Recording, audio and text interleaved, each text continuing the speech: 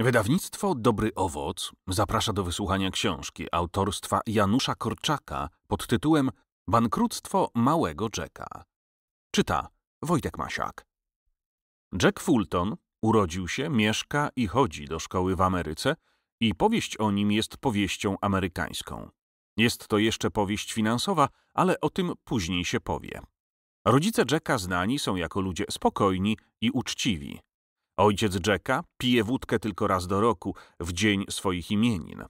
Ojciec Jacka mówi: Dni powszednie, poniedziałek, wtorek, środa, czwartek, piątek i sobota należą do mojej rodziny.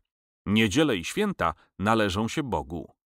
A mój dzień jest ten, kiedy się urodziłem. A że za młodu przyzwyczaiłem się do wódki, więc raz do roku golnę sobie kieliszek. To nie grzech. Trudno mi się przecież od razu odzwyczaić. Ojciec Jacka mówi także: Wszystko, co mam, zawdzięczam pracy rąk. Dopóki mam zdrowe ręce, rodzinie nie zbraknie chleba i mydła. Ani głodni, ani brudni nie będą. Tak ślubowałem żonie i dotrzymam słowa. Matka Czeka mówi, żonie powinno starczyć tyle, ile mąż zarabia. Zarobi mniej, to mniej kupię i zaczekam, aż będzie więcej. Byle nie robić długów. No tak, Jack ma uczciwych i spokojnych rodziców, którzy dają mu dobry przykład i mądre nauki. Nigdy go nie biją i nawet rzadko się gniewają. Ojciec Jacka mówi, teraz jestem zdrów i silny, więc nie sztuka, że zbije malca, który się obronić nie może, ale co będzie jak się zestarzeje, a Jack urośnie i stanie się silniejszy ode mnie? Staraj się być porządnym chłopcem, a jak ci się coś nie uda, nie kręć, tylko przyjdź i powiedz. A matka Jacka tak mówi, nie powinno się na dzieci krzyczeć, tylko trzeba im tłumaczyć, bo tak samo dziecko uczy się na świecie żyć, jak uczy się w szkole czytać, pisać i liczyć. Bo raz Jack bawił się z chłopakami w bandytów i kiedy uciekał przed policją, zeskoczył prawie z pierwszego piętra. Leżał potem trzy tygodnie w łóżku. I potem Mr. Fulton odczytywał Jackowi z gazety różne nieszczęśliwe wypadki, że się jakiś chłopak poparzył i odwieziono go do szpitala, że samochód przejechał dziecko, że się pochyliło i wypadło przez okno. Podczas głosowania i wyborów pan Fulton czytywał dwie gazety, żeby lepiej wiedzieć, na kogo głosować, i wtedy Jack o każdym nieszczęśliwym wypadku dowiadywał się dwa razy. W jednej gazecie pisało zawsze, że winni są rodzice, bo nie pilnują dzieci, a w drugiej, że z winy policji, która nie pilnuje porządku. W ten sposób ojciec Jacka wiedział, jakiego wybrać prezydenta, a Jack, czego nie należy robić, bo jest niebezpiecznie. Matka gniewała się na Jacka tylko trzy razy. Raz chłopcy bawili się w wojnę. Jackowi źle się wiodło. Dwaj młodsi od niego zostali oficerami, a on ciągle tylko żołnierz i żołnierz. Panie generale, kiedy już nareszcie będę oficerem? Musisz się odznaczyć, mówi generał Moore. Aż postawili Jacka koło parkanu. Generał Moore znów wygrał bitwę. Jack postanowił odznaczyć się w pościgu za nieprzyjacielem, a w parkanie był gwóźdź. No i podarł portki, całą nogawkę od góry do dołu. Drugi raz Jack został sam w mieszkaniu. Nawet małej Mary nie było. Bardzo mu się nudziło, a na komodzie stał budzik. Jack w żaden sposób nie mógł zrozumieć, skąd budzik wie, o której godzinie ma dzwonić. Zwyczajny zegar bije co godzinę, bo we środku jest dzwonek, młotek, kółka i sprężyna. Ojciec mu wytłumaczył i pokazał. Zupełnie co innego budzik, który przez całą noc stoi cicho jak trusia i dopiero akurat wtedy dzwoni, kiedy potrzeba. Albo ojciec mu źle wytłumaczył, albo Jack był wtedy śpiący. Dość, że zrozumiał, że w budziku siedzi kogut, który nie pieje, tylko dzwoni. Więc Jack sam był w mieszkaniu i strasznie chciał zobaczyć tego koguta. No i nic nie widział i zepsuł zegar i dostał dwie bury osobno od ojca i zupełnie osobno od matki. Bo właściwie powinno być tak, że za jedne rzeczy krzyczy jeden, a za inne drugi. Bo wychodzi, że za to samo gniewa się i nauczycielka, i mama, i tata, a jeszcze się kto wtrąci, to już zupełnie trudno wytrzymać. Trzeci raz gniewano się, kiedy Jack poszedł z chłopakami na rynek, gdzie był okropny tłok, no i zgubił czapkę.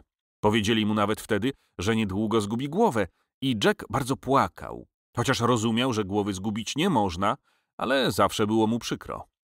Teraz więc każdy rozumie, że matka Jacka była kobietą gospodarną i że Jack nie był łobuzem, bo każdemu może się zdarzyć. Więc żył sobie Jack kochany przez rodziców, szanowany przez młodsze dzieci z podwórka.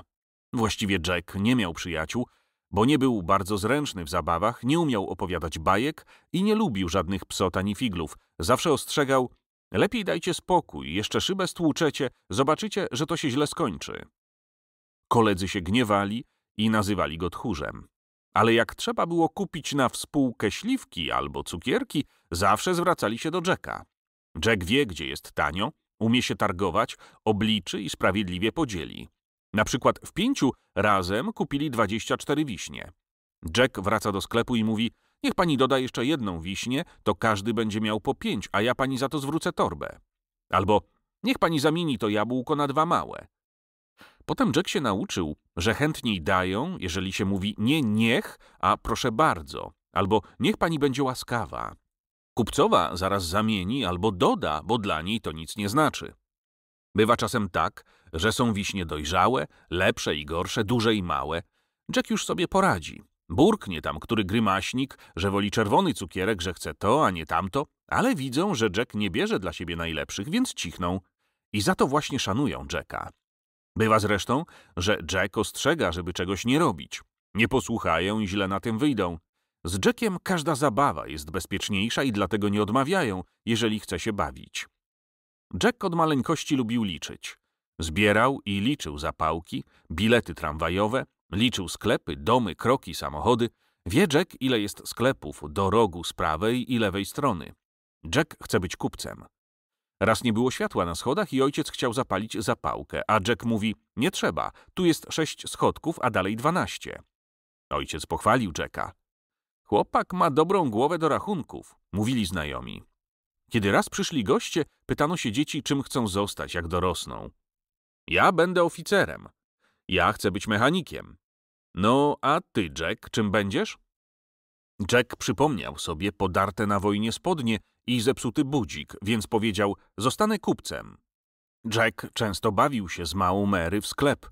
Z pudełka od pasty do butów zrobił wagę. Ważył kasztany, kamyki, piasek. Piasek to cukier albo kasza, kamyki to groch i orzechy. Wagę zrobił ze szpilki od włosów, sznurka, no i tego blaszanego pudełka.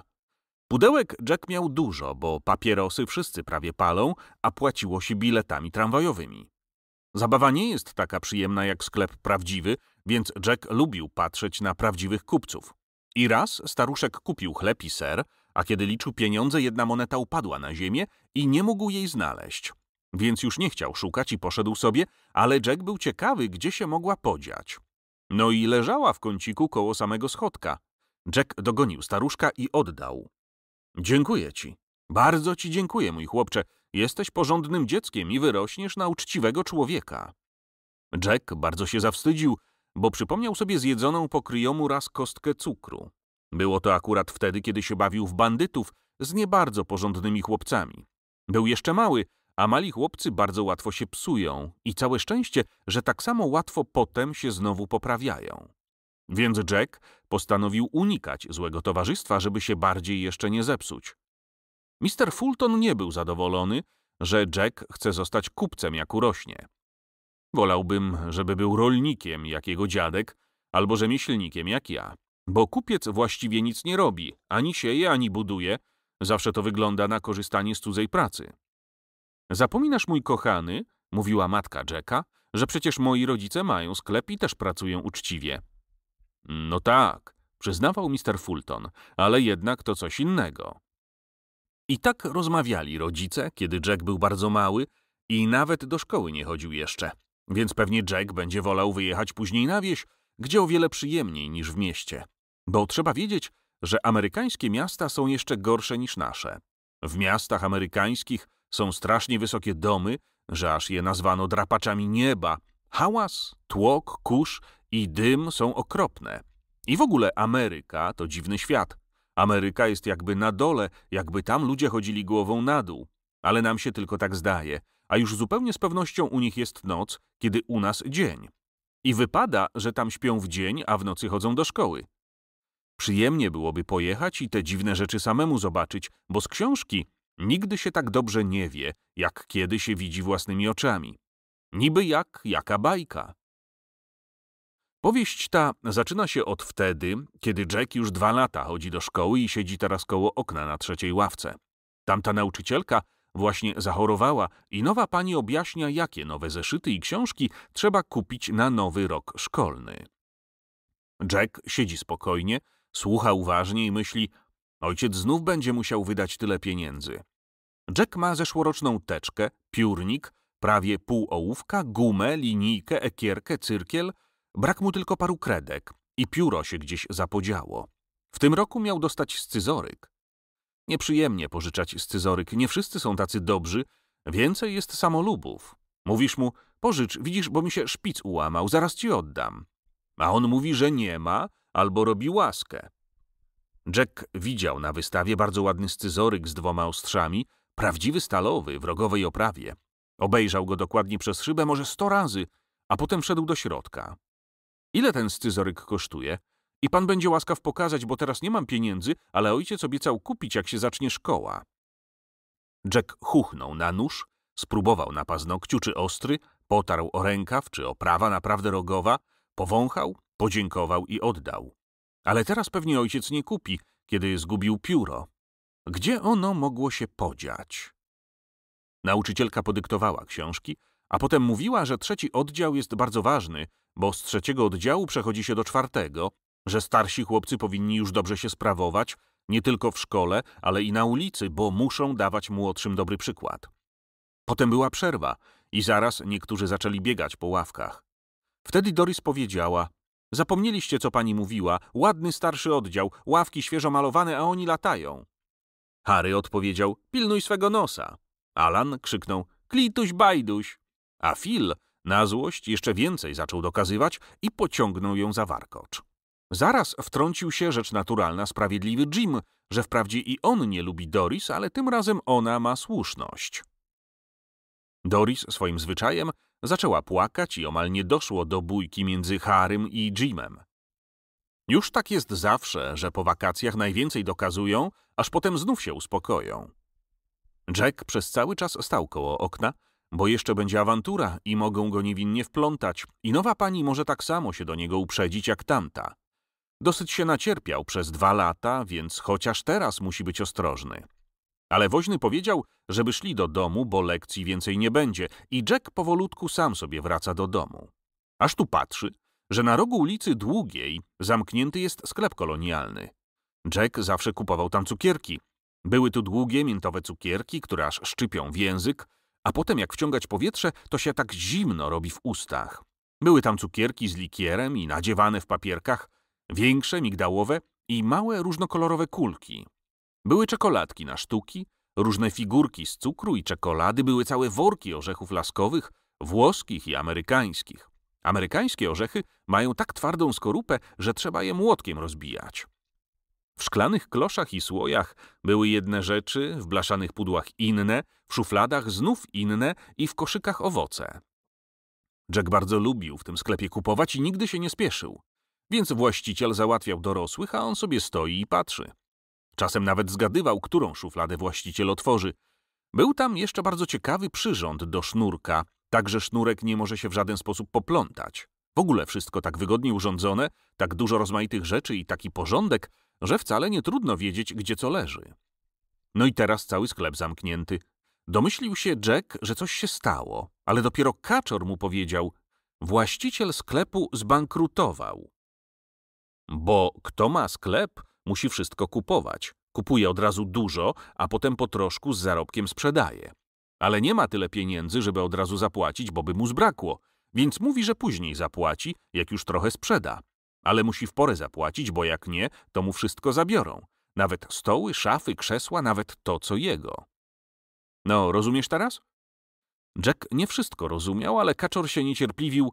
O, jakiś ty głupi.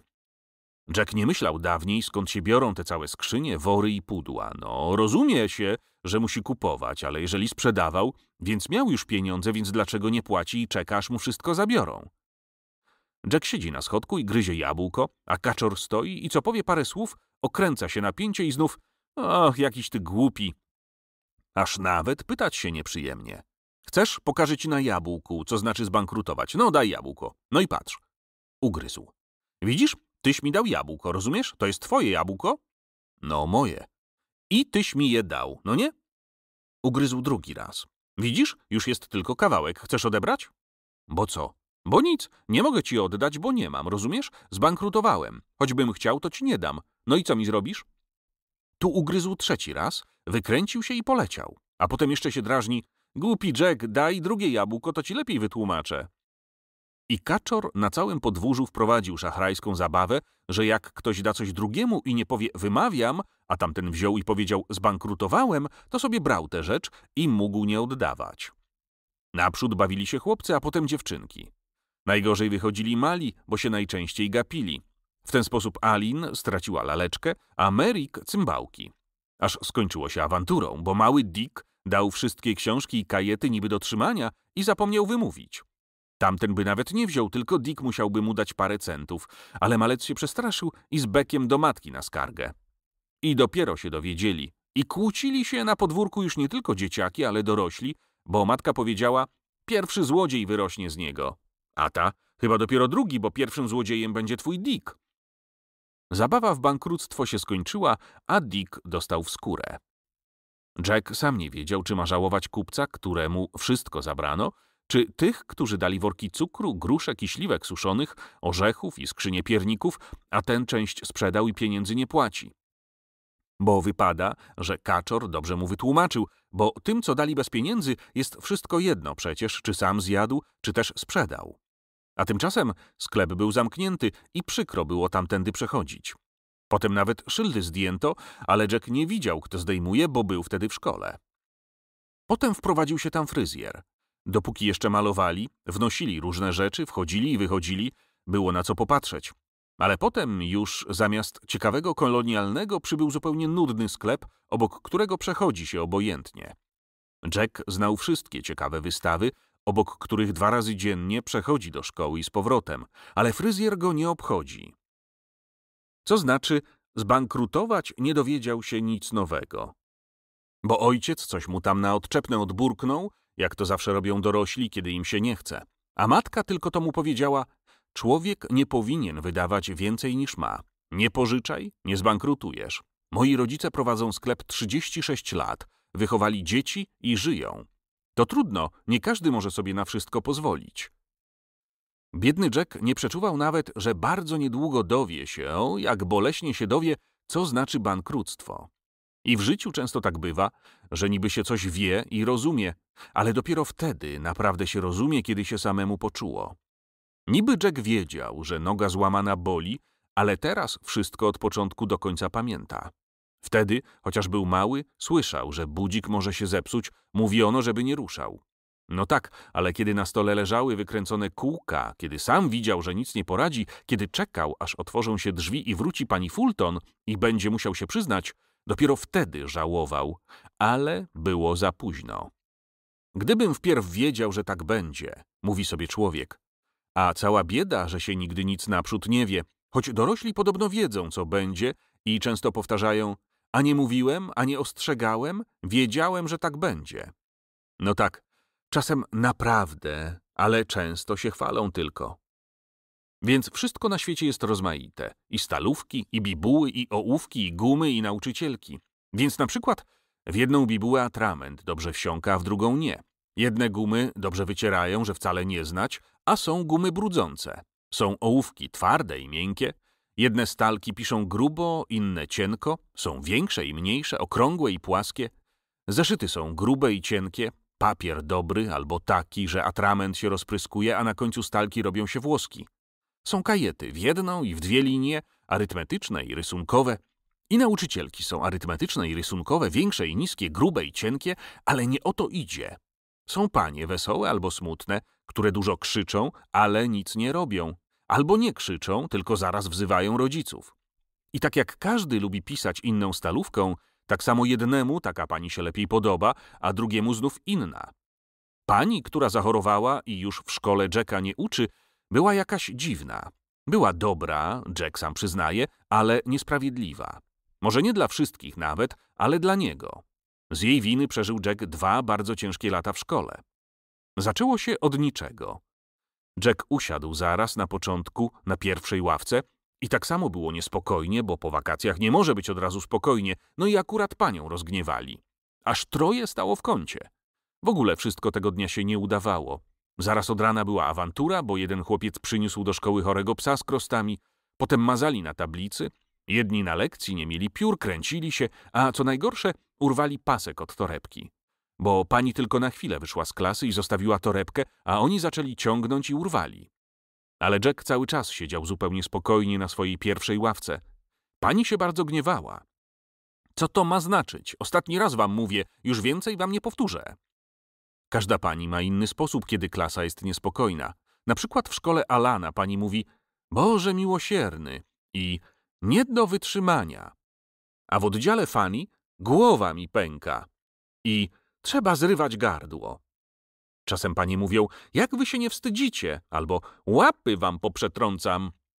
Ale pani powiedziała, żeby dać jej książkę, więc Jack dał pani swoją książkę, bo siedział najbliżej. I pani zaczęła tłuc ręką w książkę. Tak mocno waliła, że Jack już nie mógł wytrzymać, wstał i bardzo grzecznie powiedział Niech pani będzie łaskawa nie tłuc, tak, bo książka się zniszczy. Długo Jack nie mógł zrozumieć, dlaczego pani się rozgniewała. Dopiero później się dowiedział, że nie wolno robić żadnych uwag nauczycielce, choćby najgrzeczniej. Pani kazała Jackowi w tej chwili zabrać książkę i raz na zawsze zabroniła sobie pożyczać. Żebyś mi nigdy nic nie dawał, rozumiesz? Jackowi zrobiło się strasznie nieprzyjemnie, ale to był dopiero początek, bo w parę dni później pani kazała mu pożyczyć Betty książkę, a ona zawinęła róg stronicy i w dodatku zrobiła na okładce dwa kleksy. Całe szczęście, że książka była obłożona w gazetę. Było akurat wtedy bezrobocie, niektóre fabryki wcale nie pracowały, albo trzy dni w tygodniu. Tak samo było z ojcem Jacka. Nawet Jack nie miałby książek, tylko kupił mu chrzestny. Ojciec zapowiedział, żeby Jack szanował książki. Jack obiecał utrzymywać je we wzorowym porządku, a tu masz zaraz, od razu. Ale to jeszcze nie wszystko, bo dużo dzieci nie miało w tym roku bezrobocia książek, aż pani musiała nawet odsyłać do domu. Więc znów pani kazała pożyczyć książkę Wilsonowi. Tego już było za wiele. Nie dam, powiedział Jack. Ale Wilson zaczyna wyrywać, jakby to była jego. Jack się rozpłakał. A trzeba widzieć, że Jack nie jest skory do łez. W ogóle wstyd płakać, tym bardziej przy dziewczynkach. I cóż pani? Nazwała go sknerą i złym kolegą. Mówiła, że bogaci powinni pomagać biedniejszym. A właśnie Wilson był bogatszy od ojca Jacka. Potem jeszcze coś pani mówiła, ale Jack nie słyszał, bo jak się na kogoś bardzo gniewają, to nigdy nie wie, co mówią. Wreszcie pani powiedziała, że jak Jack urośnie, nikt go lubić nie będzie. Po tej awanturze Jack zauważył, że pani go nie lubi. Niby się pani wcale nie gniewa, ale zawsze. Już to się czuje. Jack przestał podnosić palce, jeżeli coś wiedział. Nie tak wesoło wybierał się rano do szkoły, żałował, że usiadł na pierwszej ławce i rzadziej opowiadał w domu, co było w szkole. Aż zdarzyło się, że Jack mógł przekonać panią, że jest dobrym kolegą, że się pani omyliła, że jak urośnie, właśnie go będą lubili. Raz przed samym dyktandem złamała się Pilowi stalówka. Pil stanął zmartwiony i bezradny. Jack miał zapasową stalówkę i zaraz pokaże, że jest usłużny i koleżeński. Pożyczę, mówi Jack, a jutro mi taką samą odkupisz. I cóż on złego powiedział? Przecież chciał jak najlepiej, przecież i tak ryzykował, bo co zrobi, jeśli w połowie dyktanda i jemu się złamie? A jeśli Pil zapomni i jutro mu nie przyniesie, albo odda gorszą, albo nie taką, jak Jack lubi? Pil jest porządny, bo inny pożyczy i wcale nie odda. Powie, odczep się, daj mi spokój. Albo, kto cię prosił, mogłeś nie dawać. No i znów się pani rozgniewała, nie pozwoliła Pilowi wziąć stalki. Ani on, ani Pil nie wiedzieli dlaczego. Tylko Phil, który wszystko lubi wyśmiewać, zrobił błazeńską minę i naśladując głos pani powiedział koleżeństwo. A potem dodał pani Makręćka. Jack nigdy by tak na panią nie powiedział, nie lubił Phila za jego żarty i wcale śmiać mu się nie chciało. Pilowi było przykro, że przez niego Jack ma zmartwienie i jakoś zaczęli rozmawiać i potem razem wracali do domu i prawie się zaprzyjaźnili. Bo Jack unikał kolegów od czasu, jak pani nazwała go handlarzem i złodziejem. Niby nie otwarcie, ale Jack dobrze zrozumiał, choć za nic w świecie nigdy nikomu by tego nie powiedział. Bo raz zginęło Doris śniadanie. Nie wiadomo nawet, czy naprawdę ktoś zabrał, bo Doris często gubiła i zaraz leci na skargę, jak wtedy z gumą, która leżała pod ławką. Doris nie chciała się przyznać, tylko mówi, że jej podrzucili. Albo wtedy z bibułą? Kto by się znów łaszczył na bibułę? Może ktoś wziął przez omyłkę, a ona zaraz ukradli. Może zostawiła w domu, chociaż bułka z kiełbasą i jabłko to nie bibuła i guma. I Fil niepotrzebnie się drażnił. Biedny aniołeczek sama zjadła i nie ma. Chuchnij, aniołku. I zaczął wszystkich pukać w brzuchy. Puk, puk, odezwij się, kiełbasko. Gdyby komu innemu zginęło, może by się klasa wstydziła, ale Doris nie lubią, bo skarżuch, lizuch, stawiak i obrażalska. A Doris ma niebieskie oczy i pani raz powiedziała, że właśnie takie są aniołki, więc była wielka sprawa o śniadanie.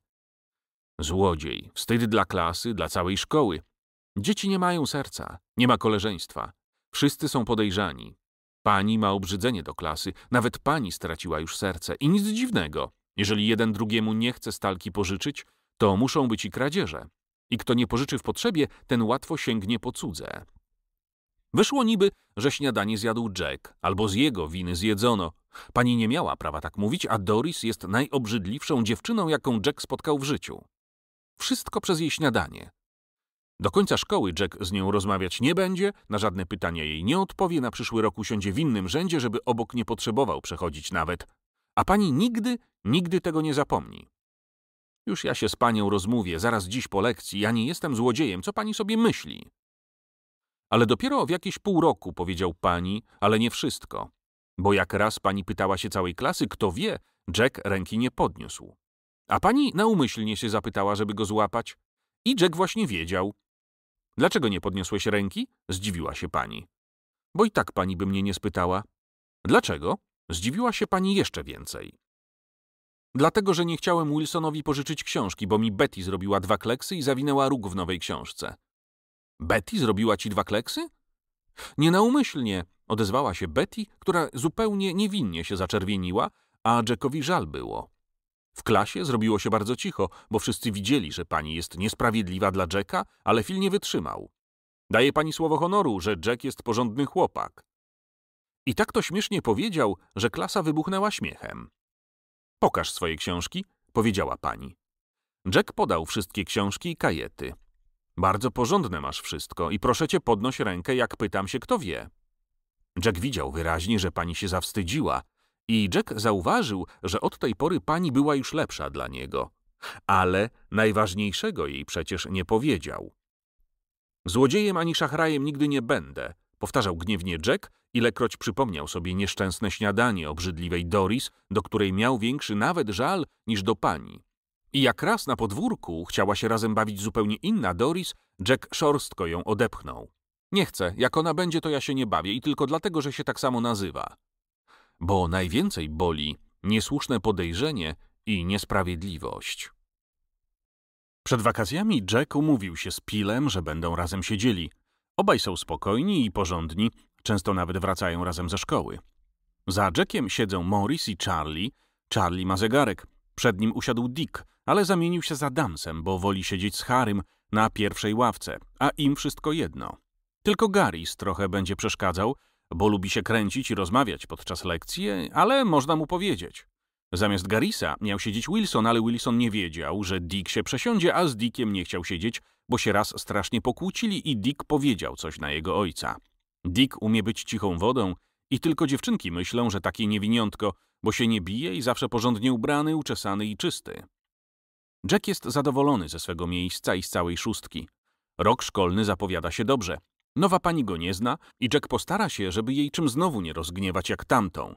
Wtedy był jeszcze mało doświadczonym uczniem, więc nie wiedział, ale teraz już wie. Pióro też znalazł i ojciec z pewnością kupi mu scyzoryk, więc już nic nie będzie brakowało. Jack jest spokojny o siebie. Dobrze, że Phil siedzi daleko. Usiadł z Alanem na ostatniej ławce, a Doris Aniołek siedzi w innym rzędzie zupełnie i można nie mieć z nią nic do czynienia. Ani przeczuwał Jack, jakiemu grozi niebezpieczeństwo, bo paniom się zdaje, że tylko łobuzom zależy na tym, żeby gdzieś siedzieć, żeby nie było widać i żeby mogli dokazywać. Ani wiedzą, że jak człowiek ma przez cały rok z kimś razem siedzieć po cztery godziny dziennie, to musi dobrze się zastanowić, żeby potem nie miał przykrości. I po co się wtrącać? Jednemu chce pani dogodzić, że niby ma krótki wzrok albo mały, sadza go na pierwszej ławce, a on nienawidzi pierwszej ławki, a inny jest znowu zły, bo zazdrości. I trudno powiedzieć, czy lepiej, żeby łobuzy siedzieli na pierwszej czy na ostatniej ławce, czy razem, czy osobno. Alana w zeszłym roku pani aż cztery razy przesadzała, a Fila nawet trudno policzyć. Oni sobie nic z tego nie robili, tylko innym spokojnym zatruwali życie. Nawet sami uczniowie mogą się pomylić. Gdyby Jack znał Charlie'ego tak, jak go później poznał, to wolałby nie korzystać z jego zegarka, byle był daleko. No ale uczeń lepiej wie niż pani, gdzie i z kim chce siedzieć. A co by to było, gdyby pani naprawdę posadziła Jacka za lanem? Ile kłótni, skarg, a może i bójki na lekcji, w przerwie i na ulicy. Pani przesadzi i zapomni, a ty się potem morduj przez całe cztery kwartały. Alan, uspokój się, mówi pani. Proszę pani, bo Phil mi przeszkadza. Uspokój się, Phil. Proszę pani, Alan przeszkadza. I pani im wierzy, a klasa wie doskonale, że obojgu przeszkadza szkoła, że woleliby latać po ulicy albo na podwórku i żadne przesadzanie nie pomoże, tylko w całej klasie zepsuje porządek. Ale pani wierzy. Niech Jack Fulton siądzie na ostatniej ławce, a ty siądź z Pilem, mówi pani. Jack zaczął powolusieńku zbierać manatki, aż pani powiedziała, no prędzej. Pil spojrzał na Jacka ze współczuciem, choć i jemu było niewesoło. Co robić? Przecież to niemożliwe, ale spierać się z panią nie będzie. Phil był odważniejszy. Ja nie mogę tam siedzieć, powiada. Dlaczego? Już ja wiem dlaczego. Więc powiedz, bo i my chcemy wiedzieć. Mama nie pozwoliła. A skąd mama wiedziała, gdzie ty masz siedzieć? Klasa przycichła. Wszyscy zaciekawieni czekają. Proszę pani, doktor zabronił, koło okna nie mogę, zaraz bym się zaziębił. I Phil zaczął kaszleć tak, że niektórzy nawet uwierzyli.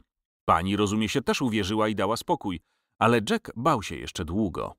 A na pauzie Phil zaczął skakać i klaskać w ręce. A tą panią nabrał dopiero? Bo w zeszłym roku pani posadziła Sandersa daleko od okna, że niby mizerny i kaszle, a od okna wieje. I Phil w samą porę przypomniał sobie tę bajdę. Więc siedzi Jack i myśli o scyzoryku. Najważniejsze, przypomnieć ojcu niby przypadkiem. Na przykład będą szli tak we dwójkę, Jack zatrzyma się przed wystawą i powie Patrz, ojczulku, jaki ładny scyzoryk. Jeżeli ojciec od razu sobie nie przypomni, Jack doda po chwili Pytałem się, ile kosztuje, wcale niedrogi. Może jeszcze powiedzieć, że nauczycielka rysunków jest bardzo surowa i żąda, żeby dobrze temperować ołówki. Przecież wstyd i nieprzyjemnie przypomnieć wyraźnie, ojciec obiecał kupić scyzoryk. Może ojciec ma inne ważniejsze wydatki, a przykro mu będzie odmówić, a może się nawet rozgniewa i powie, że go Jack i tak dużo kosztuje? Dziwne, że dorośli mają tyle pieniędzy, a zawsze im braknie. Co prawda, duże mają i wydatki. I dziwnie znalazło się to pióro. Leżało pod szafą, koło samej nogi. Mogło tam leżeć i leżeć i nikt by go nie znalazł, bo wciśnięte było w sam kącik. Całe szczęście, że Jackowi potoczyła się ołowiana kulka. Jack machał patykiem pod szafą i zamiast kulki znalazł wreszcie pióro. A kulka znowu wcale nie była pod szafą, a na środku pokoju pod krzesłem. Jak to różnie giną rzeczy i się znajdują. I żeby nie wiem jak się pilnować, każdy musi coś zgubić. I tak wygląda, jakby ktoś na złość schował, a potem podrzucił. Bo możesz dziesięć razy zaglądać w to samo miejsce i nie ma, a potem jest nagle tam, gdzieś szukał. Jack ma bardzo dużo różnych rzeczy, ale wszystko porządnie ułożone w skrzynce, którą mu ojciec zrobił. Osobno leżą rzeczy, które są często potrzebne i mogą się przydać, osobno takie, do których rzadziej zagląda. Jack często porządkuje skrzynkę i za każdym razem układa inaczej. Próbował różnie. To płaskie rzeczy kładzie na dnie, żeby mniej miejsca zajmowały, a drobiazgi na górze. To znów osobno szkolne rzeczy, osobno różne pamiątki, osobno to, co chętnie zamieni, bo mu niepotrzebne. Podczas układania zawsze się coś nie mieści albo czegoś za dużo i wtedy dawał małej Mary. Mary zawsze jest obecna podczas porządków w skrzynce i zapytuje nieśmiało czy ci potrzebny ten sznurek, pudełko, papierek? Jack mówił tak albo nie, albo się pytał, a do czego chcesz? Mary mówiła, tak sobie. Albo będę się bawiła. Albo zrobię coś dla lalki. Dla lalek wszystko się przyda, one nie są wybredne.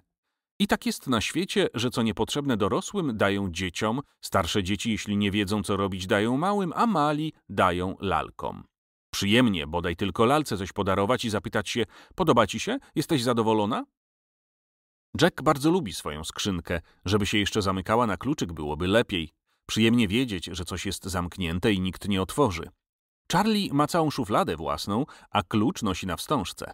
Właściwie powinien być na dewisce, bo tylko dziewczynki noszą na tasiemce kluczyki od piórników, ale Jack nawet piórnik ma otwarty. Pewnie i scyzoryka nie dostanie, bo trzeba dać buty do podzelowania i mama wspomniała o nowej czapce. To przykre, że dzieci tak drogo kosztują. Charlie jest jedynak, więc ma nawet album z markami, a Sandersiaków jest aż pięcioro. I kiedyś pani Sanders, bijąc na schodach Robina, sama mówiła, żeby się na śmierć zapracować i tak na nic nie starczy, jak trzeba pięć żołądków nakarmić. I powtarzała, a masz, darmozjadzie, a masz, a masz. Ciągle mówiła darmozjadzie, a przecież Robin zarabia, bo zanim idzie do szkoły kurierki roznosi. Widocznie mało zarabia. Tak rozmyślał Jack, przepisując wiersz o jaskółce, która uczy swoje małe latać. Właściwie Jack powinien myśleć o jaskółce.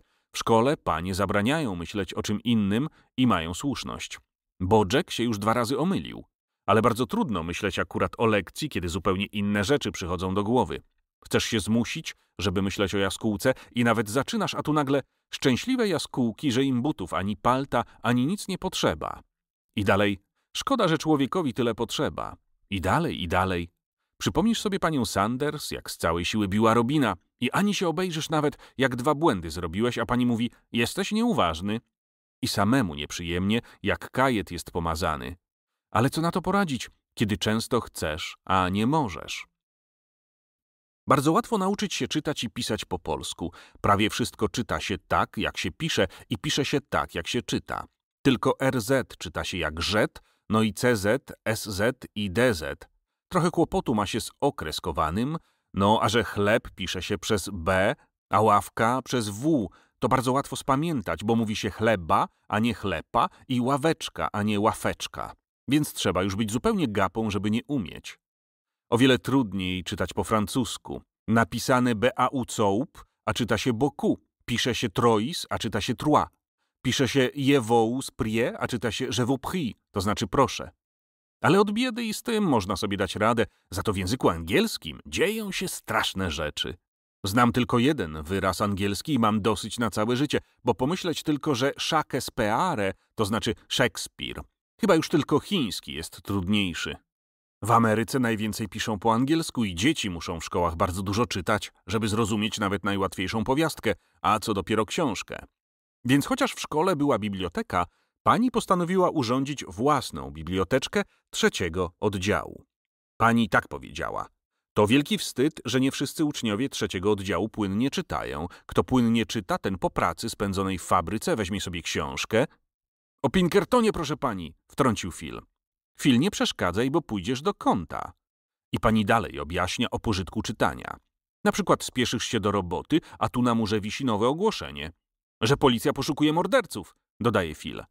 Phil, uspokój się, bo cię za drzwi wyrzucę, mówi pani i dalej tłumaczy. Płynnie powinien czytać każdy człowiek. Wymaga tego godność obywatela. Proszę pani, kto w kinematografii nie zdąży przeczytać napisu, to potem siedzi jak tabaka w rogu. Phil, wyjdź w tej chwili z klasy. Uj, już nie będę. Ruszaj za drzwi.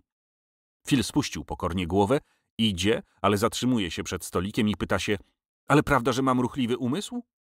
Skąd ci to przyszło do głowy? A jak nauczyciel śpiewów się na mnie skarżył, pani sama przecie powiedziała. A ty skąd wiesz, co mówiłam? Bo bałem się, że będę miał grandę, więc sobie z boczku słuchałem, co powie. No dobrze, brzydko jest podsłuchiwać, a teraz wyjdź, bo przeszkadzasz. Urozmaicam lekcję, powiedział Phil we drzwiach. Pani spokojnie już teraz skończyła. Szło o to, że każdy ma w domu parę książek, więc niech je na rok pożyczy szkole. Jeżeli każdy da dwie książki, a uczniów jest 40, więc biblioteczka liczyć będzie 80 numerów. Każdy będzie mógł przeczytać 80 książek i wtedy nie tylko James i Harry będą chętnie czytali, ale wszyscy. Ale trzeba, żeby ktoś się podjął biblioteczkę prowadzić. Z początku będzie nawet duża praca, żeby nalepić kartki z numerami, ułożyć katalog, zaprowadzić kontrolę. Pani, rozumie się, dopomoże, ale odpowiedzialność za wszystko musi ktoś wziąć na siebie. Więc kto? pyta się pani. Ja, odzywa się Phil przez uchylone drzwi. I tak to śmiesznie i nagle krzyknął, że wszyscy zaczęli pękać ze śmiechu i pani naprawdę się już rozzłościła.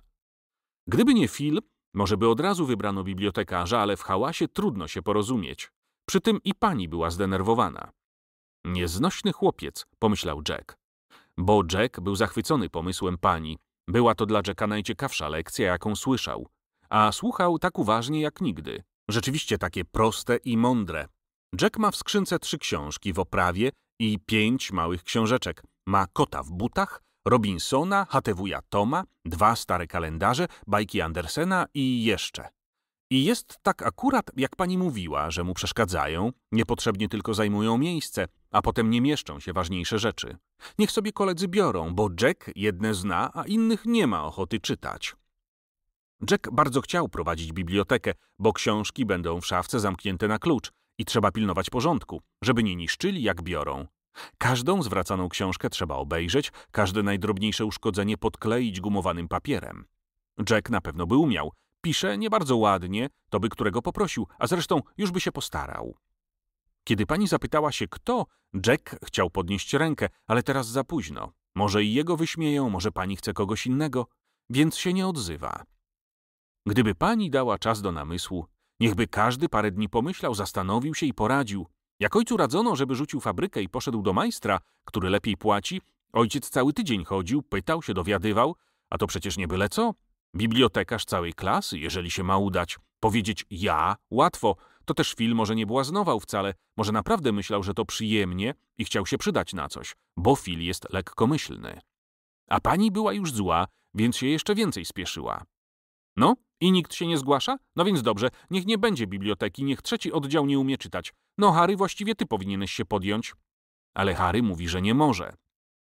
Więc któraś z dziewczynek, jeżeli chłopcy nie chcą, gdyby szło o futbal, pewnie by było wielu amatorów. Może Klarysa albo Fanny? Klarysa nie chce, a Fanny sama się boi. Ja mogę prowadzić, mówi James. Klasa wie doskonale, dlaczego James się zgodził. Szło mu o to, żeby bibliotekarką nie została dziewczynka. Klasa wie, że się nie uda, jeżeli James się do tego weźmie. James jest zarozumiały i on nie lubi, i jego klasa nie lubi. Samolub czyta dużo, ale żeby go nie wiem jak prosić, nie opowie nic, nie pożyczy, nie wytłumaczy. Kapryśny i obraźliwy, a przy tym złośnik. Ale pani od razu się zgodziła. Brawo, James, uratowałeś honor klasy. James skrzywił się, coś bąknął pod nosem i na pewno żałował już, że się zgodził. Było źle. Zaraz nazajutrz James zapomniał klucza. Na przyniesione przez kilku kolegów książki powiedział, że śmiecie. Jedna książka głupia, druga nudna, trzecią sto już razy czytały dwuletnie dzieci. Sam głupi zarozumialec, szkoda, że nie powiedział roczne. W ogóle tak mówi, jakby nie dla wszystkich miały być te książki, a dla niego tylko. Po tygodniu już i pani spostrzegła, że się pomyliła. James najwyraźniej w świecie robi łaskę. Kiedy mu pani wreszcie ostro zwróciła uwagę, że lekceważy dobrowolnie przyjęty obowiązek, James powiedział, że nie umie i nie chce. I niesłusznie się pani na niego gniewała, bo naprawdę nie umiał. Przecież co innego samemu czytać, a co innego książki do czytania wydawać. Phil triumfował. Dobrze pani tak, ja bym się postarał o różne wesołe, takie śmieszne książki, różne bandyckie bójdy od brata, rozmaite mocium, dzieju, bajaderskie piosenki, cały oddział tak by czytał jak aeroplan, ażby warczało. Ale bibliotekarką została Fanny i rozumie się, najprzód chłopcy powiedzieli, że od niej ani jednej książki nie wezmą, a potem i dziewczynki dały spokój. Brały tylko lizuchy, żeby pani się przypodobać. Fanny udawała panią. To będzie dla ciebie za trudne, nie dam ci tej książki, bo nie zrozumiesz. A sama smarkata nawet nie wiedziała, o czym tam pisze. Raz nawet ośmieliła się powiedzieć, przeczytaj na próbę pierwszą stronicę i opowiedz, to może ci wydam. Za to Brudasowi Johnowi dała zupełnie nową książkę Penela i John oderwał kawałek okładki, a w środku zamazał masłem. Całe szczęście, że Penel Gamajda i każdy z nim robi co chce, bo inaczej miałaby za swoje. Wreszcie pani się zniechęciła. W tamtej szkole, gdzie byłam, doskonale się udało, a tu doprawdy, że się zniechęciłam. Jeżeli nie chcecie, powiedzcie szczerze, nie chcemy. Fil nie wytrzymał. Proszę pani, ja bym powiedział, ale żeby mnie pani za drzwi nie wyrzuciła. Więc powiedz. Ale pani mnie nie wyrzuci? Fil, tylko nie żartuj, bo to doprawdy niewesoła sprawa. Ja nie żartuję, tylko niech pani powie, żeby się nie śmiali. No, już mów. Proszę pani, trzeba kupić ciekawe książki. Jakieś takie wesołe albo Bosko-Czarnoksiężnik, Zagadki, Edipolo, Sennik Egipski, różne sztuki z kartami. Ja nawet mogę buchnąć siostrze ten sennik. Jak się komuś śni, na przykład pożar, to znaczy, że złodzieje. Widzi pani, już się zaczynają śmiać. Pani powiedziała, że na próbę będzie sama przez miesiąc prowadziła bibliotekę, a potem się zobaczy. Fanny wszystko oddała pani w największym porządku. Kartki już były ponalepiane, katalog ułożony. Clarissa pomagała trochę i niby jakoś szło, ale widać było, że biorą książki tylko dlatego, żeby pani nie obrazić. A tymczasem Jack umacniał się w postanowieniu, że nikt inny, tylko ono zostanie bibliotekarzem. Już wszystko dokładnie naprzód sobie ułożył, pewien był wygranej, więc przyglądał się, jak to pani robi, słuchał uważnie, co mówi klasa i czekał. A kiedy po miesiącu pani się znów zapytała, kto weźmie klucz od szafki, Jack spokojnie, ale stanowczo oznajmił, że chce i może. Pani zgodziła się od razu. Pani kazała dać książki Jacka i Johna i tak powiedziała. Patrzcie, książki Jacka są czyste i porządnie obłożone, a Johna pomazane, z rogami pozawijanymi, brudne i zakleksane. John wszystkim obrazkom dorabia wąsy, nazwisko swoje namazał prawie na każdej stronicy, a jak już chce coś wytrzeć, to ślini brudny palec i robi w stronicy dziurę. Potem pani powiedziała coś, co nie było prawdą. Kto lubi czytać, ten szanuje książki. Powiedz, Fulton, prawda, że ty dużo czytasz? Jack nie chciał kłamać, a niegrzecznie z panią się sprzeczać, więc chrząknął tylko i mruknął, co mogło znaczyć i nie, i tak. A pani myślała, że dużo, tylko nie chce się chwalić. Nareszcie, nareszcie będą wiedzieli, że i Jack Fulton coś znaczy, bo do tej pory Jack mógł być albo nie być i nikt nawet nie wiedział. Kiedy dwa dni miał gorączkę i nie przychodził do szkoły tylko sąsiad i Nelly pytali się go dlaczego. Nelly doszła i powiedziała, pewnie byłeś chory? Jack odpowiedział, tak, miałem gorączkę i kaszel. A teraz jeszcze kaszlasz? Troszkę, odpowiedział Jack. Potem na lekcji Jack naumyślnie głośno zakaszlał, czy Nelly spojrzy na niego. Ale Nelly nie spojrzała i od tej pory nie rozmawiał z nią ani razu. Ale ona jest bardzo miła, taka cicha i tak się przyjemnie uśmiecha i takie ma mięciutkie włosy. No tak, nikt go w klasie nie zna, nikogo Jack nie obchodzi. Nawet pani tak jakby go wcale nie znała. Pani zwraca się jeszcze do kilku, jeżeli coś trzeba zrobić, przynieść albo rozdać kajety, a o innych jakby zapomniała. Tamci się nie wstydzą, rozmawiają, proszą, jakim czego potrzeba, a tak to się dochodzi jak do obcej. Teraz jest zupełnie inaczej. Jack musi z panią rozmawiać, bo jest bibliotekarzem. Jack nie może chorować, bo ma klucz od szafy. Clarissa w żaden sposób nie chce trzymać klucza, jeszcze zgubi albo zapomni, boi się, jednym słowem. Pani wydawała książki w poniedziałki i czwartki. Jack wydaje pięć razy na tydzień. Tylko w sobotę nie warto, bo na niedzielę daje biblioteka szkolna. Jack korzysta z wolnego dnia i porządkuje szafę. Z początku woźny się trochę krzywił. Czego ty nie idziesz do domu? Ale widzi, że Jack spokojny i można go w klasie zostawić. Nawet czasem pomoże przy zamiataniu. Po dwóch tygodniach powierzył mu kawałek kredy na zapas i Jack był bardzo zadowolony, bo kiedy pani od rysunków powiedziała, że małym kawałkiem niewygodnie rysować, Jack podczas lekcji otworzył szafę i zamienił mały kawałek na zapasowy duży. I zaraz po lekcjach oddał woźnemu i znów dostał inny. Clarissa właściwie nic mu nie pomaga, bo nawet nie ma w czym. Po ostatniej lekcji pyta się, czy jestem ci potrzebna? Jack odpowiada, nie. Więc idzie do domu, a potem się i pytać przestała. Wszystkie książki zajmowały w szafie tylko jedną półkę i kawałeczek drugiej, a właściwie nawet tylko jedną, bo kilka książek było w czytaniu. I prawie zawsze te same, najładniejsze. Z książek Jacka chłopcy brali Robinsona, a dziewczynki HTWja Toma i bajki. Kota w butach nikt nie chciał, bo za dziecinna. Dziewczynki brały więcej niż chłopcy. Kiedy po paru tygodniach pani się zapytała, czy są z Jacka zadowoleni, wszyscy powiedzieli, że tak. Najgłośniej krzyczeli tacy, którzy wcale książek nie brali. Ale Jack był im mimo to wdzięczny. Myliłby się, kto by sądził, że Jack był zadowolony. Na początek i tak dobrze, ale Jack musi zrobić, żeby wszystkie półki były pełne. Tymczasem pani chowa do szafy to jakieś wypchane zwierzęta, to globus, to kamienie, liście suche, to karton, ale szafa z pustymi półkami drażni Jacka. Nie dawały Jackowi spokoju słowa Fila, gdybym ja był bibliotekarzem, to by cały oddział tak czytał, ażby furczało jak aeroplan. Zwróciłby się chętnie porady do Fila, ale się bał z nim zaczynać. Niepewny człowiek. Choć kto wie, czy nie ma słuszności. Gdyby tak jakieś wesołe książki albo sennik egipski, na przykład coś się śni, chce wiedzieć, co znaczy, przychodzi do Jacka. Jack zajrzy, pozwoli poszukać, to się może zachęci i weźmie coś do czytania. Zresztą Jack wie, że nie wszystkie książki dali do biblioteki. Jedni się boją, że zginie, innym szkoda, innym rodzice nie pozwolili. I Jack musiał się pytać, czy rodzice pozwolą. Bo jak się coś ma, nigdy nie wiadomo, czy to jest zupełnie własne. Inna sprawa ubranie. Chociaż i ubranie, jeżeli się podrze, powinno zostawić podarte, a nie krzyczeć i kupować nowe. Ale prezenty powinny być już naprawdę własne. Jeżeli się złamie zabawkę albo chce podarować koledze, nie powinno obchodzić rodziców. Ale Jack miał inne rady, tylko poradził się Fila. Wybrał dzień, kiedy Phil był smutny, bo pani kazała przyjść jego matce na nieprzyjemną rozmowę. Pewnie dziś nie będzie żartował. Nie martw się, Phil, pani ci pewnie przebaczy. A już cztery razy mi przebaczyła, ale zapomniała i mówi, że trzy. Czy ja im się każę śmiać? I co ja takiego powiedziałem? Jak pani mówiła, że murzyni nie chcą być czarni, więc poradziłem, żeby pili dużo mleka, to może zbieleją. Dlaczego nie spróbować? Przecież jak się je jagody, to się ma potem czarne usta i język, a te barany zaraz w śmiech, a pani na mnie. Słuchaj, tyś wtedy mówił o jakiejś książce ze sztukami. A, bosko czarnoksiężnik. Możesz mi ją pożyczyć na jeden dzień? Ja ci nie zniszczę. Nie ma już tej książki. Ojciec ją w piec rzucił i spalił. Tam był taki doskonały przepis na fajerwerki. Wszystko można samemu zrobić. Perfumy, atramenty różnych kolorów, jak łykać ogień, jak przewrócić szklankę do góry dnem, żeby się woda nie wylała, jak zagotować wodę w papierze, jak nożyczkami krajać szkło. I udawało ci się? Nie bardzo, bo się dopiero uczyłem i mama mi przeszkadzała.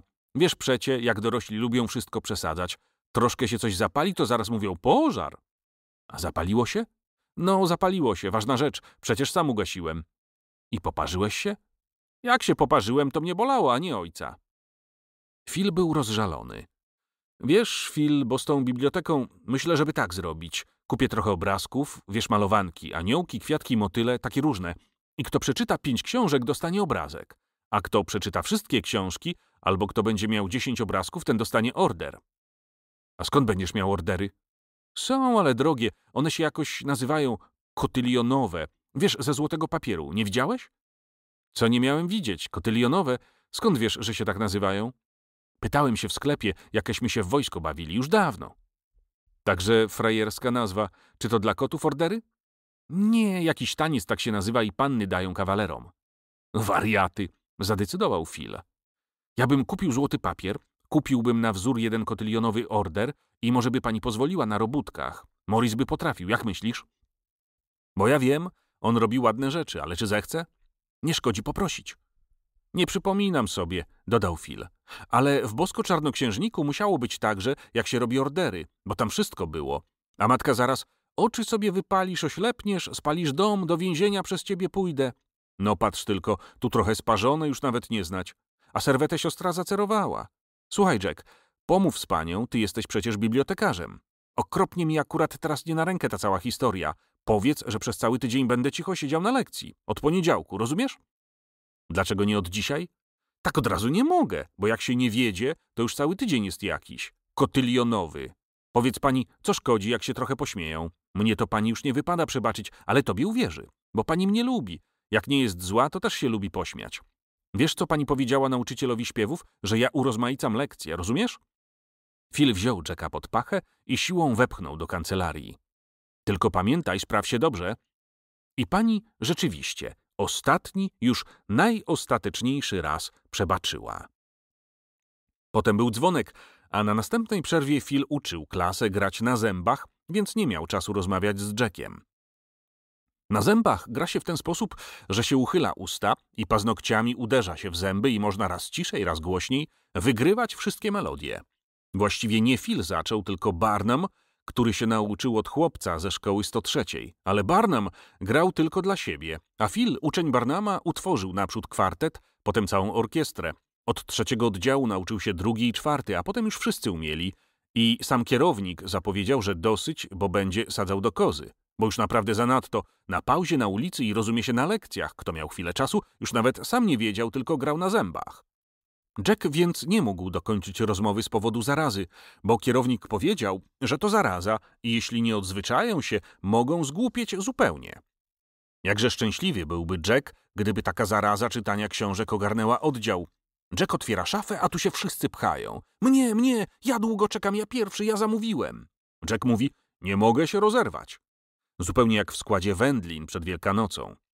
Tak marzył Jack, schodząc do szatni po lekcjach. A tu go nagle Phil trzasnął w plecy, że mało nie spadł ze schodów.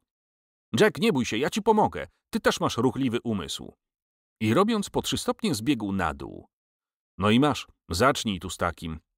Samotny i stroskany wraca Jack do domu i ani się domyśla, jaka go czeka wiadomość.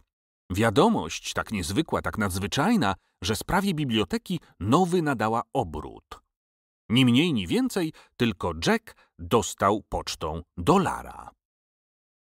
A z dolarem tak było. Jack ma dziadka w innym mieście. Mniejsza o to, jak się nazywa, bo też inaczej się pisze i inaczej czyta. Dość, że ojciec matki, więc dziadek. I dziadek zaprosił go na wakacje do siebie, ale ojciec nie chciał, żeby Jack jechał. Jack był bardzo zmartwiony, bo dziadek ma tam sklep, a ojciec ich nie lubi. Jack nawet wie za co, więc się nie napierał. Bo jak jeszcze Jacka nie było na świecie i ojciec jeszcze nie był mamusi mężem, bardzo dawno, więc ojciec chciał się z mamą ożenić, ale dziadek nie dawał. Bo mama była córką kupca i była bogata, a ojciec był zupełnie biednym robotnikiem, jeszcze nawet biedniejszym niż teraz. Długo dziadek nie pozwalał tatusiowi ożenić się z mamą, więc ojciec martwił się długo, ale mama też chciała wyjść za mąż za ojca. Dziadek widział, że nie ma rady, no i pozwolił. Ale dziadek mamę kocha, a ojca tak sobie, a ojciec nie lubi rodziny mamusi, bo są zarozumiali. Raz ojciec nawet pokłócił się z mamą, wtedy właśnie, kiedy powiedział, że na chleb i mydło zarobi dla rodziny. Wtedy było bezrobocie i mama chciała, żeby wyjechać do tego miasta, gdzie mieszkają wszyscy krewni mamy. A ojciec nie i nie. Ojciec ma zdrowe ręce i poradzi sobie, a łaski żadnej nie potrzebuje. Właśnie wtedy Jack zaczął chodzić do szkoły, chciał szanować książki, a pani się na niego gniewała. Ojciec aż pożyczył na książki, chociaż strasznie nie lubił długów. Jack wiedział, że wszystko jest tajemnicą i o tych rzeczach dzieci nic nie powinny wiedzieć, ale co zrobić, kiedy wie i słyszał? List dziadka był taki, a właściwie nie list, tylko dopisek. Pisała mi mama, że jesteś w trzecim oddziale i pilnie się uczysz, więc posyłam ci dolara, żebyś sobie kupił, czego ci będzie potrzeba. Tymczasem ojciec nic jeszcze nie wiedział, bo był w fabryce, a Jack niepokoił się, że może ojciec dolara też od dziadka nie pozwoli przyjąć. Więc wyszedł na podwórko, usiadł na kamieniu koło parkanu i myśli. Jak to jest dziwnie na świecie. Jak się czegoś nie ma, wydaje się, że się wie, co robić, a jak się ma, to się nic nie wie. Bo Jack często myślał, co by zrobił, gdyby miał dolara albo sto, albo nawet tysiąc. Co by kupił rodzicom, co małej Mary, co sobie. Różnie układał, ale nigdy nie ułożył do końca, bo zawsze zasypiał. Bo najlepiej myśleć w łóżku przed zaśnięciem. No i teraz nic nie wie, chociaż jasne jest przecie, że jak rodzice pozwolą, Jack przede wszystkim kupi, co potrzebne do biblioteki. Już nie potrzebuje łamać sobie głowy, skąd weźmie pieniądze na obrazki, nawet ordery gotowe może kupić. Cztery centy będzie dla Mary na ciastka i cukierki. Może coś mamie i ojcu? Przecież dolar ma sto centów. Straszna kupa pieniędzy, na wszystko starczy. Niepokój jego wzrastał w miarę tego, jak zbliżała się godzina powrotu ojca. Może wyjść na spotkanie? Ale przypomniał sobie, że pani zadała na jutro wiersze, więc wziął książkę i zaczął się uczyć na schodach. Wiersze były bardzo trudne, więc męczyć się musiał. Mama nie powiedziała od razu, tylko przy kolacji wspomniała, że trzeba podzelować buty Jacka i kupić czapkę. Widać było, że boi się ojca rozgniewać. Bo widzisz, mówi mama, Jack nawet dostał od dziadka dolara. I dopiero list pokazuje. Ojciec wziął list, włożył okulary, a Jack pochylił się nad miseczką z kartoflami, jakby coś złego zrobił i bał się kary. Pokaż no tę czapkę, powiedział ojciec. A potem, może jeszcze przez zimę pochodzić, nowej nie trzeba kupować. Zelówki sam mu sprawię. Jak mnie stać na buty, starczy i na zelówki. Weź sobie tego dolara, kup, co ci się podoba, to twoje. A potem jeszcze dodał, i to Jacka najbardziej zdziwiło, tylko nie kupuj z tych pieniędzy scyzoryka. Jutro razem wyjdziemy, więc kupię. Pamiętasz, że ci obiecałem? Jack zauważył jeszcze, że ojciec nie zapalił po kolacji cygara i kiedy czytał gazetę, nie dmuchał cygarowym dymem spoza gazety. Jakoś tak dziwnie wyszło, że Jack obawiał się ojca, a właśnie mama mogła go pozbawić otrzymanego skarbu, bo rozumie się przecie, że czapkę można jeszcze ponosić, a z zelówkami też można poczekać, jeżeli chodzić ostrożnie, a nie po błocie i kamieniach. Strasznie dużo miał Jack tego wieczora do myślenia. Więc ojciec pamiętał o scyzoryku, a zapomniał zapalić cygaro? Może ojcu bardzo przykro, może naprawdę lepiej dolara dziadkowi odesłać. Jak można nie pozwolić się komu ożenić, jeżeli chce? I co by wtedy było z Jackiem? Miałby jakiegoś innego ojca, a nie tatusia? Jakiegoś zupełnie obcego, czy jak? Przecież Jack bardzo kocha ojca swojego. Nawet dobrze się stało, że nie pojechał do dziadka. Później Jack już miał aż do zaśnięcia same tylko finansowe myśli. A ojciec nie zapomniał o scyzoryku, tylko wyszedł z nim razem. Właściwie nic w tym dziwnego, bo fabryka i szkoła razem się zaczynały. ale dziwne było, że ojciec nie wstąpił do sklepu po cygara, tylko do księgarni i składu materiałów piśmiennych Mr. Tafta. No, wybieraj scyzoryk. Rozumie się, Jack wybrał mały, najtańszy, z jednym ostrzem za cztery centy. Cóż to, kawalerze, powiedział Mr. Taft. Przecież nie ten scyzoryk oglądałeś? Tak, zaczerwienił się Jack zawstydzony. Ale tamte są niedobre, bo się łatwo gubią. Jack czuł, że niemądrze powiedział, ale musiał przecież coś powiedzieć, żeby ojciec się nie domyślił, a nic mu do głowy lepszego nie przyszło. Szczęście, że ojciec nie zauważył, a Jack już się nawet domyślił. Ale dopiero wieczorem na pewno wiedział, bo ojciec znów nie zapalił cygara i mama powiedziała: Nie rób tego. Wszyscy mówią, że jak się ktoś przyzwyczai do palenia i od razu przestaje, to szkodzi na nerwy. A ojciec odpowiedział, i Jack zapamiętał te słowa i często je potem powtarzał. Trudno. Jak człowiek ma obowiązki, na wiele rzeczy nie może sobie pozwalać. Zresztą jutro już kupię. I naprawdę nazajutrz ojciec wstąpił, jak zwykle, do dystrybucji po cygara. A Jack schował dolara na samo dno skrzynki i dla pewności przypomniał Mary, żeby sama do skrzynki nie podchodziła, bo nigdy z nią nigdzie nie pójdzie, ani nigdy jej nic nie kupi. I już. Jakby się nic nie stało. Dopiero w niedzielę ojciec dał Jackowi arkusz listowego papieru i powiedział: Musisz napisać do dziadka list z podziękowaniem. A co mam pisać? Jack nigdy jeszcze listu nie wysyłał. Napisz, że otrzymałeś i że dziękujesz, a jak chcesz, napisz, co z tymi pieniędzmi zrobiłeś. Jeszcze nic nie zrobiłem, leżą. No to napisz, co chcesz. Jack napisał. Kochany dziadku, otrzymałem przysłany mi w podarunku dolar. Mama chciała kupić czapkę i podzelować buty, ale ojciec nie pozwolił, więc kupię książki i różne rzeczy, bo jestem w szkole bibliotekarzem i będę miał duże wydatki. Ojciec przeczytał list Jacka, ale mu się nie podobał. Niepotrzebnie pisałeś o czapce i o zelówkach. Powinno się zawsze pisać tylko o tym, co się zrobiło, a nie czego się nie robi. Więc mogę przepisać, powiedział zmartwiony Jack. Jack dobrze rozumiał, dlaczego ojciec nie chce, żeby pisać o czapce, bo wygląda tak, że niby Jack nie ma czapki na zimę. Dziadek może myśleć, że chcą, żeby jeszcze coś przysłał. Niech już tak zostanie, powiedział ojciec. Jack sam zaadresował kopertę i sam wrzucił list do skrzynki. Bardzo przyjemnie pierwszy raz w życiu własny list wysyłać i żeby w kopercie już nic innego nie było. Ale Jack nie był wesoły, bo właściwie tak się coś pokręciło, że przez niego i ojciec i mama mają zmartwienie, chociaż on nic nie winien. Bo dlaczego ojciec kazał napisać do dziadka list, chociaż go nie lubi? I mama jakoś tak ostrożnie z ojcem rozmawia? Bo jeżeli już dziadek pozwolił się ojcu żenić, dlaczego ojciec się ciągle jeszcze gniewa? Przecież dziadek nie może być takim znów złym człowiekiem. Nie zna Jacka, a przysłał w zeszłym roku ciepłe rękawiczki i kota w butach, a teraz pieniądze. I Jack nie wie, czy ma kochać dziadka, bo to ojciec mamy, czy go nie lubić. I za co właściwie? No tak, jeżeli kto zrobi coś złego, to trudno przebaczyć. Jack już dwa lata nie lubi Doris i tylko przez książkę. A co by było, gdyby mu kazali ożenić się z Doris? Fu, za żadne skarby świata, żeby ciągle być z nią razem, żeby ona nalewała mu zupę i ruszała jego książki, kajety i wszystko. Szkoda, że dzieci muszą udawać, że o tylu rzeczach nie wiedzą i nie rozumieją, i dlatego nie mogą się o nic rodziców zapytać. Bo gdyby Jackowi pozwolili, na pewno by pogodził ojca z dziadkiem.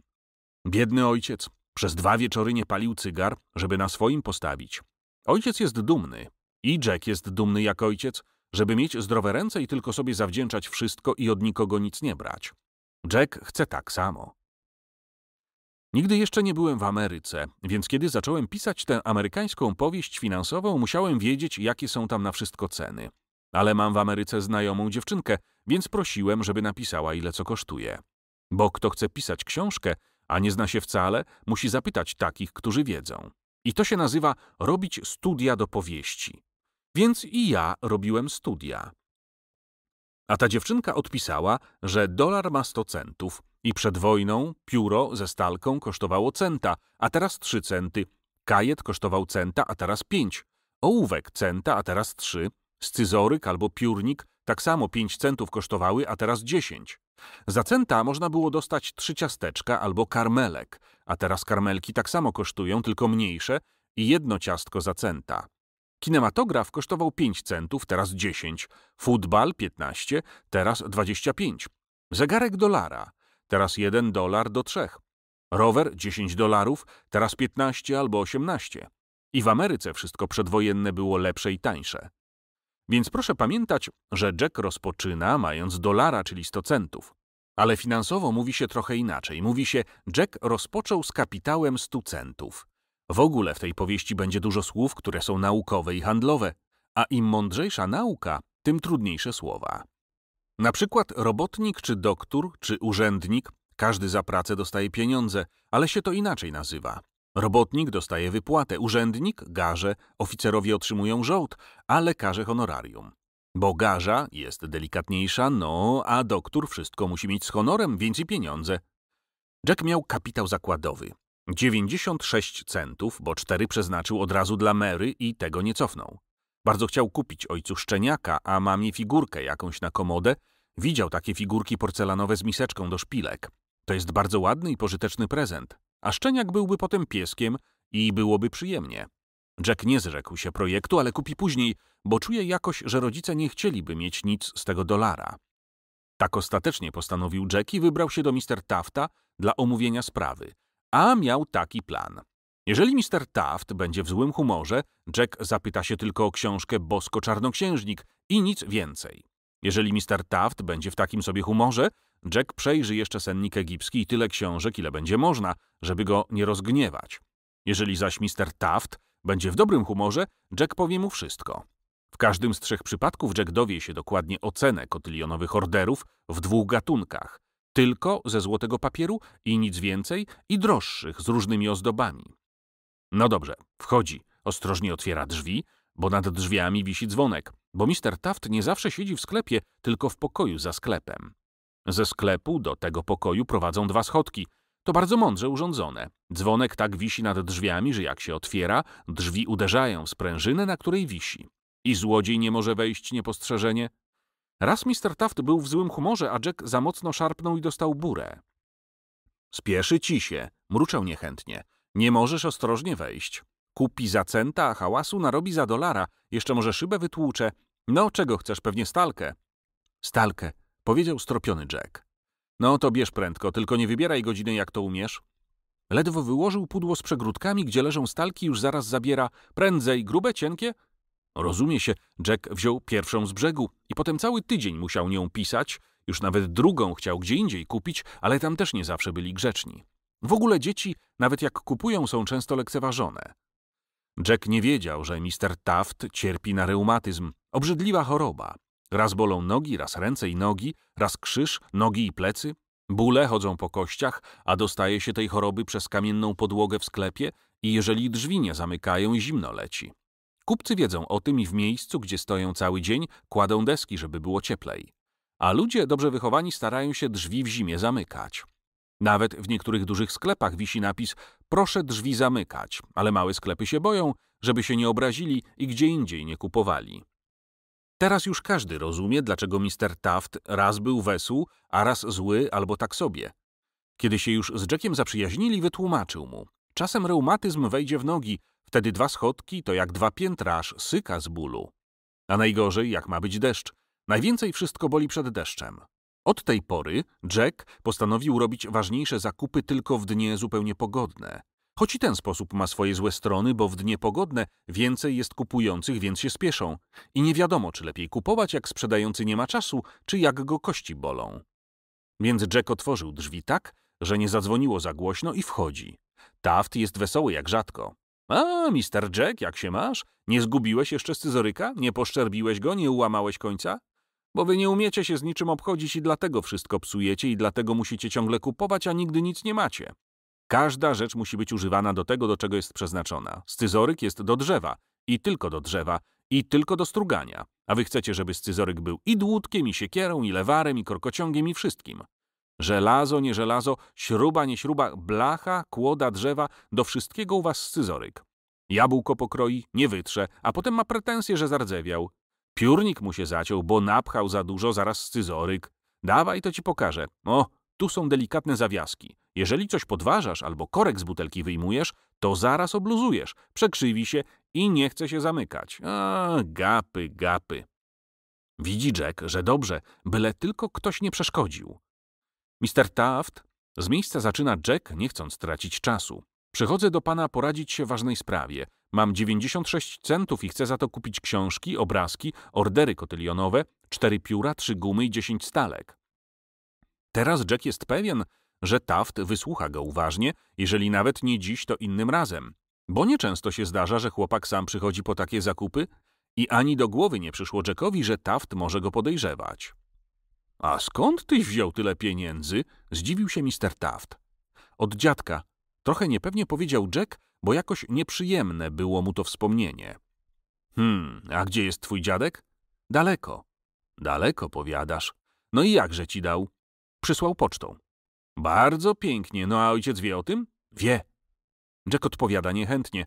Zaczęło się dobrze, można było od razu przystąpić do rzeczy, a tymczasem ktoś wejdzie i zepsuje. No a jakie książki chcesz kupić? Różne. Na przykład ma pan Bosko Czarnoksiężnika? Mam. Ale po co ci ta książka? Więc niech pan pokaże. Poczekaj, no mój kawalerze, za dużo chcesz od razu kupować. To przecież dla pana lepiej, mówi Jack, już zły nawet. Lepiej albo nie lepiej, różni są, widzisz, kupcy, a ja widzisz, jestem taki, że wolę mniej sprzedać, ale wiedzieć, że wszystko w porządku. Znam ciebie, mój chłopcze, od lat. Wiem, że jesteś porządny i twój ojciec porządny robotnik. Znam i twoją siostrzyczkę. Y, jak ona się nazywa? Mary. Pamiętasz, kupowałeś raz dla niej obrazek. Poczekaj, niech no sobie przypomnę, jakiegoś aniołka kupiłeś. Nie, świętego Mikołaja, poprawił Jack. Dobrze, więc wtedy rozmawialiśmy, pamiętasz? I pomyślałem, że to porządny chłopak, który nie kupuje dla siebie cukierka, tylko dla małej siostrzyczki świętego Mikołaja. Jack słucha, ale nic nie rozumie. No a teraz powiedz mi, wiesz, że 96 centów to prawie cały dolar? Wiem, mówi Jack. A czy ojciec wie, że chcesz kupić bosko czarnoksiężnika? Nie, nie wie. A czy ojciec wie, że ty masz dolara? Wie, powiedział Jack, marszcząc brwi.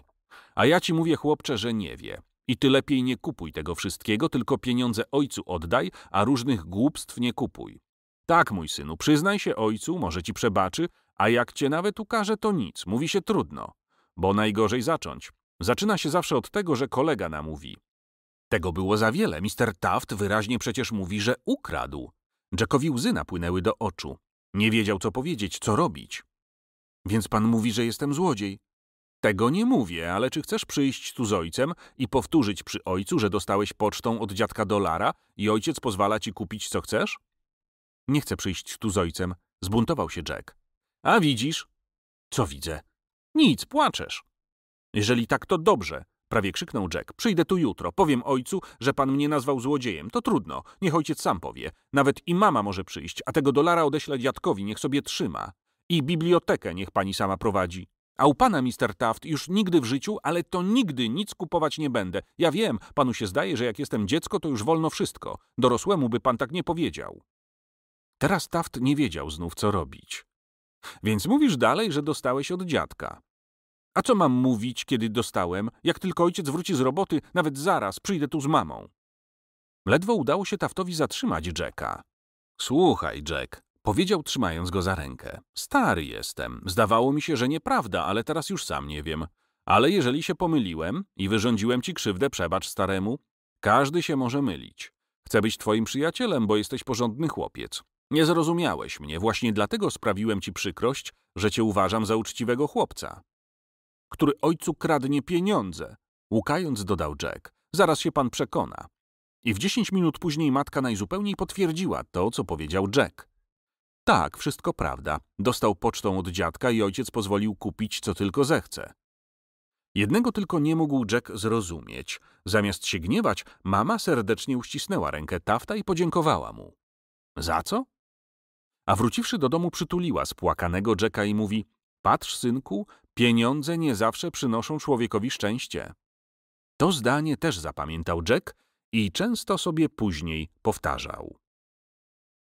Następujące książki kupił Jack do biblioteczki. 1.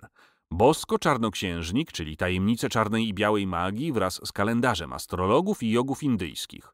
Słoneczna przepowiednia szczęśliwych dni i miesięcy oraz wróżenie z kart, odgadywanie myśli z ręki i poznawanie charakteru ze sposobu pisania. 2. Piosenki wesołego kominiarczyka.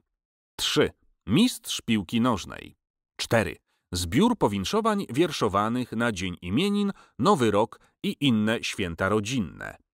5. Hodowla kwiatów i zwierząt, pies, kot, królik, świnka morska, jeż, wiewiórka, myszy białe, z dodatkiem o tresowaniu zwierząt domowych i dzikich. Książka niezbędna dla każdego.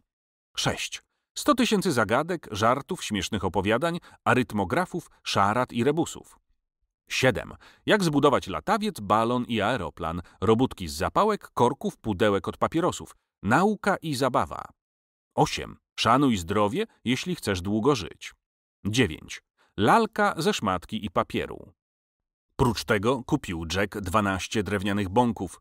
W ostatniej chwili przyszło mu do głowy, zmienił bowiem plan co do orderów. Nie kupił i sennika egipskiego. Również później już postanowił oddać książki do oprawy introligatorowi. Oprawa kosztowała drożej niż przypuszczał. To też nabył tylko dwa pióra, jedną gumę i pięć stalek. Zostało mu 13 centów. Jack wydał 87 centów, zajęło mu to cały tydzień akurat od środy do środy. Niejednemu wyda się dziwne, dlaczego tak długo. Muszę więc wyjaśnić, że dobrze kupować jest tak samo trudno, jak dobrze napisać wypracowanie albo dyktando. W dyktandzie można zrobić jeden, dwa albo dużo błędów. Błędy mogą być nieważne albo grube błędy. Kto nie umie i pisze niedbale, spieszy się, nie zastanawia, ten robi więcej błędów. Ale tak samo można kupować nieumiejętnie, niedbale i bezmyślnie. Wtedy albo kupi nie to, co potrzebne, albo kupi coś w złym gatunku, albo za drogo zapłaci. Potem żałuje. Zmartwiony dziwi się. Dlaczego nie pomyślałem, nie obejrzałem, nie dowiedziałem się gdzie indziej? Ale już za późno, błąd jest i nie ma na to rady. Jack chciał wydać swego dolara bez błędu, więc musiał dokładnie wszystko obmyśleć sam i poradzić się. Najwygodniej zawsze poradzić się rodziców. Cóż, kiedy z tej strony Jack najmniej mógł oczekiwać pomocy. I w ogóle rodzice, którzy się znają na zakupach własnych, nie bardzo rozumieją, co jest konieczne dla dzieci. Często mówią, szkoda pieniędzy, po co ci to, nie warto i tak zepsujesz, znudzi ci się, kup lepiej coś pożytecznego. I te ich pożyteczne rzeczy są właśnie takie, bez których doskonale można się obejść. Znam wypadek, gdzie matka zupełnie poważnie dowodziła, że lepiej kupić szalik na szyję niż parę gołębi, że ważniejsze są kalosze niż łyżwy. Orisum teneatis amici, to znaczy po łacinie powstrzymajcie się od śmiechu, towarzysze. Jack wybrał drogę najwłaściwszą. Ponieważ książki przeznaczone były dla kolegów, postanowił ich się przepytać. Podchodzi więc do Gastona i pyta się tak od niechcenia. Dlaczego ty wcale książek nie bierzesz? Po co będę brał? Wzrusza ramionami. No, żeby czytać. Nie zawracaj gitary z czytaniem. I widać, że chce się od natręta odczepić. Słuchaj, Gaston, a chciałbyś zrobić latawiec albo aeroplan? Bo co? Bo może będę miał książkę, jak to się robi. A nazajutrz Gaston sam już zaczepia Jacka. No co, masz tę książkę? Jeszcze nie, może tymczasem weźmiesz coś innego. E, wolę zaczekać. I chociaż nie wziął książki, ale się nie obraził. Stanley mówi, że jutro będą u nich goście, bo są imieniny ojca.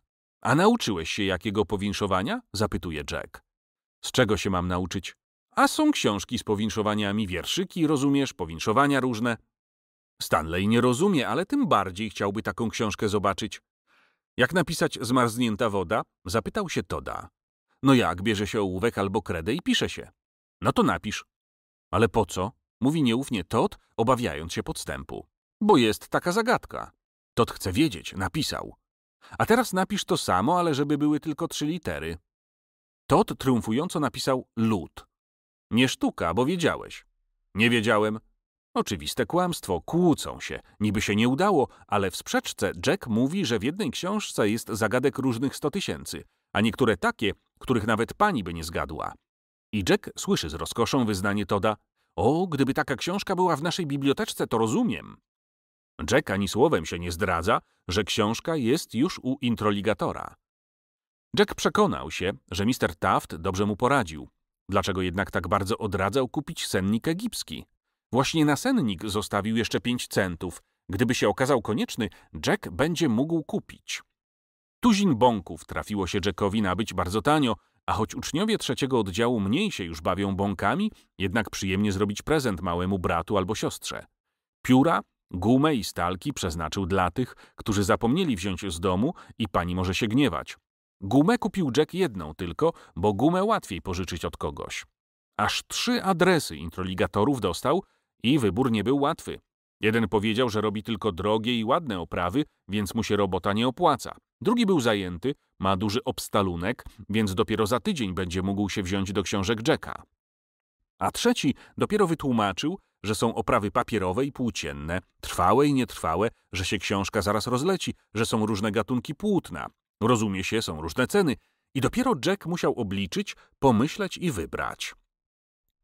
Mr. Taft odstąpił Jackowi rabat, to znaczy policzył mu taniej, niż nawet wskazywała wydrukowana na książce cena.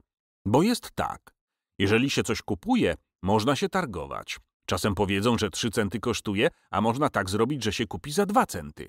Ale nie każdemu się uda. Kto się wstydzi, ten na pewno nic nigdy nie utarguje. Najważniejsza rzecz, żeby udawać, że się nie kupi, więc mówi się, o, jak strasznie drogo. Trzeba przy tym zrobić przestraszoną minę, albo się mówi, nie mam tyle pieniędzy. Tu znów robi się minę smutną. Można nic nie powiedzieć, tylko pokiwać głową i powoli odejść. Odchodzić trzeba zawsze powoli, żeby sprzedający zdążył zapytać, no a ile kawaler chce dać? Albo, a ile masz pieniędzy? Pytania podobne dowodzą, że ma ochotę sprzedać, że chce rozmawiać. I tu już różnie bywa. Albo da coś podobnego taniej, albo to samo, tylko w gorszym gatunku, albo i nie gorsze, tylko mniej ozdobne, albo w ogóle taniej policzy. Jack umiał się targować, ale o inne rzeczy. Wiedział, że jabłka bywają twarde, niedojrzałe, kwaśne albo przeciwnie, zanadto dojrzałe, że się już trochę nawet psują. I jeśli kto pokaże, że się zna, może kupić taniej. Ale nie wiedział, że jeśli cena wydrukowana na książce, można ją taniej kupić. Kupiec, który się szanuje, nie pozwala targować się i grymasić. Mówi grzecznie, u mnie ceny są stałe. Albo mniej grzecznie, tu targów nie ma. Albo bardzo niegrzecznie, to nie bazar, żeby się targować. Ale najporządniejszy może odstąpić rabat. Tak powiedział Mr. Taft. Z każdych dziesięciu centów odstępuję ci jednego centa rabatu. To znaczy, że się dzielę z tobą zarobkiem, bo znam ciebie, bo zawsze u mnie kupujesz. Jack chciał skorzystać z nabytej wiadomości i kiedy go ojciec posłał w niedzielę po gazetę, zapytał się uprzejmie gazeciarza. Tatuś zawsze u pana kupuje. Czy by pan nie był łaskaw obliczyć z rabatem? Głupiś, powiedział gazeciarz. Trudno nie udało się. Okazuje się, że nie wszyscy i nie na wszystkim odstępują rabat. Teraz już Jack wie. Wszystkiego trzeba się uczyć, po trochu. Udało się. Nowe książki wzbudziły duże zainteresowanie. Phil złapał swoją ukochaną książkę i tańczył z nią naprzód na podłodze, potem na ławkach, wreszcie na stoliku pani. Potem rzucił się na Jacka, zaczął go pchać, ściskać, wreszcie wskoczył na plecy, że omal nie przewrócił. Potem odśpiewał jakąś dziką pieśń bez słów, aż przed drzwiami zebrała się kupa uczniów z dwóch młodszych oddziałów. Wreszcie zaproponował, żeby Jacka na wiwat podnieść na rękach do góry. Hałas był, że nie daj Boże. Jack był zrazu nawet zły, ale rychło się przekonał, że Phil wyświadczył mu dużą przysługę. W mowie finansowej nazywa się to, że Phil zrobił mu reklamę. To jest prawdziwy bibliotekarz wolnej amerykańskiej republiki. Patrzcie, szanowna publiczności. Oto król bibliotekarzy. Długość metr i 30 centymetrów. Waga 29 kilo. Uczeń trzeciego oddziału Jack Fulton. Zwycięzca turnieju bibliotekarskiego, międzynarodowy posiadacz najciekawszych książek północnej geograficznej szerokości, wszechświatowy mistrz czarnej i białej magii pogromca Pytlasińskiego, Edipolo, apaszów i detektywów. Wejście tylko pięć centymów, wojskowi i dzieci połowę, wprowadzanie psów surowo wzbronione. Phil gadałby tak bez końca, gdyby się nie rozległ dzwonek. Za to na lekcji był cichuteńki, aż go pani pochwaliła. Widzisz, Phil, jak chcesz, możesz być spokojny. Ani razu nie zwróciłam ci dziś uwagi. A pani może myśli, że nie uważam? Ależ nie, mówię przecież, że się dobrze dziś spisałeś. Po wyjściu pani, Phil cztery razy ucałował książkę i narysował na tablicy małego człowieczka z olbrzymim nosem, a na nosie umieścił takie ogłoszenie. Uwaga! Bierzcie książki z biblioteki Jacka. Spieszcie się, bo będzie za późno, a kto książki nie otrzyma, będzie miał taki nos jak ja. Potem umazał rękę kredą i biegał od jednego do drugiego, niby chcąc go pogłaskać po twarzy. Dziewczynki swoim zwyczajem zaczęły piszczeć, a Phil zapalił elektryczne światło, chcąc zrobić świetlną reklamę biblioteki Jacka. I tu mu się nie udało, bo woźna poszła na skargę do kancelarii i Phil musiał wysłuchać przemowy, że ot nie można go pochwalić. Że innych pochwała zachęca do poprawy, a jego tylko rozzuchwala, że jest nadal nieznośny i niepoprawny. O, bosko czarnoksiężniku, deklamował, ileż przez ciebie znieść muszę cierpień, ale tym więcej cię kocham. Po ostatniej lekcji Jack, jak zwykle, zaczął wydawanie książek i zrozumiał teraz, dlaczego kupcy i fabrykanci wywieszają na słupach, na szyldach, a nawet na ścianach i dachach ogromne ogłoszenia z napisem Kupujcie. Dawniej dziwił się, bo jeśli komu potrzebne, a ma pieniądze, przecie i tak kupi. To prawda, reklama jest dźwignią handlu. Koło stolika zebrała się połowa klasy. Mnie, mnie, ja chcę, nie pchaj się, ja pierwszy. Jack, prędzej, bo muszę iść do domu. Nawet najspokojniejsi się pchali. Szczęście, że Phil dostał już rano swoją książkę. Byłoby nie do wytrzymania. Jack, tylko pamiętaj, że ja zamówiłem. Tymczasem brali byle co, aby tylko Jack zapisał nazwisko, aby znać było, że biorą książki. Clarissa poszła jak zwykle do domu, a Jackowi naprawdę trudno było dać sobie samemu radę. Ten i ów ofiarował mu się z pomocą, ale Jack zauważył w tłumie Nelly i pomyślał, że byłoby dobrze, żeby ona mu pomagała. Dla Nelly schował Jack książkę, lalka ze szmatki i papieru, ale nie wiedział, co robić, żeby inne dziewczynki nie zauważyły. Jack, daj im mnie coś, mówi Nelly. A możesz trochę poczekać? Dobrze, zgodziła się Nelly. Aż przyszła i jej kolej. Klasa była już pusta. Jaką ci dać książkę? Pyta się Jack, ale strasznie się wstydzi. Nie wiem, daj jakąś. Mówi Nelly i wzrusza ramionami i przechyla na bok głowę i uśmiecha się. A czy ty masz lalkę? Nelly, zdziwiona pytaniem, nie odpowiada. Bo widzisz, zapomniałem zupełnie, że ta książka się jeszcze została. Jack skłamał, ale tak się strasznie zawstydził, że nic więcej nie mógł powiedzieć. Milcząc podał lalkę ze szmatki, odwrócił się i niby zaczął porządkować w szafie, bo był cały czerwony. Dobrze, wezmę, usłyszał głos Nelly. No to weź, powiedział szorstko. Nelly wyszła. Jack westchnął głęboko. Trzeba było od razu się zapytać, czy nie zechce pomagać. Cóż, kiedy nie można było, jutro może się zapytam, czy przeczytała książkę i czy jej się przyda. Rozumie się, że się przyda. Jack nie zna się na lalkach, a umiałby zrobić lalkę ze szmatki i papieru według przepisu tej książki. Może nawet zrobi dla małej Mary, ale przedtem przyniesie i pokaże Nelly, czy dobra. Nazajutrz pani się dowiedziała o nowych książkach. Skąd je wziąłeś? Kupiłem. Ile wydałeś? Skąd wziąłeś pieniądze? Widać, że pani nie wie właściwie, czy pochwalić Jacka, czy zganić.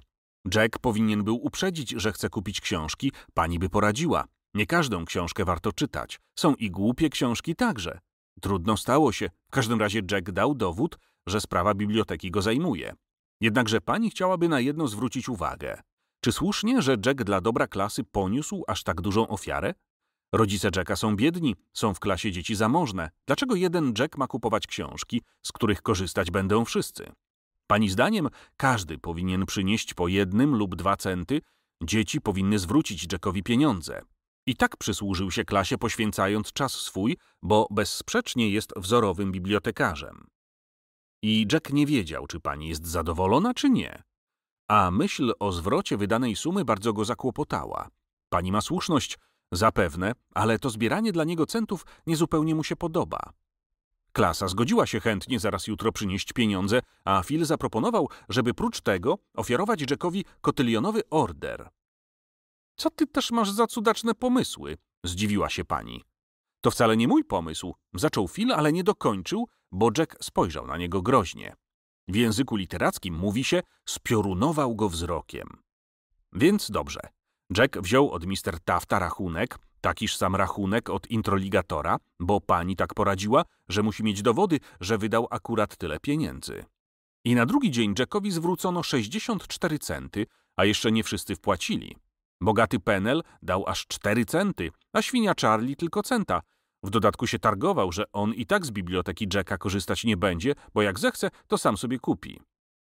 Pani bardzo uprzejmie prosiła, żeby w przyszłości Jack uprzedzał panią, jakie nowe książki chce włączyć do katalogu, bo pani odpowiada przed kierownikiem za wszystko i może mieć przykrości.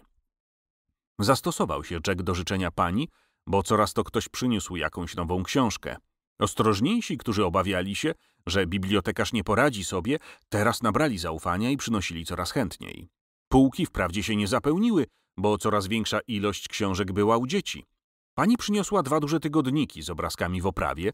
Jack miał wydawać je tylko najporządniejszym, bo to były właściwie tygodniki dla dorosłych, więc nie do czytania, tylko bardzo ładne w nich były ilustracje.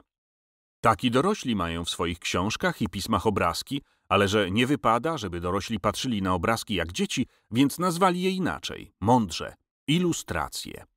Spełniła się przepowiednia Fila. Cały oddział zaczął czytać tak, że aż furczało. Dawniej tylko James i Harry rozmawiali czasem o książkach, a teraz już prawie wszyscy. Jack dokupił jeszcze jedną, bardzo pożyteczną książkę, jak z palców robić cienie na ścianie. Na przykład trzyma się poziomo duży i wskazujący palec, średni zgina się i opiera o wskazujący. A jak wieczorem trzymać rękę niedaleko ściany, to na ścianie odbija się zupełnie kaczka. A jak palcami ruszać, to się na ścianie dziób kaczki otwiera i zamyka. Tak samo można zrobić zająca, który rusza uszami. Najrozmaitsze ciekawe rzeczy wychodzą.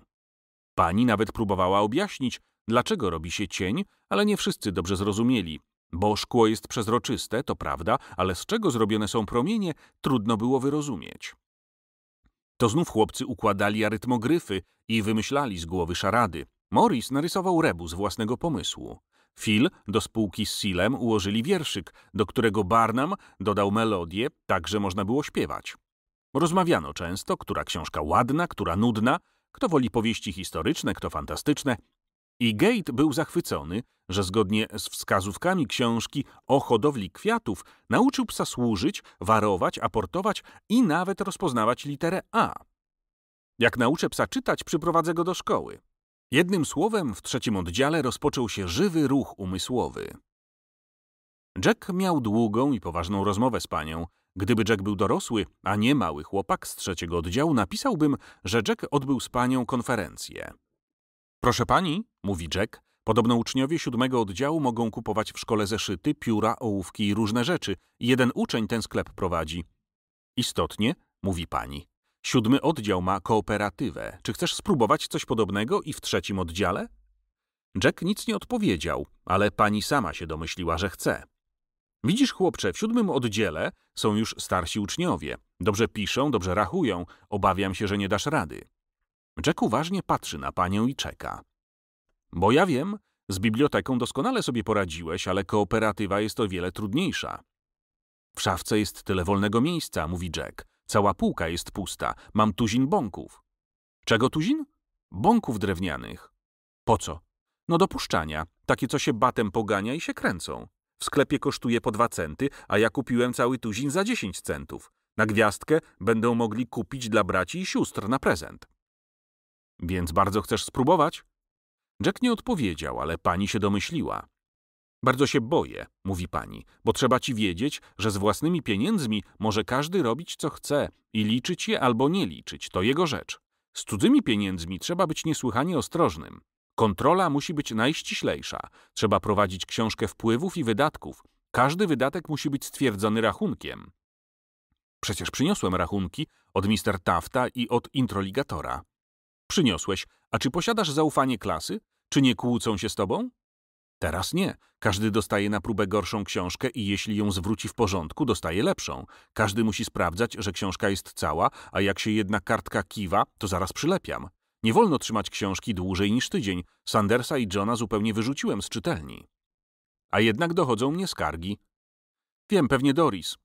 Skąd wiesz, że ona? Już teraz tylko ona się kłóci. Właściwie i ona nie powinna brać książek, ale mniejsza o to. No tak, ale od czego zaczniesz? Jak ty sobie to wyobrażasz? Wywieszam ogłoszenie, że kto chce należeć do kooperatywy, niech przyniesie pięć centów. Raz na tydzień urządzam posiedzenie, żeby powiedzieli, co kupić. No i kupuję, biorę rachunek, no i każdy bierze ile chce z rabatem, a potem kupuje coś innego. Nawet mogę nie brać od nich pieniędzy, bo mi zostało 78 centów. Toś nie odebrał całego dolara? Zdziwiła się pani. Wcale nie miałem odebrać tyle, przecież wydałem tylko 87 centów, więc mi zostało 13. Potem mi zwrócili 64 centy i jeszcze później 7. Jeszcze wydałem 6 centów dla Mary. Kto to jest? Moja mała siostrzyczka. Jack się zaczerwienił, bo skłamał. Wydał dla Mary tylko 5 centów, a jeden cent schował na pamiątkę. Tego jednego centa Jack nie chciał wydawać. Zawinął go w zieloną bibułkę i włożył do pudełka wyłożonego watą. Był to cent, który mu dała Nelly. A co kupiłeś siostrzyczce Mary? Kupiłem jej dwa ciastka, dwa aniołki, taki obrazek, a za resztę cukierków. Chciałem kupić figurkę dla mamy, ale mogę zaczekać. A dla siebie nic nie kupiłeś? Jack wzruszył ramionami. Więc ci później dopłacili tylko siedem centów? Dziwi się pani. No tak, jak mi pani oddała te 64 centy, to potem Gill dał mi dwa centy, Drell, Hamilton, Parkins, Watson, Carr po cencie. A inni? Może nie mają albo zapomnieli. Czy zapisałeś sobie, kto ci zwrócił? Kiedy i tak pamiętam. Pani pocałowała Jacka w czoło. Dorośli mają taki jakiś zwyczaj, że jak z nimi rozmawiać albo się o coś zapytać, ni stąd ni zowąd wezmą i pogłaszczą albo pocałują. To znaczy, że im się spodobało. No i mam jeszcze dwa pióra, gumę, cztery nowe stalówki i jedną raz używaną. Dlaczego raz używaną? Pożyczyłem Nelsonowi, bo mu wpadła do kałamarza i nie miał czym pisać.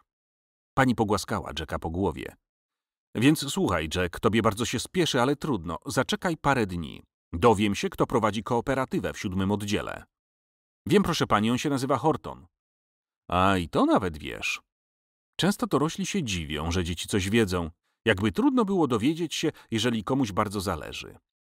Więc rozmówię się z Hortonem, żeby ci pokazał, jak prowadzi rachunki, żeby ci wszystko objaśnił. Masz wprawdzie dobrą pamięć, ale wszystkiego pamiętać nie można, więc trzeba zapisywać. Tymczasem rozmów się z Clarisą, czy zechce ci w tym dopomagać. Clarisa mi już nie pomaga, szybko powiedział Jack. Dlaczego? Zdziwiła się pani. Powiedziała, że i tak sam wszystko robię, więc po co ma się nazywać, że jest bibliotekarką? Pokłóciliście się? Nie, tak sobie odeszła.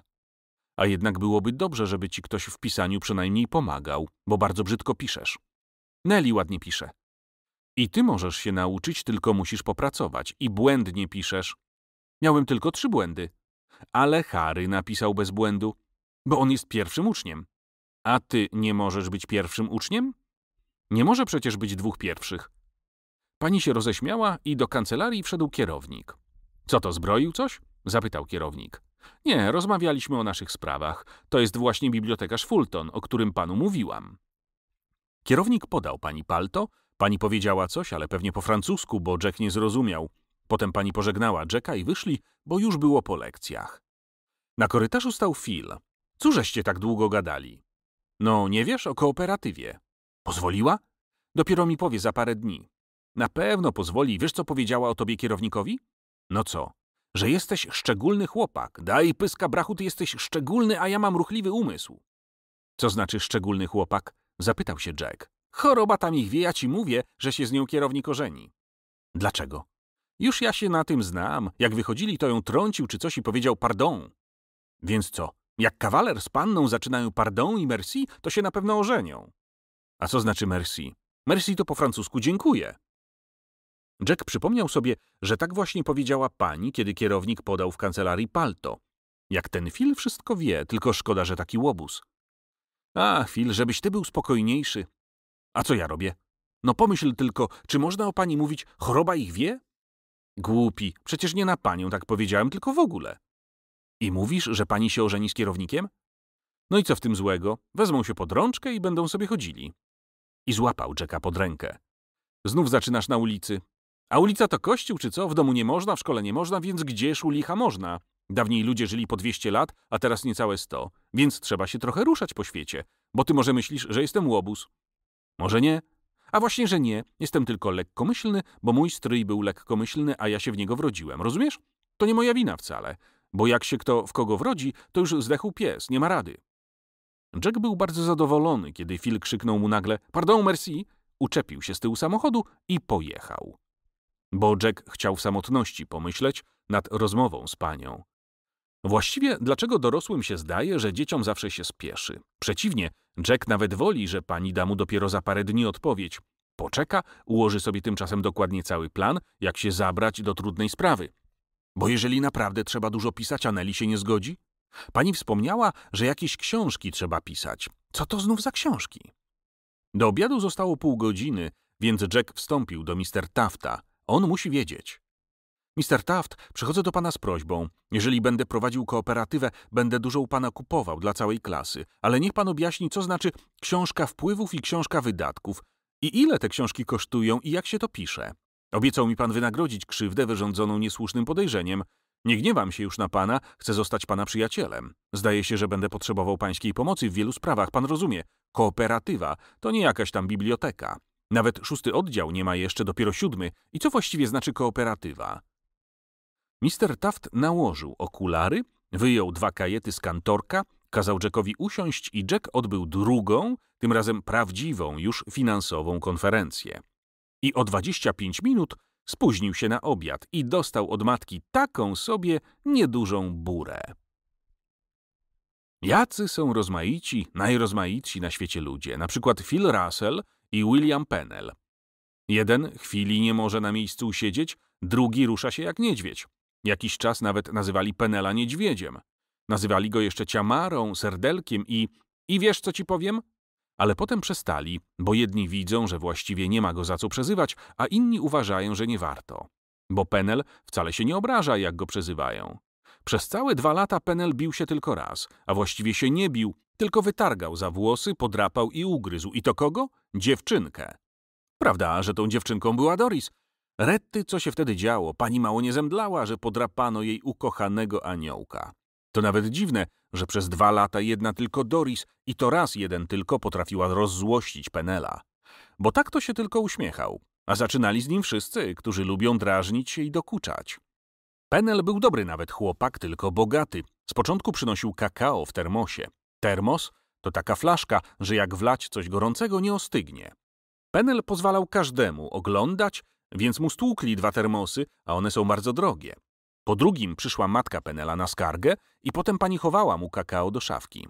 Ale trzeci termos stłukł już na ulicy, więc przestali. Zaczął przynosić na śniadanie jajka, serdelki, sielawy, bardzo drogie ryby, jabłka, wiśnie, pomarańcze. Z początku prawie zawsze ktoś mu zjadł śniadanie, nie całe, ale trochę. Zaczęło się od kakao, bo każdy chciał spróbować, czy naprawdę gorące. Był czas, kiedy nawet sam się pytał, czy chcesz jeden serdelek? Albo czy chcesz pół pomarańczy?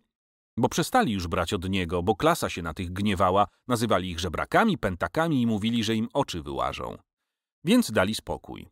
Ubranie miał penel ciepłe i bogate, ale zawsze brudne. Nos wycierał rękawem, chociaż miał chustkę, którą często gubił i pończochy mu opadały. Bardzo był nieporządny. Jak czego nie zostawił w klasie, gubił na ulicy. Ale mówił, że na ulicy. Penel nie był kłamczuch i nie lubił się skarżyć, mówił prawdę, jak go się zapytać. I to się niektórym nie podobało. Przez jakiś czas żartowano tak, że się pytali Williamek, kto ci zjadł śniadanie? Inny powiedziałby, tobie co do tego, a Penel nie. Kto mi zjadł śniadanie? Jedno jajko zjadł Robin, a drugie jajko sam zjadłem. A jajeczko było smaczne? Pyta się kpiarz. Smaczne było? Poważnie odpowiada Penel. A kto zjadł wisienki? Wisienki to nie pamiętam. Jadł Seal, Higgs, a więcej już nie pamiętam. Pieniędzy miał Penel też strasznie dużo, ale kupował tylko, jak go ktoś namówił. Jak się zaprzyjaźnił z żarłokiem, wydawał wszystko na ciastka i cukierki, tylko fundy urządzał. To znów dziewczynkom kupował pierścionki. Co ty taki facet, że dziewczynkom prezenty dajesz? Kiedy mnie proszą? I dopiero chłopcy na dziewczynki zaczynają się wyśmiewać, że prezenty sobie każą kupować.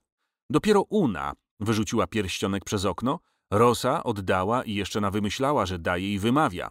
Ale to wcale nieprawda, bo Penel ani trochę nie wymawiał. Skończyło się z pierścionkami, znów zaczął się fotografować, co tydzień z kim innym. Chcieli w tajemnicy, ale się wydało. Znów wyszła z tego bójka, wtedy nawet Dick pobił się z Towerem. Bo najgorzej, jak ktoś zaczął się wtrącać, niby że przyjaciel i bierze go pod opiekę. W tym roku już nikt się nie przyjaźnił ani nie opiekował. Penel przestał przynosić pieniądze do szkoły, może mu nawet rodzice przestali dawać, więc się skończyło i był spokój. Dopiero jak pani urządziła bibliotekę, Penel przyniósł może z dziesięć książek, ale strasznie zniszczone. Tylko jedna była nowa zupełnie, co to ją Fanny pożyczyła Johnowi, a John urwał kawałek okładki i wysmarował masłem. Jack trzymał się od Penela z daleka. Ani go lubił, ani nie. Nie zazdrościł mu wcale. Ma, to niech ma. Wyśmiewać się też nie było czego. Czasem nawet żal mu było, jak już zanadto zaczepiali, ale Jack nie lubił się wtrącać. Ani razu, albo może najwyżej raz rozmawiali ze sobą, ale pewnie wcale, bo Jack nie pamięta. Aż jak pani powiedziała, że pozwala na próbę założyć kooperatywę taką, jaka jest w siódmym oddziale, Penel pierwszy doszedł do Jacka. Wiesz, co ci powiem? Penel zawsze tak zaczyna. Inny zdążyłby sto razy powiedzieć wszystko, a on dopiero zaczyna. Wiesz, co ci powiem? Mam dwa dolary. Mamusia schowała, pod klucz schowała, ale to są moje dwa dolary. Jak będę chciał, to mamusia mi da. Więc wiesz, co ci powiem. Jeżeli ci potrzebne, mogę ci przynieść. Powiem mamusi, żeby mi oddała, bo potrzebne, to mamusia mi odda i przyniosę na kooperatywę. Bo jak poproszę mamusi, to mi odda, bo to są moje pieniądze, tylko mi mamusia schowała. Penel jeszcze coś mówił, pewnie to samo w kółko, ale Jack już nie słuchał, tylko rozmyślał. Sprawa była trudna. Dorosły pomyślałby nawet, że to sprawa skomplikowana, ale Jack czuł tylko, że trzeba się zastanowić i na szczęście przypomniał sobie słowa pani Słuchaj, tobie się pewnie spieszy, ale trudno, zaczekaj parę dni, za parę dni dam ci odpowiedź. Dobrze, zgodził się Penel. Zaczekam parę dni, wcale mi się nie spieszy. Co tu robić? Brać czy nie brać? Bo właściwie dlaczego nie wziąć? Weźmie przecie nie dla siebie, tylko dla całej klasy. Zresztą będzie mu spłacał, bo kooperatywa przyniesie dochód. Ale z drugiej znów strony zacząć właśnie od Penela, od którego porządniejsi wszyscy trzymają się z daleka? Żeby nie było gadania, żeby się nie nazywało, że się zaprzyjaźnił, żeby od niego wymanić. Bo jeżeli nawet nie pomyślą naprawdę, ale będą gadali, a pierwsza z pewnością zacznie Doris, za nią Clarissa, pewnie Alan, może nawet James. Co tu robić? Brać czy nie brać? Nie wszyscy uwierzą, że Jack wcale się go nie prosił, tylko Penel pierwszy przyszedł. Miał nad czym się przez dwa dni zastanawiać, no i wymyślił. Po pierwsze urządzi zebranie, niech sami powiedzą, co wolą. A po drugie sam pójdzie do rodziców Penela i zapyta się, czy chcą. Nawet lepiej naprzód rozmówi się z matką Penela. I taką odpowiedź dał właśnie. W piątek po lekcjach wyszedł razem z Williamkiem i już na ulicy zaczepił ich pierwszy Charlie. Odprowadzasz Penela? mówi Charlie. Pewnie będzie ci fundował? Właśnie, że nie. On idzie do mojej mamusi, mówi Penel. Jak chcesz, to i ty możesz iść ze mną. Żeby być twoją niańką, nie ma głupich. Bo trzeba wiedzieć, że matka Penela prosiła parę razy różnych chłopców, żeby uważali na Williamka. Przez jakiś czas pilnował go Jim, a potem Sanders. Za to Sanders dostawał co niedziela obiad i stare ubranie i trzewiki. Teraz dopiero przypomniał to sobie Jack i nawet żałował, ale trudno. Tylko postanowił być tam krótko i co najważniejsze, nie przyjmować żadnego poczęstunku. Najlepiej byłoby, żeby matka Penela nie pozwoliła. Ale niestety zaraz się zgodziła. Jack był nawet niegrzeczny, może nawet umyślnie był niegrzeczny. Nie chciał wejść do pokoju i za nic nie chciał wziąć piernika. Ależ wejdź na chwilę, mówiła mama Williama. Nie mogę, proszę pani, bo się bardzo spieszę. Nie zdejmuj palta, przecież chwilę możesz poświęcić matce kolegi. Proszę pani, ja się bardzo spieszę. No więc weź piernik na drogę. Nie dziękuję. Nieładnie odmawiać. Kiedy dziękuję. Ale ty mnie obrażasz, może jabłko. Dziękuję. No i mimo to chciała mu od razu dać całe dwa dolary i Jack musiał jej długo tłumaczyć, że się przyszedł tylko dowiedzieć, bo się dopiero naradzi z kolegami, że teraz nie może. Za to uspokoił matkę, że Williamkowi nikt nie dokucza, że śniadanie sam zjada i nic mu nie zabierają. Mój Jacku, prosiła, ty jesteś taki mądry i porządny chłopiec. Ja wiem, że on nie jest bardzo rozgarnięty, ale widzisz, mam tylko jego jednego. Dwoje mi umarło, tylko mi po nich fotografia została. Gdybyś na chwilę wszedł do pokoju, to bym ci pokazała. Przychodził tu dawniej Jim, bardzo mądry i porządny chłopiec, ale nie wiem dlaczego przestał. Potem przychodził Sanders, ale owszem, także bardzo mądry i miły chłopczyk, ale może on jest biedny bardzo, no i jakoś także przestał. Jack stał jak na rozżarzonych węglach. Ledwo się nareszcie wydostał. Pewnie William się wrodził w matkę, pomyślał wychodząc. Ale Sandersiak musiał tam coś bardzo zwojować, zanim przestał przychodzić. I aż dwoje dzieci im umarło? Ale muszą być naprawdę bogaci. Co tam dla nich znaczą dwa dolary? A nazajutrz w sobotę urządził Jack pierwsze posiedzenie kooperatywy. Pani była na posiedzeniu obecna i pochwaliła, że Jack poszedł zapytać się o pozwolenie matki Penela. Bardzo rozumnie zaczyna Jack swą pracę, powiedziała pani. Teraz jestem spokojna o waszą kooperatywę. Jack nie jest nowicjuszem. Zdał chlubny egzamin jako bibliotekarz. Przeszedł już przez próbę ogniową. Jackowi jest strasznie nieprzyjemnie. Czuje, że się na niego patrzą. Nie wie, co ma robić. Czy wstać, czy siedzieć, czy spuścić głowę, czy się uśmiechać. Wstydzi się. Jest mu nieprzyjemnie. Na pewno zaczną dokuczać. Nazwą go próbą ogniotrwałą, tak jak Doris nazwali aniołkiem. Zaraz pomyślą, że lizuch. I Jack postanawia jak najrzadziej z panią rozmawiać, jak najmniej do pani dochodzić. I po co mówić, kiedy jeszcze nic nie zrobiono i nic nie wiadomo? No i wszyscy się zgodzili, że Jack weźmie dwa dolary Penela. Tylko nie przynoś mi w poniedziałek, już ci powiem, kiedy będzie trzeba. Wszyscy poszli do domu, a Jack jeszcze staranniej uporządkował książki w szafie, a woźny pożyczył mu ścierki, bo chciał na czysto wytrzeć kurz spółek ze wszystkich kącików. Początek zawsze jest najtrudniejszy. Jeśli miał tyle kłopotu z wydaniem własnego dolara, o ile trudniej było wydać bez błędu pieniądze Penela.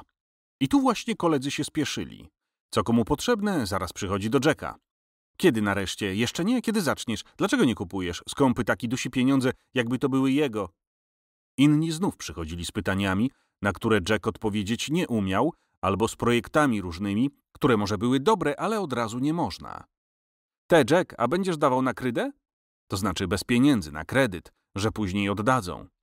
Słuchaj, Jack, kup żołnierzy do naklejania, kup arkusze z wojskiem, karton i klej. Za dwa dolary można dostać ołowianych żołnierzy.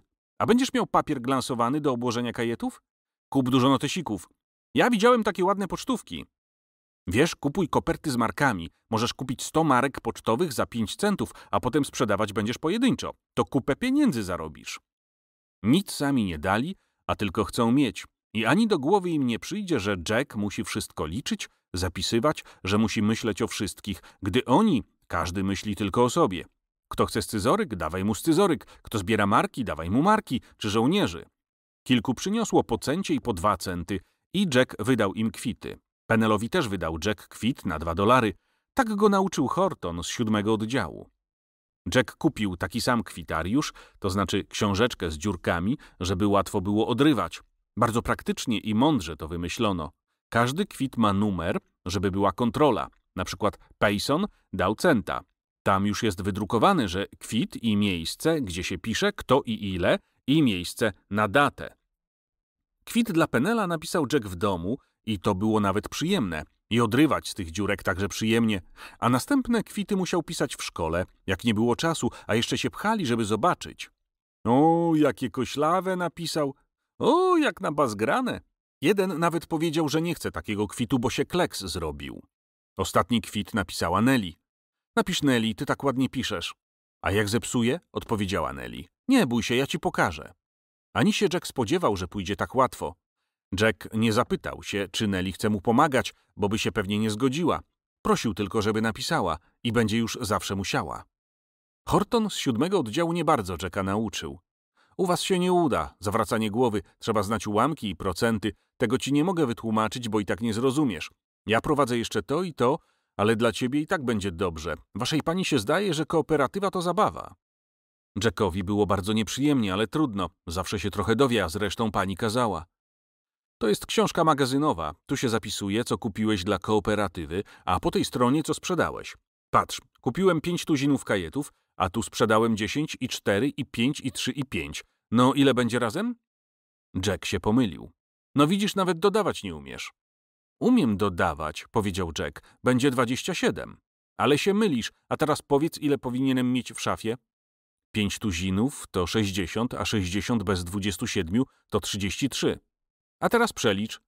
Wyjął z szafy kajety, Jack przeliczył. Było trzydzieści dwa. Teraz Horton znów się zawstydził. Prawda, zapomniałem zapisać, że jeden kajet wziąłem na administrację. Co to jest? Kiedy indziej ci powiem. Tak się skończyła rozmowa z Hortonem. Trudno, gdyby Horton chciał, mógłby lepiej i więcej powiedzieć, ale i tak był mu Jack wdzięczny. Książka magazynowa jest naprawdę potrzebna. Ważne bardzo, żeby zapisać, co się kupuje i co sprzedaje.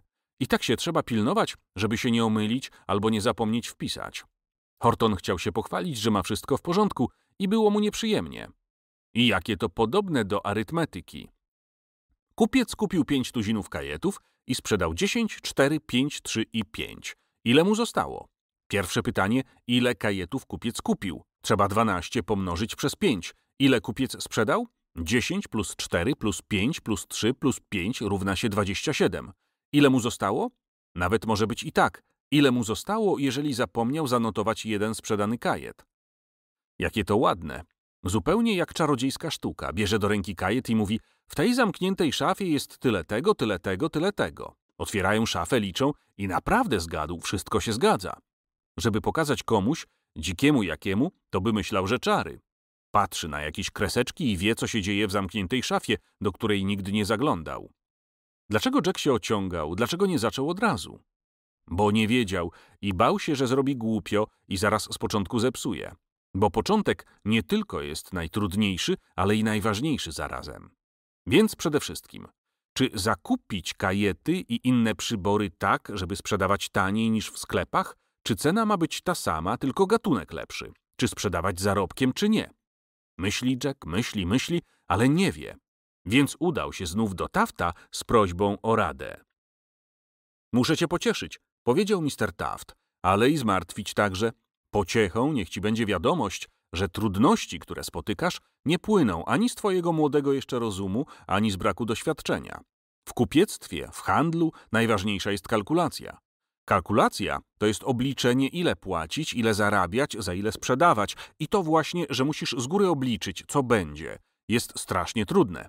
Bo kto kupi, nie wiesz, boś ani widział, ani rozmawiał, ani znasz kupujących. A oni są bardzo kapryśni. Za jedno chętnie płacą, a za drugie nie. Czasem wolą lepszy towar drożej, czasem gorszy taniej, czasem najostrożniejsza kalkulacja się nie uda.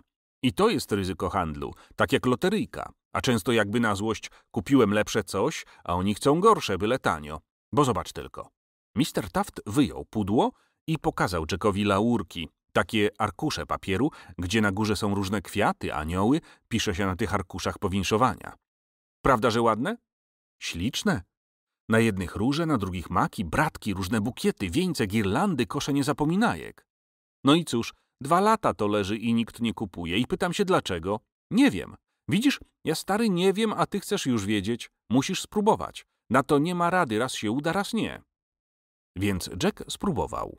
Kupił na początek po dwa tuziny zeszytów w kratkę, w jedną i dwie linie, kupił tuzin ołówków, farby, kredki, stalki i na próbę kilka cyrkli, linii i ekierek, papier szary i kolorowy glansowany, bibułę, karton i dwa scyzoryki. Mr. Taft dał rachunek i rabat. Policzył taniej, bo bierze od razu dużo. I nowy kłopot. Jak teraz liczyć? Tu już postanowił naradzić się z panią. Jeszcze muszę wspomnieć o wielkim niebezpieczeństwie, które mu groziło.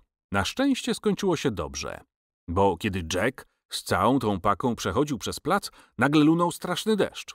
Paka była zawinięta w papier, ale deszcz był tak okropny, że od razu zrobiła się mokra. Jack schował pod palto i pędzi do bramy, aż mu ręce mdleją, bo ciężko. A przed bramą akurat z dziurawej rynny wali woda. Jack chciał przeskoczyć, ale się pośliznął. I papier pękł. Jack jeszcze zdążył złapać, ale już w bramie trochę mu się wysypało.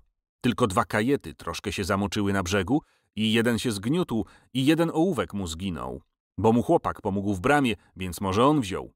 Ale Jack chciał przynieść do klasy ładną, wielką pakę, a tymczasem tak mu się stało. Mało nie płakał ze zmartwienia. Szkoda nie tak duża, jeśli zważyć, co mogło się stać, gdyby wszystko wpadło do wody. Ale wstyd przed klasą. Zaczną żartować, nazwą niezdarą. Tymczasem nie. Cała klasa okazała mu współczucie. Zgnieciony kajet można położyć na spód i się wyprostuje. To na brzeszku wyschnie i nawet znać nie będzie. Farby są doskonałe, sam Morris pochwalił, a on się zna przecież. Ołówki też dobre, tej firmy ołówki są najlepsze. Morris zna tę firmę. Scyzoryki takie drogie?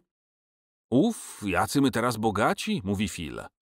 Dziewczynki już chcą kupować glansowany papier. Wszystkie chcą czerwony, bo najładniejszy.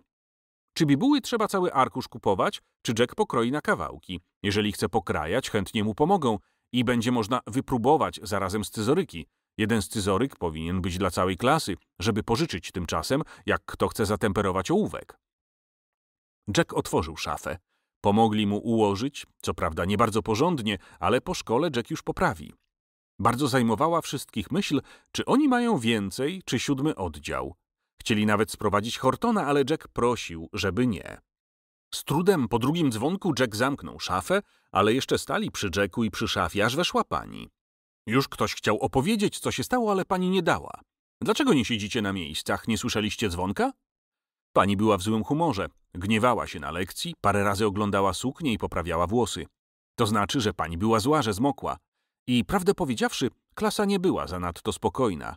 Ogromna paka kajetów i tyle różnych rzeczy nie pozwalały uważać. Phil poszedł za drzwi, Jim o mało co nie wyleciał, Ward stał w kącie, a Jackowi pani powiedziała, że myśli o niebieskich migdałach i nie uważa na lekcji. Sprawdziły się słowa Tafta. Jack kupił w różnych ilościach glansowany papier, czerwony, żółty, zielony, niebieski i czarny. I po trzech dniach nie miał już ani jednego czerwonego papieru. Ktoś powiedział, że czerwony papier się najmniej brudzi i uwierzyli. A właśnie czarnego, na którym naprawdę nie znać plam z atramentu, nie wzięli ani jednego arkusza. Nie pomogło, że Jack na samym wierzchu kładł żółty. Nie pomogły tłumaczenia, przeciwnie nawet i jeszcze gorzej było. Ja wiem, powiedziała pierwsza Ella. Dlatego mówisz, że zielony lepszy, bo masz dużo. Nie mówię, że lepszy, bronił się Jack, tylko taki sam. Więc jak taki sam, to daj czerwony. Mister Taft zgodził się zamienić i kiedy zobaczyli, że czerwonego znów jest dużo, kupowali teraz rozmaite. Ella zna sposób okładania kajetów, że nie trzeba we środku rozcinać, tylko się podwija i nauczyła, jak to się robi. Kto bogatszy, okładał wszystkie kajety. Byli tacy, którzy jeden kajet obłożyli w glansowany, a resztę w szary. I dopiero się pani dowiedziała. Co za dziwy, mówi pani, John ma obłożony zeszyt i nawet porządnie napisał. Bo kto obłożył kajet, ten się potem więcej starał. Nawet niektórzy umyślnie kupowali nowy, chociaż w starym mieli jeszcze kilka kartek czystych. Mam wydać na cukierki, to wolę mieć porządne kajety. Dopiero powiedzieli pani, że jest już kooperatywa. Jack otworzył szafę. Wyszedł z ławki, a wszyscy ucichli. Sięga do kieszeni, już jest zupełnie cicho. Jackowi lekko drży ręka, więc nie może od razu trafić kluczykiem. Jest tak cicho, że pani aż się obejrzała. No i Jack otworzył szafę. Ładnie wyglądało. Wyżej książki, równo ułożone, jak w prawdziwej księgarni, nie ułożone, bo stoją, a każda ma przyklejoną kartkę z numerem, a na dolnej półce kooperatywa. Trzy kubki kajetów, obok papier, na dole szary, na górze glansowany, obok pudełko drewniane od cygar, tam są ołówki, obok papierowe białe pudełko, tam farby i małe pudełko od papierosów, ale ze szklaną pokrywką. Tam leżą scyzoryki. Aż zabłysły, jakie Jack wyjmował. Papierowe pudełko dał Mr. Taft, pudło od cygar przyniósł Pete, a pudełko ze szklanym wierzchem dał Harry Payson. W tym pudełku trzymał Harry motyla. Bo Harry ma zbiory przyrodnicze, ma zielnik, morskie muszle, różne motyle i robaczki zatrute eterem i nasadzone na szpilki. Harry ma także gwiazdę morską i kawałek bursztynu, w którym jest zaklejona przedpotopowa mucha. Przed potopem bursztyn był żywicą i na tej żywicy usiadła mucha i się zupełnie wkleiła. A potem to skamieniało i mucha już zostanie tam wiecznie. A jak bursztyn potrzeć o rękaw, małe kawałki papieru skaczą do bursztynu i tak na nim wiszą. Bo w nim jest elektryczność, bo bursztyn jest przedpotopowy. Harry ogromnie szanował swoje zbiory, przynosił do szkoły tylko wtedy, kiedy pani kazała. No i jeżeli on dał pudełko, a motyla przeniósł gdzie indziej, to znaczy, że szanuje Jacka. Widzę, powiedziała pani, żeście się już zupełnie zagospodarowali. Zobaczymy teraz, czy siódmy oddział lepiej poprowadzi kooperatywę, czy wy. Jack był zadowolony, że pani zwraca się do całej klasy, nie tylko do niego. Znów było bardzo cicho, kiedy pani przeglądała rachunki. Bardzo dobrze, powiedziała pani. Czy wszyscy widzieli, jak się zapisuje? Nie, nie widzieli. Więc pani przepisała na tablicy jedną stronicę, a tak to wyglądało. Kupiłem. We wtorek 12 arkuszy, w piątek 12 arkuszy. Zamieniłem 6 arkuszy żółtego i 6 czarnego na 12 czerwonego. Sprzedałem. W środę 3 arkusze, w czwartek 7 arkuszy, w piątek 2 arkusze, w sobotę 4 arkusze, w poniedziałek jeden arkusz, we wtorek jeden arkusz. Dopiero w sobotę Nelly poradziła, żeby nie pisać za każdym razem arkusze, tylko pod spodem dwa przecinki, bo znaczy, że to samo. Był też kłopot, że na górze było napisane kupiłem, a Jack nie kupił, tylko zamienił. Nelly poradziła, żeby pod spodem napisać i wziąć w nawias. Nelly tak gdzieś widziała, a Jack się zgodził, chociaż nie wiedział, czy można, ale innej rady nie było. Ale pani powiedziała, że dobrze. Najładniej było, kiedy Jack powiedział, że można policzyć, ile powinno być w szafie czerwonych arkuszy i że można sprawdzić. Pani razem z klasą policzyła i powiedzieli, powinno być jeszcze sześć. Jack wyjął z szafy papier, wszyscy patrzą i czekają. Jack wie, że jest dobrze, ale się strasznie boi. Bo co powie, jeżeli nie będzie? Już nawet żałował, ale tylko na małą chwileczkę. Ale potem znów pomyślał, że nie szkodzi. Jeżeli mógł się omylić Horton z siódmego oddziału, to i on z Nelly mogą się pomylić. Jeden, dwa, trzy, cztery, pięć, sześć. Odetchnął z ulgą. Klasie też się bardzo podobało. Ktoś nawet chciał jeszcze. Ale pani powiedziała, że teraz nie lekcja arytmetyki i że trzeba wybrać komisję rewizyjną. Przez całą godzinę wszyscy się bardzo dobrze sprawowali. Nikt nie dokazywał. Może chcieli pokazać, że są naprawdę już starszym oddziałem, a może myśleli, że ich wybiorą do komisji rewizyjnej, choć co to jest, nawet Jack nie wiedział. Jack był bardzo uważny, bo postanowił, że będzie myślał o kooperatywie tylko na pauzach, żeby mu pani znów nie powiedziała, że myśli o migdałach. Pewnie wcale nie ma niebieskich migdałów na świecie, więc się dlatego tak mówi. Ale pod koniec lekcji już nie mógł i zaczął nie uważać. Dużo różnych myśli przyszło mu do głowy, więc co by to było, gdyby zgubił pieniądze? Przychodzi do domu i nie ma portmonetki. Och, jak strasznie się trzeba pilnować. I przypomniał sobie Jack, że raz naprawdę zgubił centa. Było to dawno. I było co innego. To był własny cent, a nie Penela i całej klasy. Potem przyszło mu na myśl, za jakie pieniądze powinien kupować, jeżeli coś potrzebne? Na przykład kajet, gdzie zapisane, co kupił i co sprzedał, i taki sam kajet na brudno, gdzie sam wpisywał? Bo Jack miał dwie kontrole. Co włożył do szafy i co wydawał, zaraz zapisywał na brudno, a potem dopiero Nelly przepisywała. To dziwne, że się pani nawet nie zapytała, kto mu pomaga. Może źle zrobił, że sam nie powiedział, bo wygląda, że niby tylko Jack otrzymał pochwałę, że bardzo dobrze. Nelly nie będzie się gniewała, ale innej mogło być przykro, że pani nie wie, że to ona. Dzwonek. I Jack dopiero teraz widzi, że jest w klasie, że się lekcja skończyła, że przy nim siedzi Pil, że pani stoi i coś mówi. Pewnie pani coś na jutro zadała, a on nie wie. Dał sobie słowo, że będzie uważał i nie udało mu się. Phil powiedział na pewno psia kość słoniowa, bo zawsze tak mówi, jak jest niezadowolony. Na pauzie Jack zauważył, że Nelly jest jakaś smutna. Nelly nigdy nie bywa zanadto wesoła. No, dziewczynki, rozumie się, mniej dokazują niż chłopcy, chyba taka Betty, ale ona jedna. Ale Nelly była naprawdę smutna. Stoi przy oknie i tak jakoś patrzy. Jack musi się dowiedzieć, bo jak nie, to może zaraz wejść do kancelarii i powiedzieć, że wszystko pisze Nelly. Nawet woźny powiedział, oho, widzę, że się zbogaciłeś, wziąłeś sobie sekretarkę, ile też jej płacisz? Woźny nawet poradził, jak ma ułożyć wszystko w szafie i co dzień pyta, czy Jack dużo utargował. Oddawał mu też do schowania zostawione przez gapy i niedbalców pióra i ołówki, bo przychodzili do niego dawniej i zawracali mu głowę. Jack stanął niedaleko Nelly i czeka, aż go zauważy. A potem, czy nie wiesz, co pani zadała na jutro, bo nie słyszałem? Pani kazała przepisać dalej i podkreślić czasowniki. Może jeszcze coś, bo nie uważałam tak bardzo. Nie, Nelly ma inne zmartwienie. Może jutro nawet nie przyjdę do szkoły. Mówi Nelly jakby do siebie. Dlaczego? Pyta się Jack. Czy kaszlesz? Ja nie kaszlę, ale tatuś jest bardzo chory. I łzy ma w oczach. Jackowi było bardzo smutno, więc nic nie powiedział, tylko stoi. Aż dopiero dolatuje Adams i z całej siły uderza go w plecy. Ach, jak czasem trudno się nie bić, bo masz zmartwienie, a tu cię ktoś nagle zaczepi. I żeby tylko to, ale nie, odepchniesz go albo powiesz, żeby poszedł gdzie tam, dalej zaczyna. Uderzył, no to uderzył.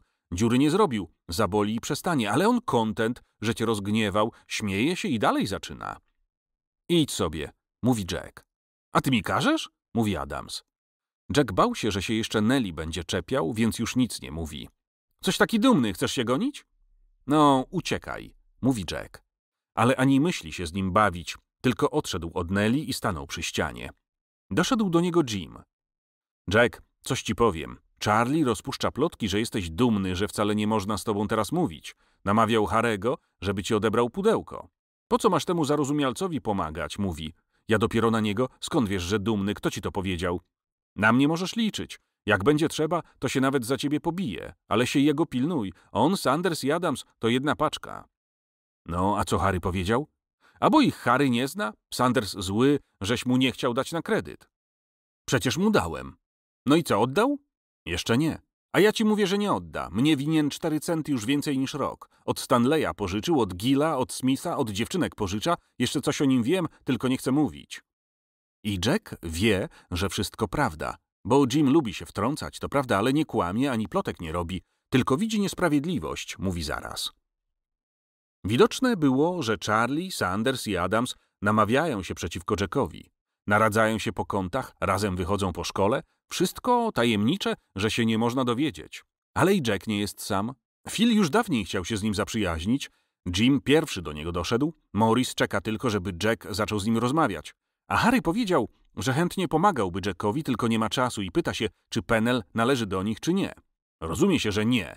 Penel dał tylko dwa dolary, a nawet nie Penel, tylko jego matka. Penel dużo kupuje w kooperatywie, ale nic więcej. Jackowi nieprzyjemne są ordynarne zaczepki Adamsa, ale Jim obiecał mu pomóc. Adams lubi się bić, ale nie z silniejszymi, a Jim ma w prawej ręce 70 siły, a w lewej 62,5. Jack ich się nie boi. Klasa nie lubi Charlie'ego, bo nudziarz i szachraj. Przez cały zeszły rok zbierał marki pocztowe, grał na marki, zamieniał, aż mu pani dwa razy zabierała album z markami, a kiedy zabrała drugi raz, powiedziała, że nie odda.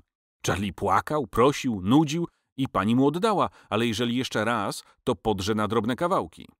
Pewnie Charlie sprzedał komuś, bo przestał. Ale dał się we znaki wszystkim chłopcom, a Sandersa też nie lubią, bo dawniej litowali się nad nim, że biedny, ale tak zaczepiał, dokuczał i żebrał, że już nie mogli wytrzymać. A jak pożyczył, ani razu nie oddał. Na oddanie nie miał, a jabłka kupował. Już stracił do niego cierpliwość. I tacy trzej postanowili urządzić drugą kooperatywę.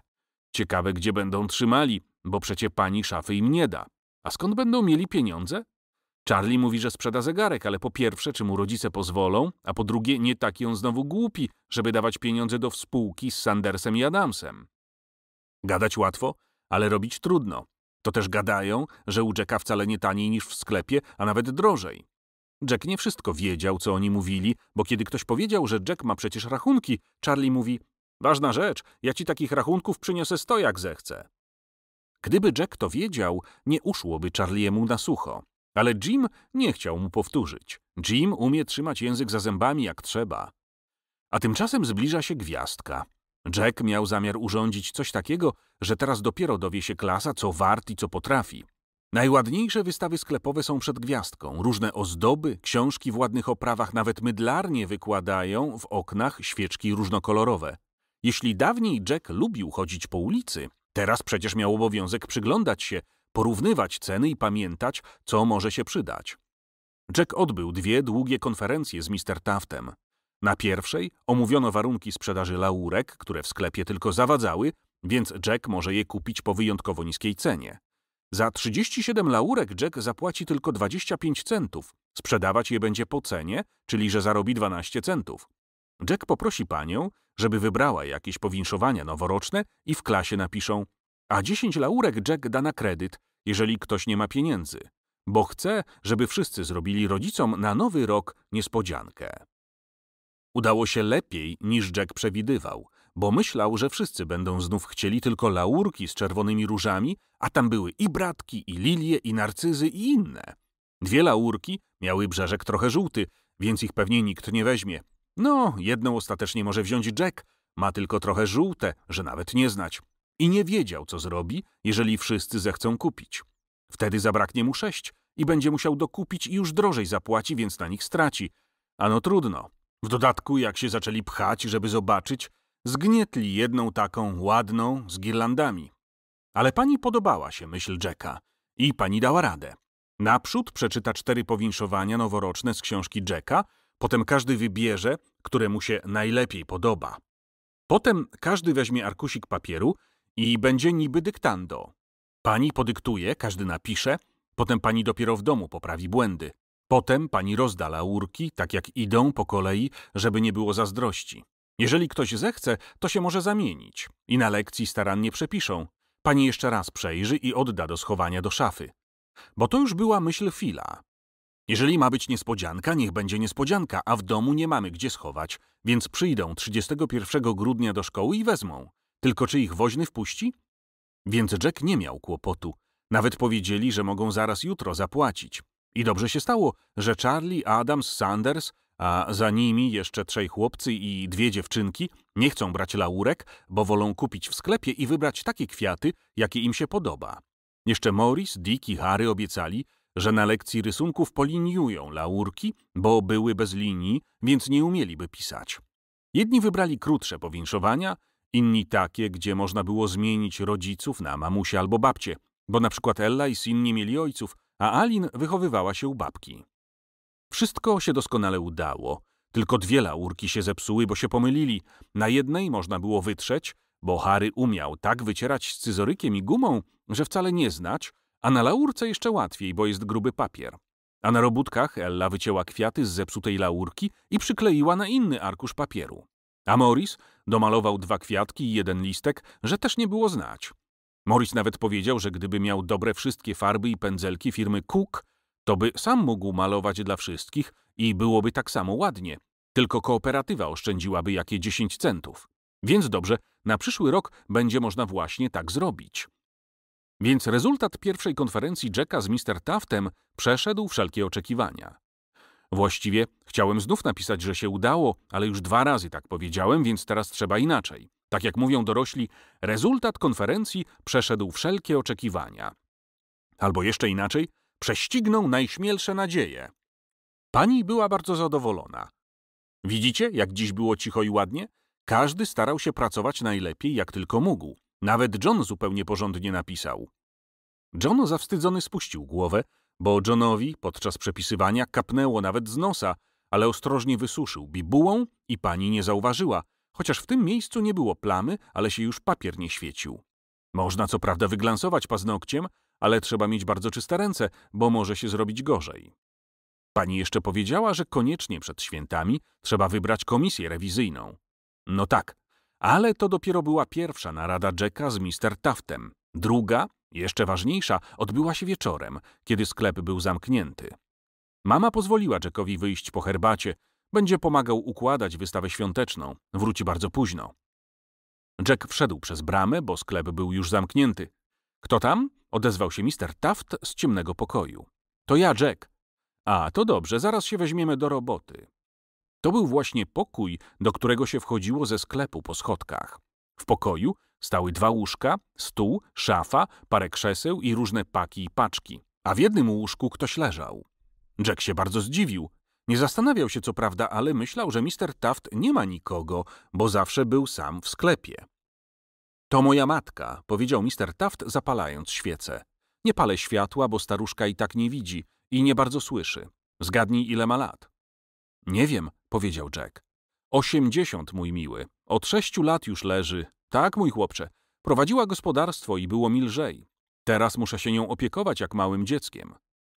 I Mr. Taft opowiedział Jackowi, jak matka zachorowała, co powiedział przywołany doktor, co potem mówili w szpitalu. Cały czas, kiedy układali wystawę, Mr. Taft opowiadał. Trochę wyżej postaw te książki. Anioła powieść na lampie, dobrze. Troszkę na prawo. Gdybym wiedział, że operacja przyniesie pożytek, to bym się zgodził, ale doktorzy mówią, można spróbować. Dać na sen niebezpiecznie, bo serce ma słabe. Pocztówki rozłóż w drugim rzędzie, noworoczne pocztówki po bokach, a gwiazdkowe we środku. Zawiozłem staruszkę na wieś. Myślałem, że świeże powietrze powróci jej zdrowie. Odsuń trochę od szyby, bo się zamoczy, jak okno zamarznie. Ciężka rzecz, starość, mój Jacku, a wszystko pamięta. Lubi opowiadać, jak byłem mały i do szkoły chodziłem. Poczekaj, no, tak niedobrze. Wyjmij tę dużą książkę, a połóż tam lepiej albumy. I czerwoną książkę przysuń do niebieskiej. Teraz dobrze.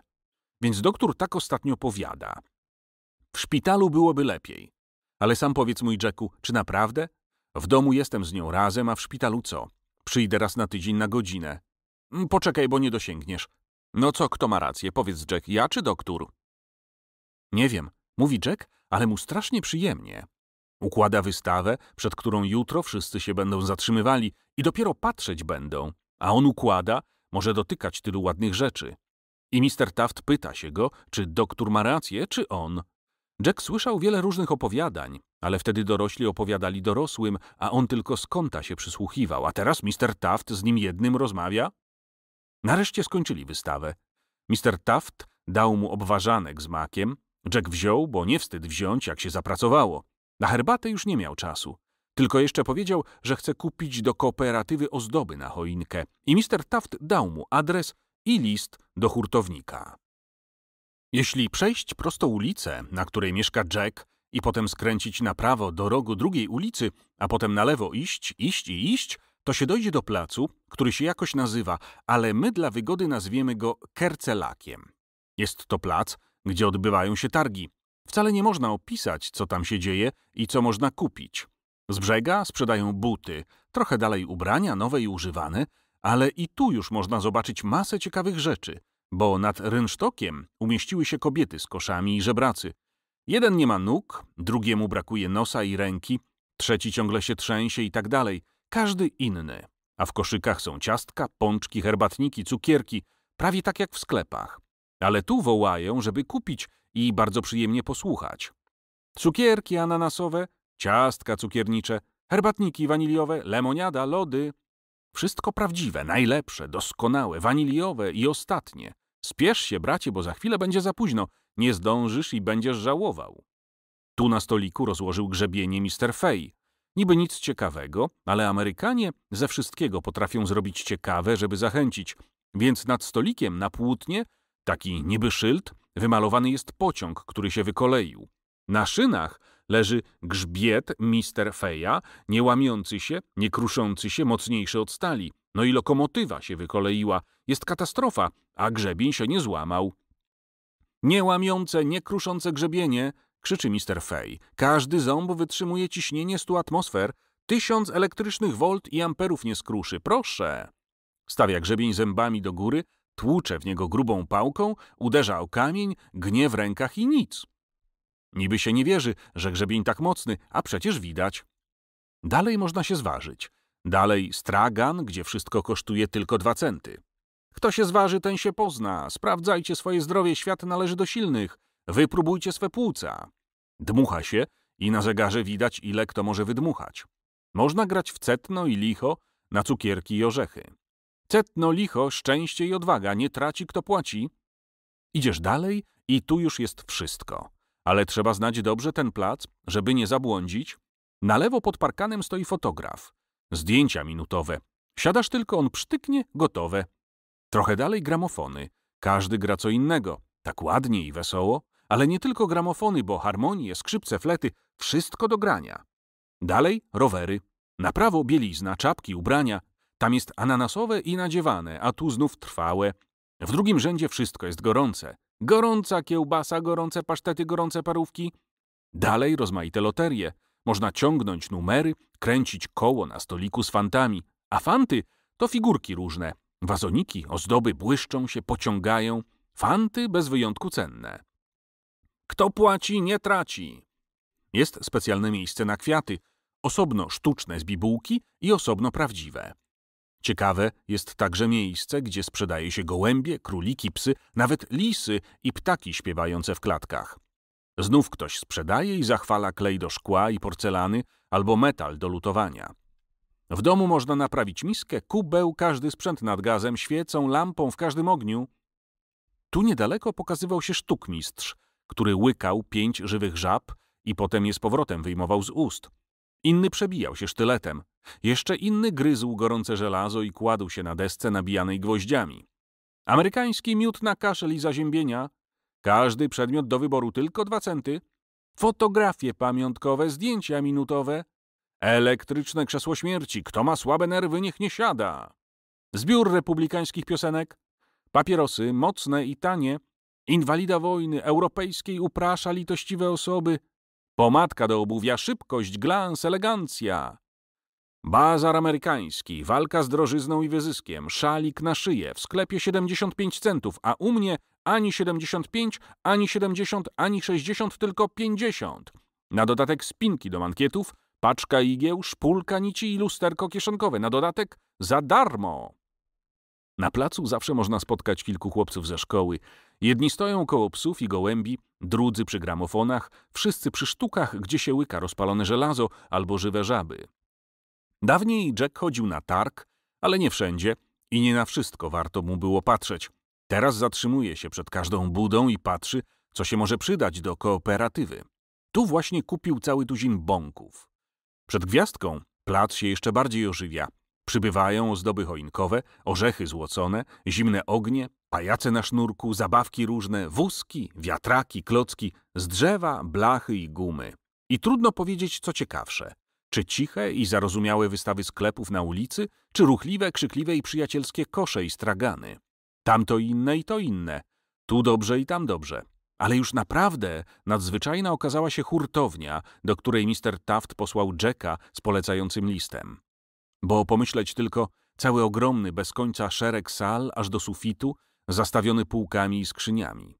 I wszystko to zabawki. Zupełnie jak w bajce o skarbach sezamu. Więcej tu leży bezładnie na podłodze niż w największym sklepie w szafach i w szufladach. Każdy sklep kupuje tylko troszkę od hurtownika, a hurtownik ma wszystko. Piłki leżą w koszach od bielizny jak kartofle, lalki całe stosy. Leży to, wisi, pomieszane, gdzie spojrzysz coś innego. A widzisz przecież tylko to, co otwarte, bo w skrzyniach i tysiącach pudeł i pudełek kryje się tysiąc, sto tysięcy razy więcej pięknych i cennych rzeczy. Jack wiedział, że można być bogatym, że można mieć sklep, ale żeby w jednym miejscu tyle się naraz kryło skarbów, nigdy się nie domyślał. Więc bajki nie są znów takie zmyślone? Jakiś pan wziął od Jacka list, przeczytał i uśmiechnął się przyjaźnie. Mister Gibbs, mamy nowego odbiorcę. Jak się nazywasz?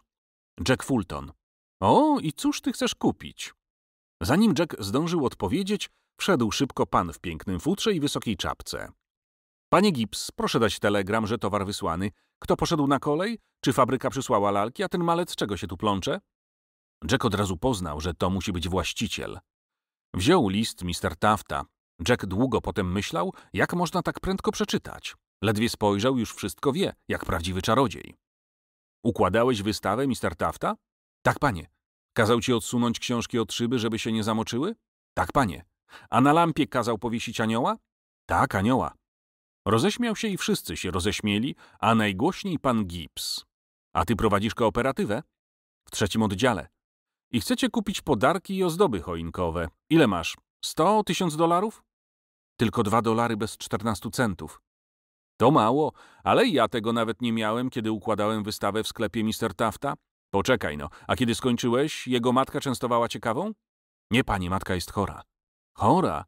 No, panowie, bierzcie się do roboty, a tego klienta sam załatwię. Niech tu przyjdzie chłopiec.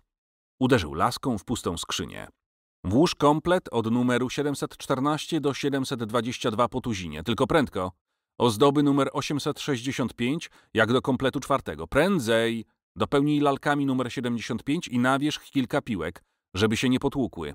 I odesłać do Mr. Tafta dla Johna Tulfona. Jacka Fultona, poprawił Jack. Jeżeli to ma być dla mnie, dodał Jack, wyjmując pieniądze. Schowaj to na cukierki. Nie proszę pana, chcę tanio kupić, ale nie chcę darmo. Masz słuszność? Masz słuszność? I poproszę o kwit. Kwit? Masz słuszność. Zaprowadź go do kasjera i powiadasz, że jego matka chora? Sparaliżowana. Biedaczka. Powiedz mi Startaftowi, albo nic nie mów. Wyjął notesik i coś zapisał.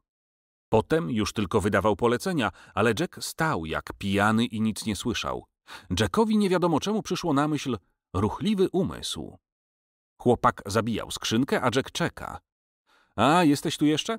Chcesz, to cię podwiozę. Dokąd idziesz? Jeszcze nie zapłaciłem, odpowiedział Jack. Po chwili zadudnił samochód. A Jack musiał chodzić aż do trzech kas, zanim otrzymał kwit i zapewnienie, że skrzynka najpóźniej jutro będzie odesłana dokąd należy. Kiedy znalazł się na ulicy, westchnął głęboko. Przecież to być wcale nie może, żeby hurtownie tak tanio sprzedawały. I właściwie Jack nie miał zamiaru wydawać wszystkich pieniędzy. Zapisał sobie dokładnie na kartce, co chce kupić, ale wcale go nie pytano. Co tam jest w tych pudełkach, które włożono do skrzyni? Co znaczą numera 714 i 722? Wszystko to bardzo dziwne i bardzo trudne. Musi dobrze się naradzić z Mr. Taftem i z panią. Owszem, bardzo mi się twój pomysł podoba, mówi pani. Ale mój miły Jacku, nie zaniedbuj się w nauce. Widocznie kooperatywa zabiera ci zbyt wiele czasu. Byłoby mi bardzo przykro, gdybyś stał się złym uczniem. Nie wypada nawet, żeby bibliotekarz źle się uczył. On, który powinien dawać przykład rzetelnego stosunku do książki i do wiedzy. Jack milczał chwilę dłuższą. I cóż mi odpowiesz?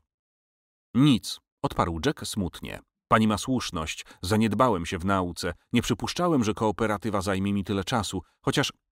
Chociaż? Roboty nie mam znów tak wiele, tylko ciągle myślę, co zrobić, żeby się udało. Miły Jacku, właśnie idzie o twoją myśl, która jest zupełnie pochłonięta zakupami i gwiazdką. Proszę pani, ja się tych wierszy z pewnością podczas świąt nauczę. Nie tylko wiersze. Znów w ostatnim dyktandzie zrobiłeś dużo błędów. Zrobiłem cztery grube błędy i trzy małe, razem siedem błędów. No widzisz? Ja ciebie bardzo szanuję i cenię, mój chłopcze, ale tym bardziej się smucę. Pocieszam się myślą, że wiele korzystasz, zajmując się kooperatywą.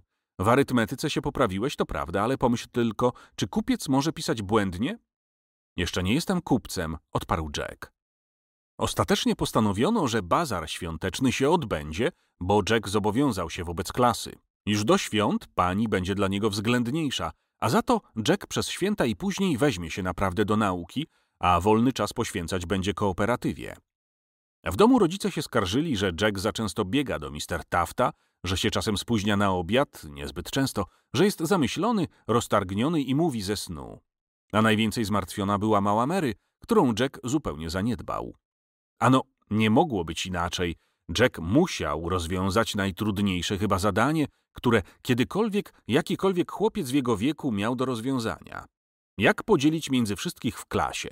Sześć drewnianych pudełek farb, dwanaście papierowych pudełek kredek, osiemnaście łańcuszków, trzy drukarki z ruchomymi literami, trzy pudełka z żołnierzami, dwanaście organek, trzy skarbonki, dwanaście rewolwerów i dwanaście lalek, sześć sznurów korali, trzy warcaby, trzy domina, trzy samochody blaszane sprężynowe, 24 gwiżdżące baloniki do dmuchania, jedno pudełko sztuk magicznych, jedno pudło z wyszywaniem na kanwie, cztery jajka wkładane, czerwone, w tym mniejsze niebieskie i coraz mniejsze i innego koloru, pięć pudełek klocków, trzy pudełka łamigłówek, jednego łabędzia, którego można łowić na wędkę magnesem i ryby, pięć loteryjek, jedno pudełko ze zwierzętami. A oprócz tego piłki, ruchome abecadła, złoty deszcz, kule, trąbki, lichtarze do świeczek, śnieg, zimne ognie i różne ozdoby choinkowe. Muszę jeszcze dodać, że w jednym z pudeł było na przykład 12 farb, a w drugim 24, że jedne lalki zamykały oczy, inne nie, że i łamigłówki, i klocki, wszystko było różnej wielkości i różnej wartości. Kiedy nareszcie przyniesiesz, nalegają koledzy. Chcą przynajmniej zobaczyć, bo do tej pory tylko Jim widział u Mr. Tafta i opowiadał rzeczy, o których się i filozofom nie śniło. Co znaczy bosko czarnoksiężnik w porównaniu z pudłem sztuk magicznych? Jest tam na przykład flaszka, gdzie wlewasz wodę, a potem fokus pokus, laseczką i jest wino. Albo sypiesz ziarno, znów fokus pokus, jest mąka. Czerwona kula znika i znów się pokazuje w pudełku. Przecinasz nożem sznurek i znów jest cały. Papier znika z czarodziejskiego portfela. Albo łabędzie i ryby przyczepiają się do wędki jak żywe. No i czego tam nie ma? Od razu dwudziestu chłopców zamawia te pudła, a piętnaście dziewczynek największą lalkę. Bo wiedzą, że będzie strasznie tanio. Co robić? Jak sprawiedliwie podzielić? Już nie Jack, ale Mr. Taft nie wie. Muszę ci wytłumaczyć, co znaczy kalkulacja. Jeżeli coś kupuję, wiem, ile zapłaciłem, wiem, ile mnie kosztuje. Potem muszę wiedzieć, ile płacę za sklep, gaz, podatek, ile mi się zniszczy na wystawie. Bo kto kupuje, ten chce mieć wszystko najlepsze. Nikt nie kupi podartego obrazka albo zgniecionej pocztówki. Ale jak przegląda w sklepie, nieostrożnie kładzie i gniecie, a ja tracę. Więc to są moje straty i wydatki administracyjne. A przecież muszę zarobić jeszcze. Za pracę sprzedawania muszę mieć zapłatę. Ale ja nie mam sklepu, mówi Jack. To też twoje wydatki administracyjne są małe, ale są. Jakie? zapytał się Jack. A skąd masz kajety, w których prowadzisz rachunki? Gdzie trzymasz rachunki? Gdzie trzymasz pieniądze? Potrzebna ci przecież teczka do papierów i skarbonka do pieniędzy. Kto płaci za podzelowanie butów, jak musisz chodzić tak dużo? Więc co zrobić? Nie wiem. Powiedz mi jeszcze, czy kooperatywa chce zarobić na tym? Jack też nie wie. A najważniejsze, czy twoi koledzy mają i ile mają pieniędzy? Bo co warta kalkulacja, jeżeli powiesz, ile co kosztuje, a oni nie kupią, bo nie mają pieniędzy? Myśli Jack, poradził się woźnego, radzi się Nelly, Jima, pani, każdy coś powiedział. Wreszcie postanowiono. Urządzi się tak jakby fantową loterię. Bilety będą po 5, 10 i 20 centów. Kto co wygra, ten będzie miał. A z tego, czego jest dużo, jak łańcuszki, gwizdałki, organki i rewolwery, zrobi się razem z ozdobami choinkowymi torebki i każda torebka będzie kosztowała dwa centy. Torebki leżeć będą w koszyku i każdy będzie wyjmował. Nazywa się to kosz szczęścia. Prócz tego będą prezenty. Morris dostanie największe pudło farb, Barnum najlepsze organki, jedną lalkę dostanie woźny dla małej córeczki. Matce Mr. Tafta kupią kwiatek, bo nie może ani widzieć, ani nie słyszy, więc niech sobie przynajmniej wącha. Woźny bardzo pomaga Jackowi, a dzięki temu, że i Mr. Taft dał Jackowi list do znajomego hurtownika, otrzymali prawie za darmo tyle pięknych rzeczy. Bo co tu gadać, Mr. Taft ocenił skrzynkę na przeszło 15 dolarów. Jack chciał nawet dać jedną drukarkę kierownikowi i pani sznurek korali, ale Phil powiedział, idź głupi, pani się tam znowu ubierze w korale dla dzieciaków. Drukarka mogłaby się przydać kierownikowi, ale może się obrazić, zresztą ma maszynę do pisania.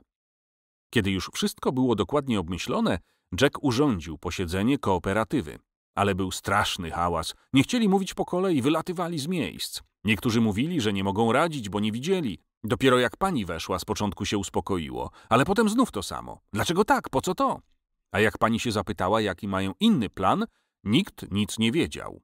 A co będzie, jak chcę rewolwer, a dostanę organki? A jak kto ma mało pieniędzy? A czy można kupić dwa bilety? Co się zrobi, jeżeli różne rzeczy zostaną? Nikt głośno nie mówił, że źle, bo pani zaraz się pytała, a co radzisz, żeby było lepiej? Ale słychać było, szczególnie między dziewczynkami, jak mówiły, ja tam wcale nie chcę. Też wymyślili fantowa loteria, a jak nic nie wygram albo jakieś głupstwo? Aż pani się rozgniewała.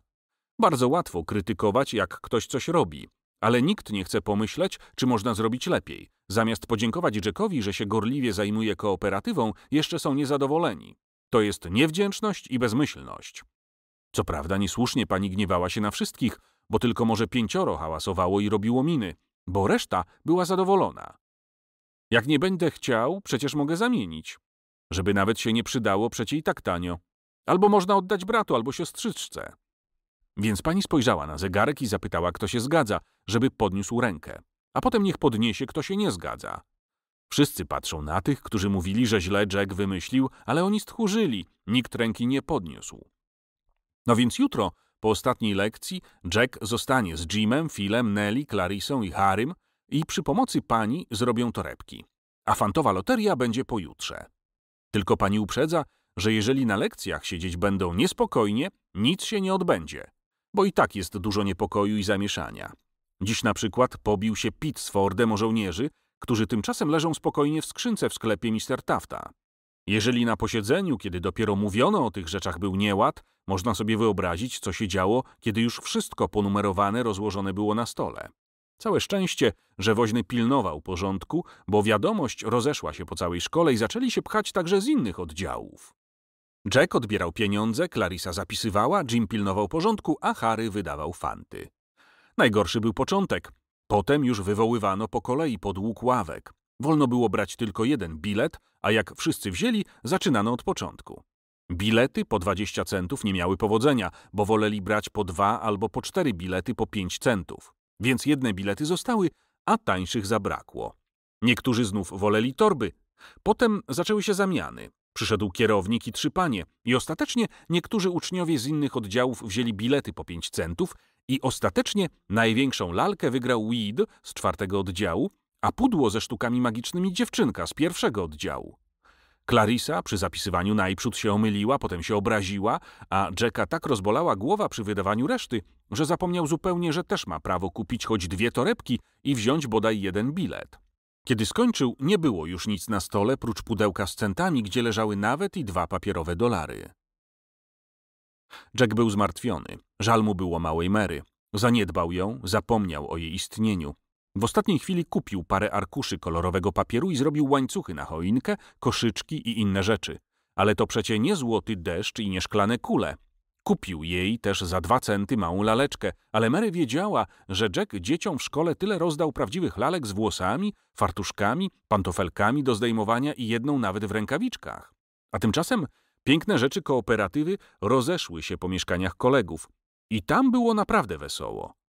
I czyja zasługa, że tego wieczora Drell, Jill, Carr, Sibley grali na organkach, że u Todów cała rodzina gra w loteryjkę, że Edwin urządził na stole wojnę i strzela z armatki, że mała siostra Shorta składa i rozkłada jajko i nawet z nim zasnęła.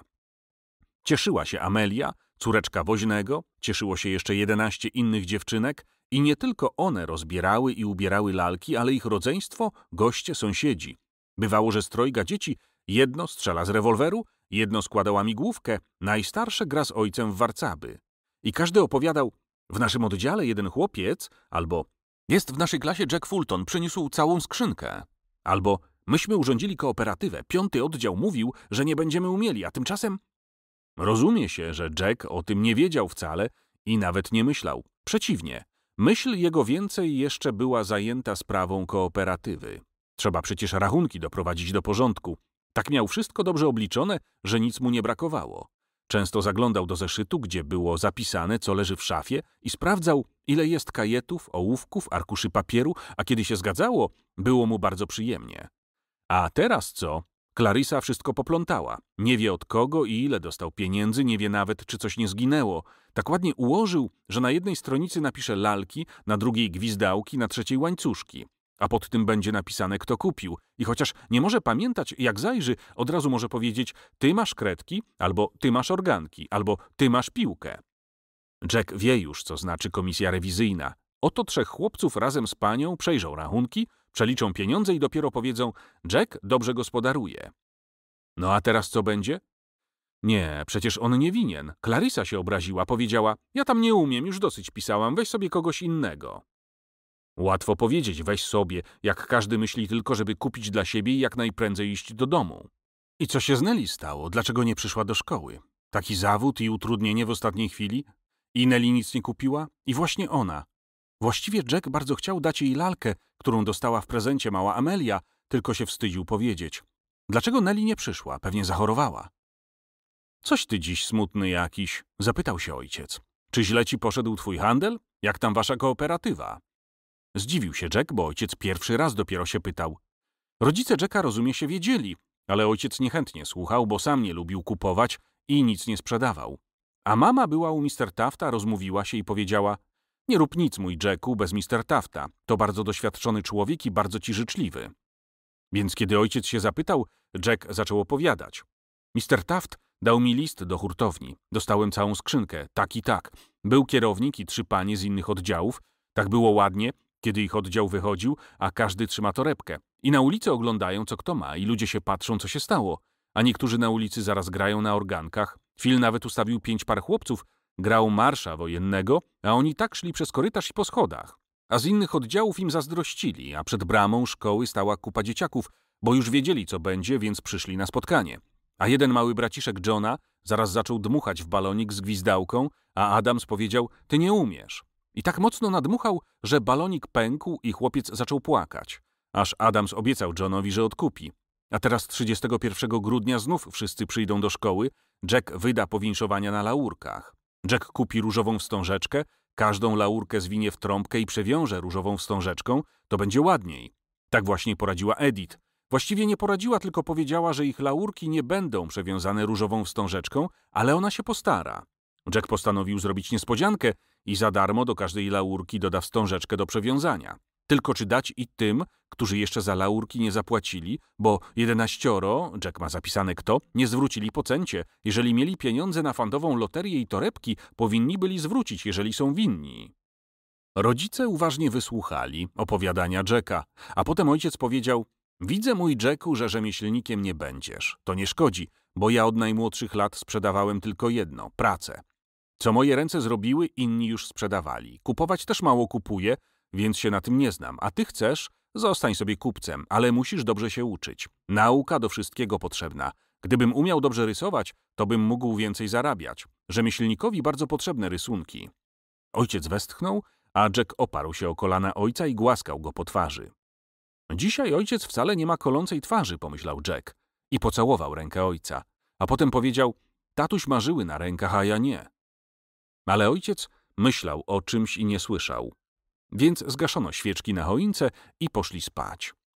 I teraz muszę opowiedzieć o jednym z dwunastu bąków drewnianych, zupełnie zwyczajnych i małych, które Jack kupił na placu. Więc Jack nie wiedział, co z nimi robić, bo wśród tylu pięknych rzeczy, co one znaczyły. Nawet Jack z początku zupełnie zapomniał, bo leżały w szafie obok pudełka z ołówkami. No więc wziął i już później włożył je na dodatek do dwunastu torebek po dwa centy. Może się na coś przydadzą. I teraz o jednym z tych dwunastu bąków powiem. Był jeden bąk w torebce za dwa centy. Kupił ją Gray. Tak, kupił tylko jedną torebkę i nawet nie za własne, a za pożyczone od chłopca na podwórku dwa centy. Bo wszyscy w klasie wiedzieli, że Sanders jest bardzo biedny, bo u nich tyle dzieci i nie mają co jeść. Ale nikt nie wiedział, że Gray jest jeszcze biedniejszy. Ojciec Greya wyjechał daleko i co miesiąc przysyłał bardzo mało pieniędzy, a czasem nawet nic nie przysyłał a Gray miał tylko małego braciszka i bardzo go kochał. Więc pożyczył od chłopca z podwórka dwa centy i powiedział, że mu odda wszystko, co jest w torebce, tylko żeby jakąś jedną rzecz sam wybrał i żeby co chce dał dla braciszka. torebce było pięć lichtarzyków, ale nie dał.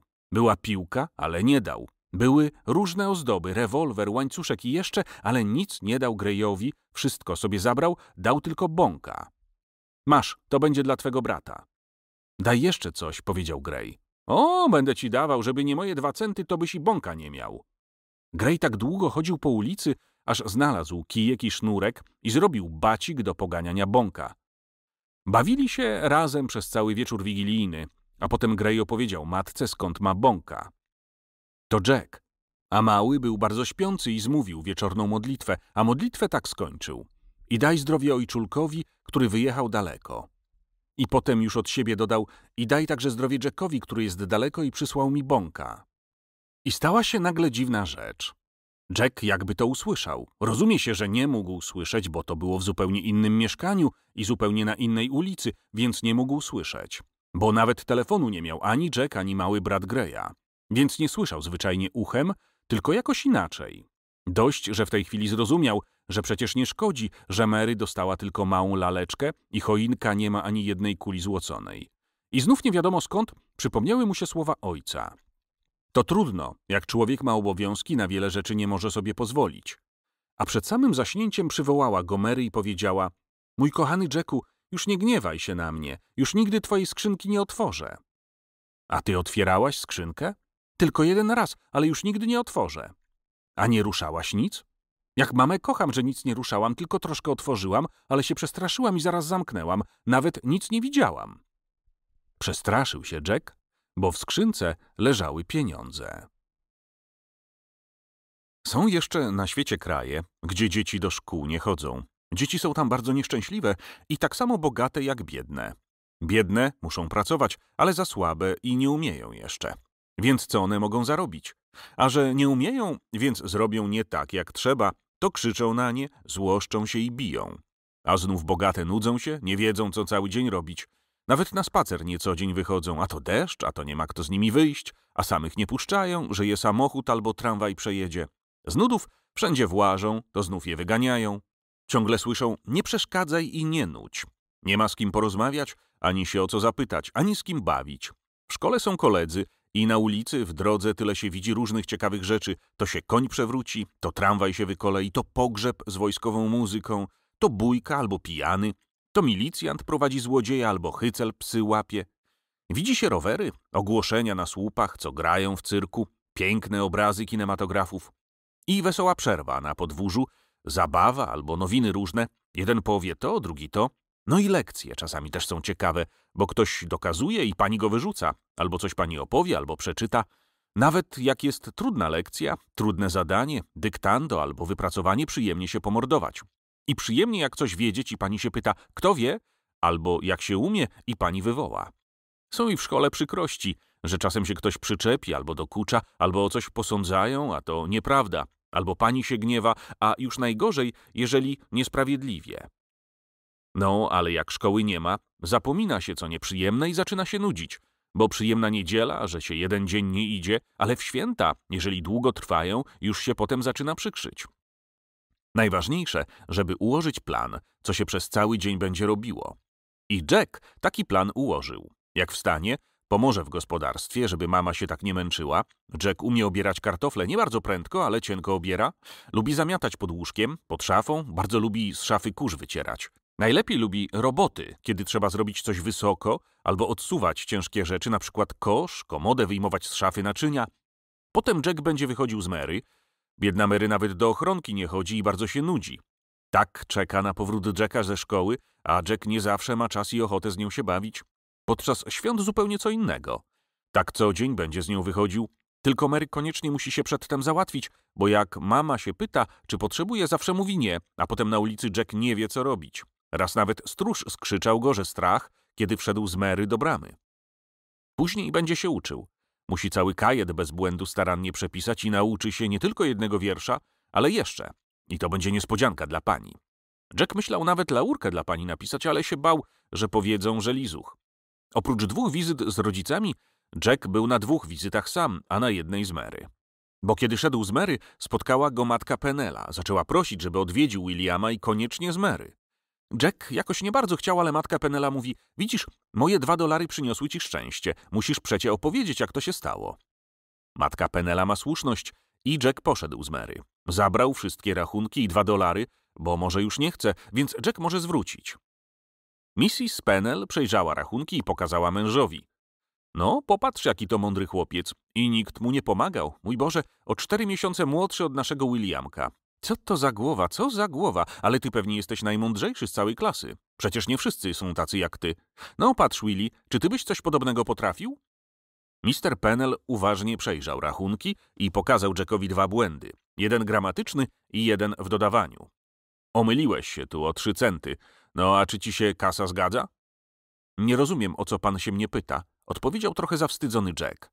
Bo widzisz, powinieneś mieć akurat tyle pieniędzy w kieszeni, to jest w kasie, no w pudełku czy w skarbonce, ile tu w kajecie wyliczyłeś. Jeżeli masz, to znaczy, że ci się kasa zgadza, że się nie pomyliłeś. A dajże chłopczynie spokój, mówi Mrs. Pennell. Zgadza mu się wszystko. Co się tam ma nie zgadzać? Pierwszy raz w życiu widzę takie genialne dziecko. Albo porozmawiaj z Mary, jak ona wszystko wie. Wie, gdzie mieszka, wie, ile ma lat. Można z nią mówić, jak z dorosłą osobą. Weź Mary jeszcze pierniczek. Może ci jajko ugotować, to i Williamek dla towarzystwa zje, prawda? I jaki to mały grubas. Chodź, Mary, zobaczysz fotografię dzidziusia. William pokazał Jackowi zabawki i nawet chciał darować, ale Jack nie wziął. Tylko Mary dostała lokomotywę i dwa wagoniki. I aż cztery razy Jack prosił, że musi iść do domu, bo go Mrs. Pennell nie chciała puścić. I jeszcze wsypała im do kieszeni orzechy i herbatniki. I ani słyszeć nie chce o dwóch dolarach. Ciągle tylko mówi, że Jack ją obraża i sama zapięła Mary wszystkie guziki przy palcie. I bardzo mokro pocałowała Jacka i Mary. Mary na schodach wyciera buzię rękawem, a Jack myśli, pan Pennell mądry, pani Pennell dobra, szkoda, że William jest gamajda. Druga świąteczna wizyta była u Mr. Tafta. Tu Jack czuł się swobodnie. Matka jak zwykle leżała, a Mr. Taft pił z Jackiem kawę i rozmawiali o różnych finansowych sprawach. Wiesz, Jack, twój imiennik był u mnie. Kto taki? No, Jack Dale, hurtownik, który ci tyle rzeczy podarował. Nie mnie, tylko kooperatywie i nie podarował, tylko tanio sprzedał. Więc był u pana Mr. Dale? Dlatego pewnie zapisał wtedy w notesie, żeby nie zapomnieć. Nie wiedział wcale, że pana matka chora. Mister Taft pokiwał głową. Tak, tak, mój Jacku. Są ludzie, którzy wiedzą tylko, co im potrzebne i pamiętają tylko, co im przynosi korzyść. Lat temu dwadzieścia ten sam Jack Dale, który przyjechał teraz do mnie własnym samochodem i to najgorszym ze swoich trzech samochodów, tak, dwadzieścia lat temu był u mnie chłopakiem w sklepie i tak samo pił kawę, jak ty teraz pijesz. Tylko wtedy kawę gotowała moja biedna mama. Mister Taft głośno wytarł nos, a w oczach miał łzy. A jak ty, mój Jacku, za dwadzieścia lat będziesz miał samochód, to mnie już nie będzie na świecie. I Taft opowiedział Jackowi długą historię, jak z małego chłopca na posyłki może się zrobić bogacz. Ja go nauczyłem, jak być kupcem. Dobrą miał u mnie szkołę. Kiedy już sam zaczął pracować, przychodził zawsze się radzić. Czasem posłuchał, czasem nie, a potem mówił Ile razy posłucham pana, Mr. Taft, zawsze dobrze na tym wychodzę. Jack bardzo chciał się zapytać, dlaczego Mr. Taft, który nauczył Jacka Dale'a, jak zostać bogaczem, sam jest tak biedny. Bo dawniej Jack myślał, że każdy, kto ma sklep i tyle różnych rzeczy, jest okropnie bogaty. Ale teraz wie, że nie. Kupiec musi też za wszystko płacić i troszkę tylko zarabia. A nawet nie wszystko, co ma w sklepie, jest jego własnością, bo często hurtownik daje na kredyt, a potem żąda pieniędzy. Właśnie dlatego sklep na rogu zbankrutował wtedy. Jack chciał się zapytać, dlaczego Dale bogaty, a Mr. Taft biedny, ale się wstydził. No i trzecia wizyta Jacka była u woźnego szkoły, bo jak rozdał laurki, woźny go do siebie zaprosił. A to tak było. 31 grudnia o 12 Jack przyszedł do szkoły. Tak było cicho i pusto i jakoś dziwnie. Właściwie Jack przyszedł o wpół do 12 i dobrze zrobił, bo już Seal i Gaston czekali przed bramą. Seal zaraz wziął laurkę i różową wstążeczkę i poszedł, a Gaston został, bo jemu podobała się szkoła, że pusta i cicha. Chciał nawet wyjść na korytarz i zawołać hop hop, czy będzie echo, ale Jack nie pozwolił, bo woźny może się gniewać. Dziewczynki bardzo się ucieszyły, że dostały wstążkę do przewiązania i w ogóle wszyscy byli zadowoleni. Chłopcy umawiali się, jak laurkę dadzą rodzicom. Każdy myślał inaczej. Jeden mówi, ja zaczekam aż zasną i położę na stołeczku przy łóżku. Drugi mówi, a ja wezmę do łóżka patelnię i o dwunastej huknę kijem na wiwat jak w bęben i dopiero dam. Wszyscy się śmieją. Jest wielu, którzy się nie położą wcale. Przez całą noc? Pyta ktoś nieufnie. A no co ważnego, bo to jedną noc nie spałem, jak są goście. I dopiero opowiadania o świętach, o gościach i tak trwa godzinę. Jedni odchodzą, drudzy spóźnieni przychodzą. Tak leciałem, myślałem, że nie dostanę. No i coraz mniej, coraz mniej, aż został Jack i Parkins. Parkins pomógł Jackowi wytrzeć schody, bo trochę się zabłociły i poszedł także. A w szafie zostały się tylko cztery laurki. Jacka, Brudasa Johna, Warda i Nelly. Dlaczego Nelly nie przyszła? Jack bardzo chciał ją zobaczyć. Weszłaby w białym płaszczyku i białej czapeczce z pomponikiem. Płaszczyk Nelly wisi na trzecim kołku w środkowym rzędzie. Raz ktoś jej zrzucił czapeczkę. Jack był akurat w szatni, więc wziął i powiesił. A pani woźna powiedziała, zaraz poznać porządne dziecko, inny sam zrzuci i nie podniesie. I kiedy Jack stoi przy oknie i myśli, woźny go do siebie zawołał. Długo będziesz czekał? Już więcej nie przyjdą, może wyjechali na święta, a ty zmarzłeś, bo się w święta nie pali w piecach. I tu tak samo. Zupełnie inny jest Mr. Taft, kiedy ktoś go nie zna i wejdzie tylko coś kupić, a zupełnie inny jest w pokoju ze swoją starą matką. Zupełnie inny jest woźny, kiedy dzwoni na schodach albo chodzi po korytarzu i gderze na chłopców, a zupełnie inny w mieszkaniu. Zupełnie jak rozmaici ludzie, niepodobni do siebie.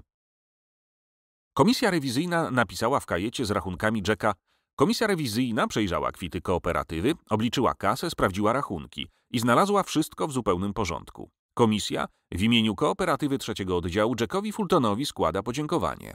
Podpisali Harry Passon, James, Fanny, Ella i pani. Jack był bardzo zadowolony, ale w życiu nigdy razem wszystko się nie udaje. Stanie się coś przyjemnego, a potem zaraz zmartwienie. Jedno dobre, drugie złe. Za jedno pochwalą, za drugie się gniewają. I szkoda, że się nie udało i dobrze, że się można przynajmniej pocieszyć. Więc tego samego dnia, kiedy komisja rewizyjna podziękowała, że dobrze prowadził rachunki, było akurat zadanie klasowe, którego Jack nie umiał rozwiązać. A nazajutrz miał jeszcze jedno, zupełnie inne zmartwienie. Nelly umarł ojciec.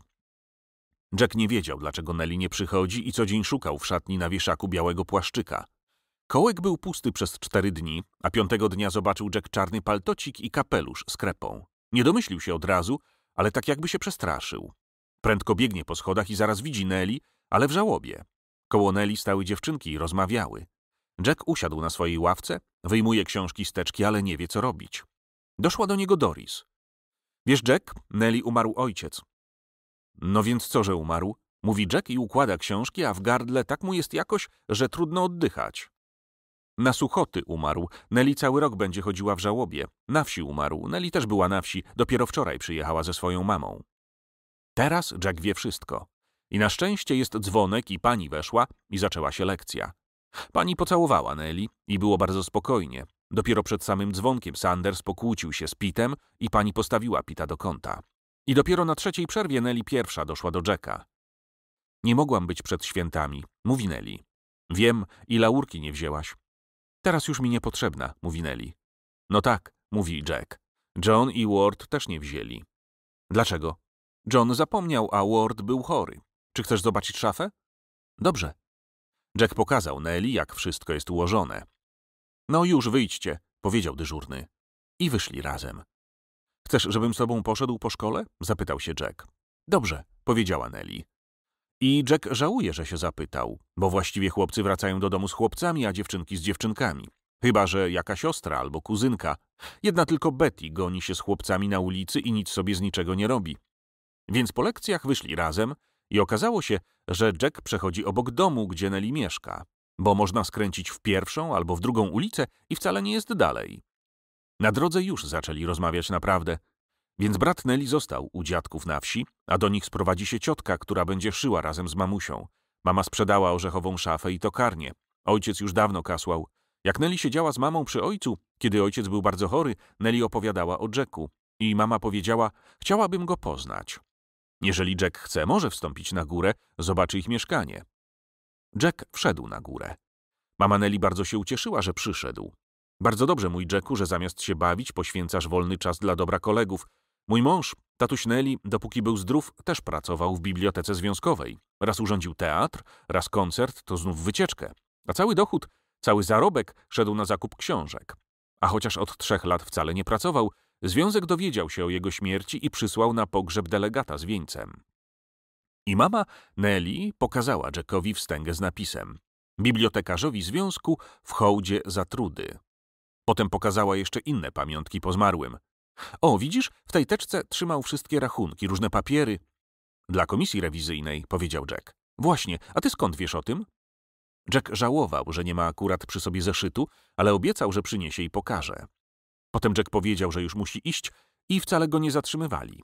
Tylko matka Nelly powiedziała, nie zapominaj o nas. Nelly będzie teraz smutno bez brata, chociaż się czasem czubili.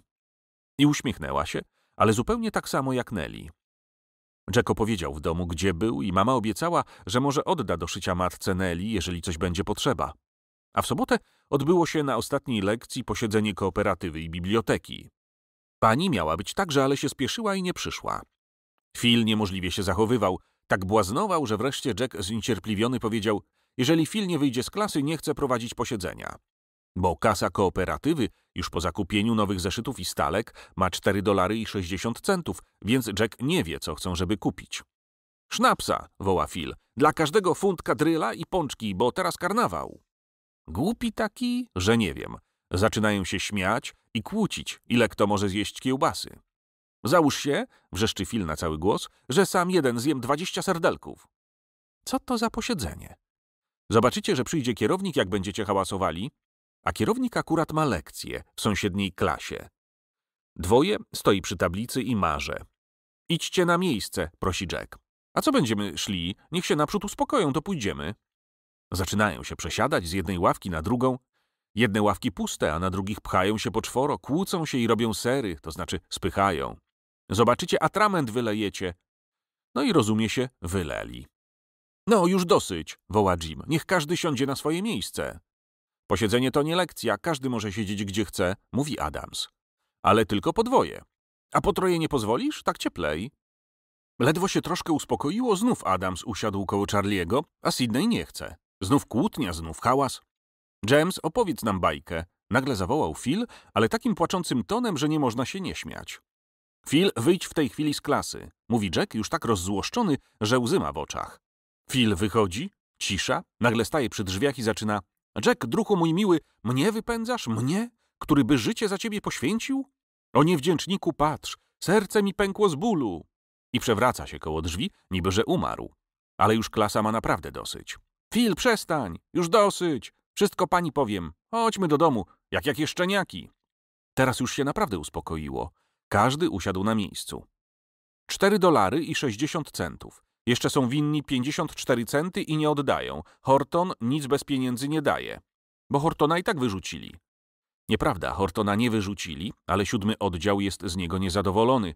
Bo jeżeli w trzecim oddziale Jack Fulton tyle zrobił w ciągu trzech miesięcy, to przecież siódmy oddział przez rok mógł więcej zrobić. Nasza kooperatywa śpi, powiedział jeden na posiedzeniu siódmego oddziału. Wspomnienie o siódmym oddziale jeszcze bardziej uspokoiło wszystkich. Phil krzyknął, niech żyje trzeci oddział! Ale to nie przeszkodziło, przeciwnie. Zaczęli radzić, czy kooperatywa ma dawać bez pieniędzy, czy nie. A co robić, jak kto akurat nie ma? A w sklepie musi mieć. A więc kooperatywa będzie wydawała, ale trzeba na drugi dzień przynieść. A kto się spóźni albo nie odda, ten już nic nigdy na kredyt nie dostanie. No dobrze, a teraz co kupić? Pani prosiła, żeby nie kupować bez jej wiedzy. Na podarunki gwiazdkowe pani się zgodziła, bo już było za późno, kiedy Jack kupił, ale w kooperatywie szkolnej powinno być tylko, co potrzebne do szkoły. Co pani szkodzi? Odzywa się Harry. A jak my chcemy, to przecież nasze pieniądze. A jak pani nie pozwoli w szafie trzymać, co wtedy zrobimy? Pyta się Jack. Jack sam nie jest zadowolony, że nie wolno, ale nic nie mówi. Niech wszyscy poproszą, to pani zobaczy, że wszyscy. Bo ja bym kupił futbal, a ja łyżwy. Wszystko chcą tylko dla siebie, powiedziała jedna z dziewczynek. A wam może wstążki kupić. No więc co by się stało takiego? Jak mamy długie włosy, to musimy mieć wstążki. Widziałem na wystawie książkę Jak zrobić domowy telefon, mówi James. A ja o windzie. W naszej czytelni mało jest powieści historycznych, mówi Harry. Tak, tak, dodał James. Podobno śliczna jest tłumaczona z polskiego powieść historyczna Ogniem i Mieczem. I galernik tłumaczona z francuskiego. Więc postanowiono prosić, żeby pani pozwoliła kupić dwie pary łyżew, futbal dla chłopców, dużą piłkę ręczną dla dziewczynek i żeby każdy napisał, jakie chce najbardziej książki, żeby były w bibliotece. Ponieważ do dzwonka zostało 20 minut, James opowiedział śliczną bajkę, a właściwie nie bajkę, tylko książkę, którą czytał, o człowieku, którego wychowała w lasach małpa. James nie zdążył skończyć, więc na przyszły tydzień po posiedzeniu już zupełnie dokończy.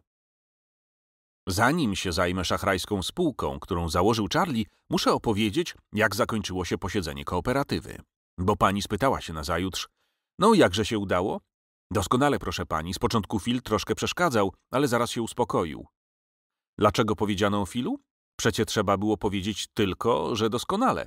Wtedy pani chętnie pozwoli na łyżwy, a śnieg akurat spadł w nocy, ale akurat taki jak potrzeba, żeby lód był doskonały.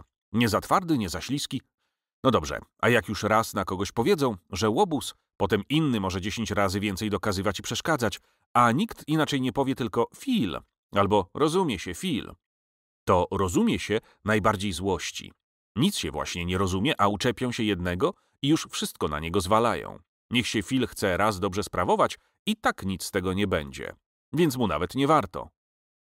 Dopiero później Jack sobie przypomniał, że pierwszy najgłośniej zaczynał się śmiać z żartów Phila nikt inny, tylko Charlie, jakby mu specjalnie zależało, żeby posiedzenie się nie udało. A przecież Charlie wcale znów się tak często nie śmieje. Właśnie Adams najwięcej się kręcił i coraz to siadał na innym miejscu i dogadywał, a Betty znów między dziewczynkami buntowała na Jacka. Niechby w oczy powiedzieli, że kooperatywa im się nie podoba, czy że im się Jack nie podoba, niechby głośno powiedzieli, ale nie. Próbowali to tu, to tam, ale im się nic wyszpiegować nie udało. Potem dopiero dowiedział się Jack, że poszli do hurtownika Dale'a, bo też chcieli kupić. Ale ich za drzwi wyrzucił. Byli u Mr. Tafta, myśleli, że tam coś usłyszą, ale nic. Betty trudno winić. Kiedy się już wszystko wydało, sama nawet opowiedziała, płakała i naprawdę żal jej było. Dziewczynki już dawno ostrzegały, żeby się zanadto nie przyjaźniła z chłopcami. Co innego, jak który porządniejszy, spokojny, ale ona właśnie lubiła łobuzów. Bo Adams nawet gorszy od wyraźnego łobuza, bo cicha woda.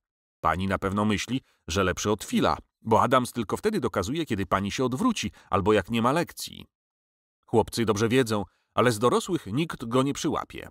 Umie tak jakoś się rozejrzeć, czy nikogo nie ma, a co najważniejsze, umie się od razu uspokoić. Nawet woźny nie zna Adamsa, bo się wtedy zdziwił, kiedy powiedziano, że może Adams wytłukł szybę. Mówili, że może Adams, ale to był nie może, tylko na pewno Adams. I cała klasa musiała płacić. Co, ja? Jaką szybę? Kto panu powiedział, że ja? Sanders może zaświadczyć, akurat z nim stałem i rozmawiałem. Jeszcze się wtedy przyjaźnili z Sandersem, ale do współki go nie wzięli, bo biedny. Ale przez Sandersa wymanili od Penela 80 centów. Nigdy, ale to nigdy nawet na myśl nie przyszło Jackowi, że Charlie jest taki. Już teraz Jack woli nawet Doris niż jego. Bo Doris właściwie co? Trochę plociuch i trochę lizus. Jak tamta pani pozwalała się jej rozporządzać, no to naprawdę trudno z nią było wytrzymać, ale teraz? Żeby chociaż taką beksą nie była, ale Charlie? Zupełnie co innego. Jednym słowem, pani pozwoliła. Więc Jack chodził po sklepach i pytał się o łyżwy i futbal. Chodził po sklepach i o to samo pytał się uproszony Harry. Chodził Lindley, chodził Fisk i Tower i Gaston i Ward. Chodzili pojedynczo i podwoje. Jeden się lepiej znał na skórze, drugi na pompce, trzeci na pęcherzu, czwarty na łyżwach. Okoliczni kupcy pierwszego dnia chętnie rozmawiali z chłopcami, drugiego dnia zaczęli się dziwić, że tylu ogląda, a żaden nie kupuje, a trzeciego dnia wszystkich przegonili. A macie pieniądze?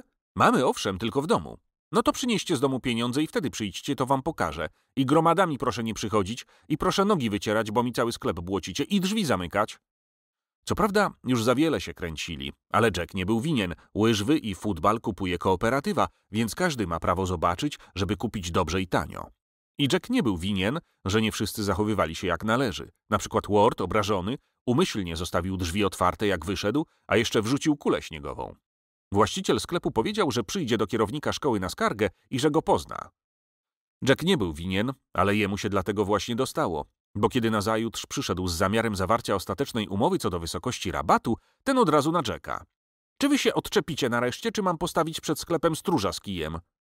Wybaczy pan, zaczął Jack. Nic nie wybaczę, ruszaj mi w tej chwili. Drzwi zostawiają otwarte, nóg nie wycierają. Wytarłem drzwi i nogi zamknąłem. Mówi Jack przez pomyłkę, bo jest rozgniewany. No to twoi koledzy, łobuzy, z kooperatywy. Kooperatywy się zachciało tym...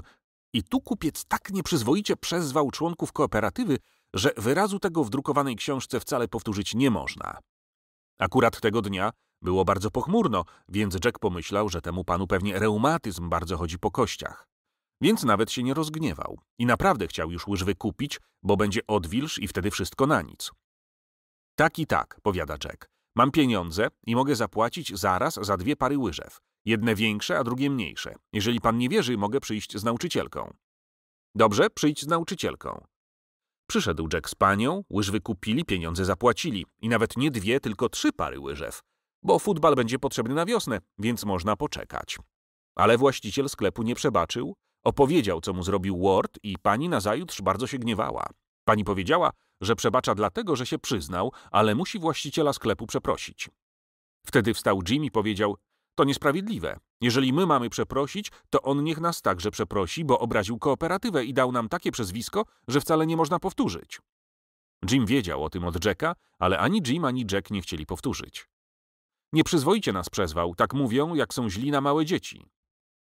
Pani się pewnie domyśliła, a mimo to kazała list z przeproszeniem napisać. Już tak jest, że dorosłym zawsze się udaje, nawet kiedy nie mają słuszności. Bądź co bądź, sprawa łyżew skończyła się dobrze. Na podwórzu była sztuczna ślizgawka i chłopcy mogli się ślizgać, nawet tacy, którzy własnych łyżew nie mają. Z początku Jack nie mógł sobie poradzić, bo wszyscy chcieli być pierwsi. Nawet mówiono, żeby kupić zegarek, ale pokłócili się, bo każdy chciał nosić. Zegarek był potrzebny, żeby ślizgać się tylko 10 minut. Dla tych, którzy umieją, to dosyć, ale kto się dopiero uczył, ledwo założył łyżwy, już musiał zdejmować. A już dwa razy pani powiedziała, że będzie musiała zabronić, bo się spóźniają po dzwonku. Jack zaczął wydawać bilety z kolejnymi numerami, a kto nie zapłacił centa, nie miał prawa drugi raz pożyczać. Trzy pary łyżew było za mało, ale tylko z początku. I tak jest zawsze na świecie, że jeżeli pokaże się coś nowego, naprzód tłoczą się wszyscy, a potem dopiero zostają ci, którzy chcą naprawdę. Z początku dobijali się o łyżwy prawie wszyscy chłopcy i więcej niż połowa dziewczynek. A potem już nie. A jeszcze potem zostało tylko nie więcej niż dziesięcioro. Gdyby Jack miał więcej doświadczenia, zauważyłby, że liczba obrażonych się zwiększa. Jedni mówili, że łyżwy niepotrzebne, że można było kupić coś lepszego, z czego mogła korzystać cała klasa. A Jack tylko myśli o swoich kolegach. Każdy niby mówi o całej klasie, a właściwie chce dla siebie i jeśli nie całkiem darmo, to przynajmniej tanio. I nic dziwnego. W szkole powszechnej dzieci mają mało pieniędzy, a chcą mieć wiele różnych rzeczy, które widzą na targu i na wystawach sklepów. Ale czy Jack temu winien? Że mu się raz udało dogodzić, nie znaczy, że tak będzie zawsze. A wśród tych, którzy otrzymali tyle zabawek i ozdób choinkowych, byli zazdrośni, którym się zdawało, że inny dostał więcej i lepiej. Nie o sobie i nie o kilku przyjaciołach, myśli Jack, a dba istotnie o wszystkich. Więc Morris w zamian za otrzymane farby malował laurki imieninowe. Więc wprowadził Jack sprzedaż pocztówek, arkuszy z żołnierzami do wycinania, więc kiedy na robótkach pani pokazała roboty z drutu, kupił drut i wielu chłopców zrobiło sobie klatki. Żeby nie wyrywali kartek z kajetów, zaczął Jack sprzedawać arkusze czystego papieru, bo przecie potrzebny każdemu człowiekowi papier. Można było dostać w kooperatywie sznurek i jeśli komuś podarło się sznurowadło, nie chodził w rozsznurowanych trzewikach. Zresztą trudno żyć bez kawałka sznurka i kilku bodaj gwoździków. Więc w kooperatywie były i gwoździe. Spróbował Jack zachęcić kolegów do warcab, bo w książce był przepis, jak zrobić samemu warcaby. I kupił tuzin arkuszy na warcabnicę, które można nalepić na tekturę, a pionki wyciąć z korków. I o korki Jack się postarał, ale wszystko to leży w szafie. Były i próby nieudane. Niezupełnie udały się temperówki, ale trudno nie były ostre, bo zanadto tanie, więc w lichym gatunku. Kałamarze do zamykania na zasłówkę też się nie udały, bo atrament się przesączał, zresztą nie bardzo były potrzebne. A już najgorzej się stało z wiecznymi piórami, na które się Jack połakomił na targu. Pióra nie tylko nie wieczne, ale wcale nie pisały. Jack strasznie się martwił, ale Mr. Taft go pocieszał. Przyjacielu Fulton, wszystko co się robi, raz się lepiej udaje, raz gorzej. Na to nie ma rady. Kto nic nie robi, ten nie popełnia błędów, ale się też nie uczy. Oszukali cię i teraz już wiesz, że jest handel uczciwy, solidny i handel szachrajski, spekulacyjny, że jest towar dobry i tandeta. Dobre wieczne pióro jest drogie, a amatorów na wieczne pióra wielu. Pióro to nie zabawka. A czy nie ma w sklepach zegarków do zabawy, które idą tylko wtedy, kiedy się kręci? Ani śmiać się z ciebie, ani wymawiać nie mają prawa. Bądź ostrożniejszy i twoi koledzy niech się nauczą ostrożności. Ba, łatwo Mr. Taftowi mówić. Nie udało się Jacka ani klasy przekonać, a w dodatku zrobiło się ciepło i skończyła się ślizgawka. Właściwie Charlie i Adams zaczęli od samych świąt, ale po troszku. Naprzód od Marek. Marki zbierali chłopcy zawsze, ale tylko niektórzy. I zbierali takie sobie, tanie, mniej ważne. Kupowali mało, przeważnie zamieniali. Jedną na jedną, dwie zwyczajne na jedną rzadszą. Prosili tych, którzy nie zbierają, żeby im przynosić. I był spokój. Dopiero Charlie zaczął na dobre. Sam dostaje darmo, a innym sprzedaje. Zachęcał w ten sposób, że w notesach własnej roboty wkleja różne marki. Na pierwszej stronicy pisze Stany Zjednoczone, na drugiej Kanada, potem dużymi literami Europa i po kolei. Rosja, Francja, Niemcy, Anglia i tak dalej. Potem Azja i tu zwykle wkleja jedną markę japońską, niby że w albumie są marki z całego świata. Bo ten notes nazywa album, a razem z markami dopiero kolekcja. I kto kupił za dwa centy kolekcję, zaczyna już zbierać. Potem Charlie najlepsze marki z kolekcji wymani, niby że zamienia na więcej, a potem drugi i trzeci raz sprzedaje te same. A chłopcy się nie spostrzegli. Charlie parę razy próbował się zbliżyć do Jacka, niby że przyjaciel. Powiedz, Jack, co ty masz z tej kooperatywy? Pracujesz tylko dla nich za darmo. Albo, gdybyś mnie wziął do kooperatywy, to można by dużo różnych rzeczy zrobić. Ale widzi, że nic, więc dał spokój. I razem z Adamsem swoim śmieciarskim sposobem zaczął gromadzić bez wyboru, co się da i gdzie się da.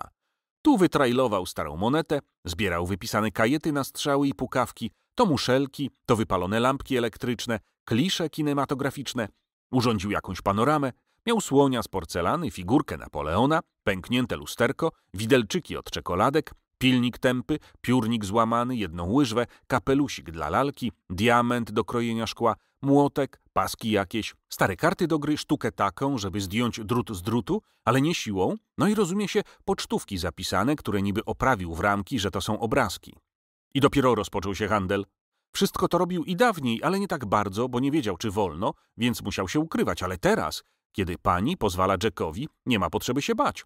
Rozłożył wszystko na ławce, powypisywał ceny i dopiero patrzcie, zamiast płacić Jackowi za pożyczanie łyżew, a jeszcze prosić jako łaskę, możecie kupić na własność jedną łyżwę, co jest właściwie to samo. Co tu wiele gadać, była to szacherka. Charlie dawał na kredyt, zamieniał z dopłatą albo sam dopłacał. Betty to samo robiła z dziewczynkami, a Adams obojgu pomagał. To samo robił Charlie u siebie na podwórku i tak trwało trzy tygodnie. Dla przykładu opowiem tylko historię diamentu do krajania szkła. Charlie powiedział, że diament jest to samo co brylant i że kto ma diament może być szklarzem, a kosztuje tylko pięć centów i sprzedał go Smithowi za dwa. Smith porysował szybę w klasie, pewnie i w domu, i zamienił diament z Pitem na sześć marek.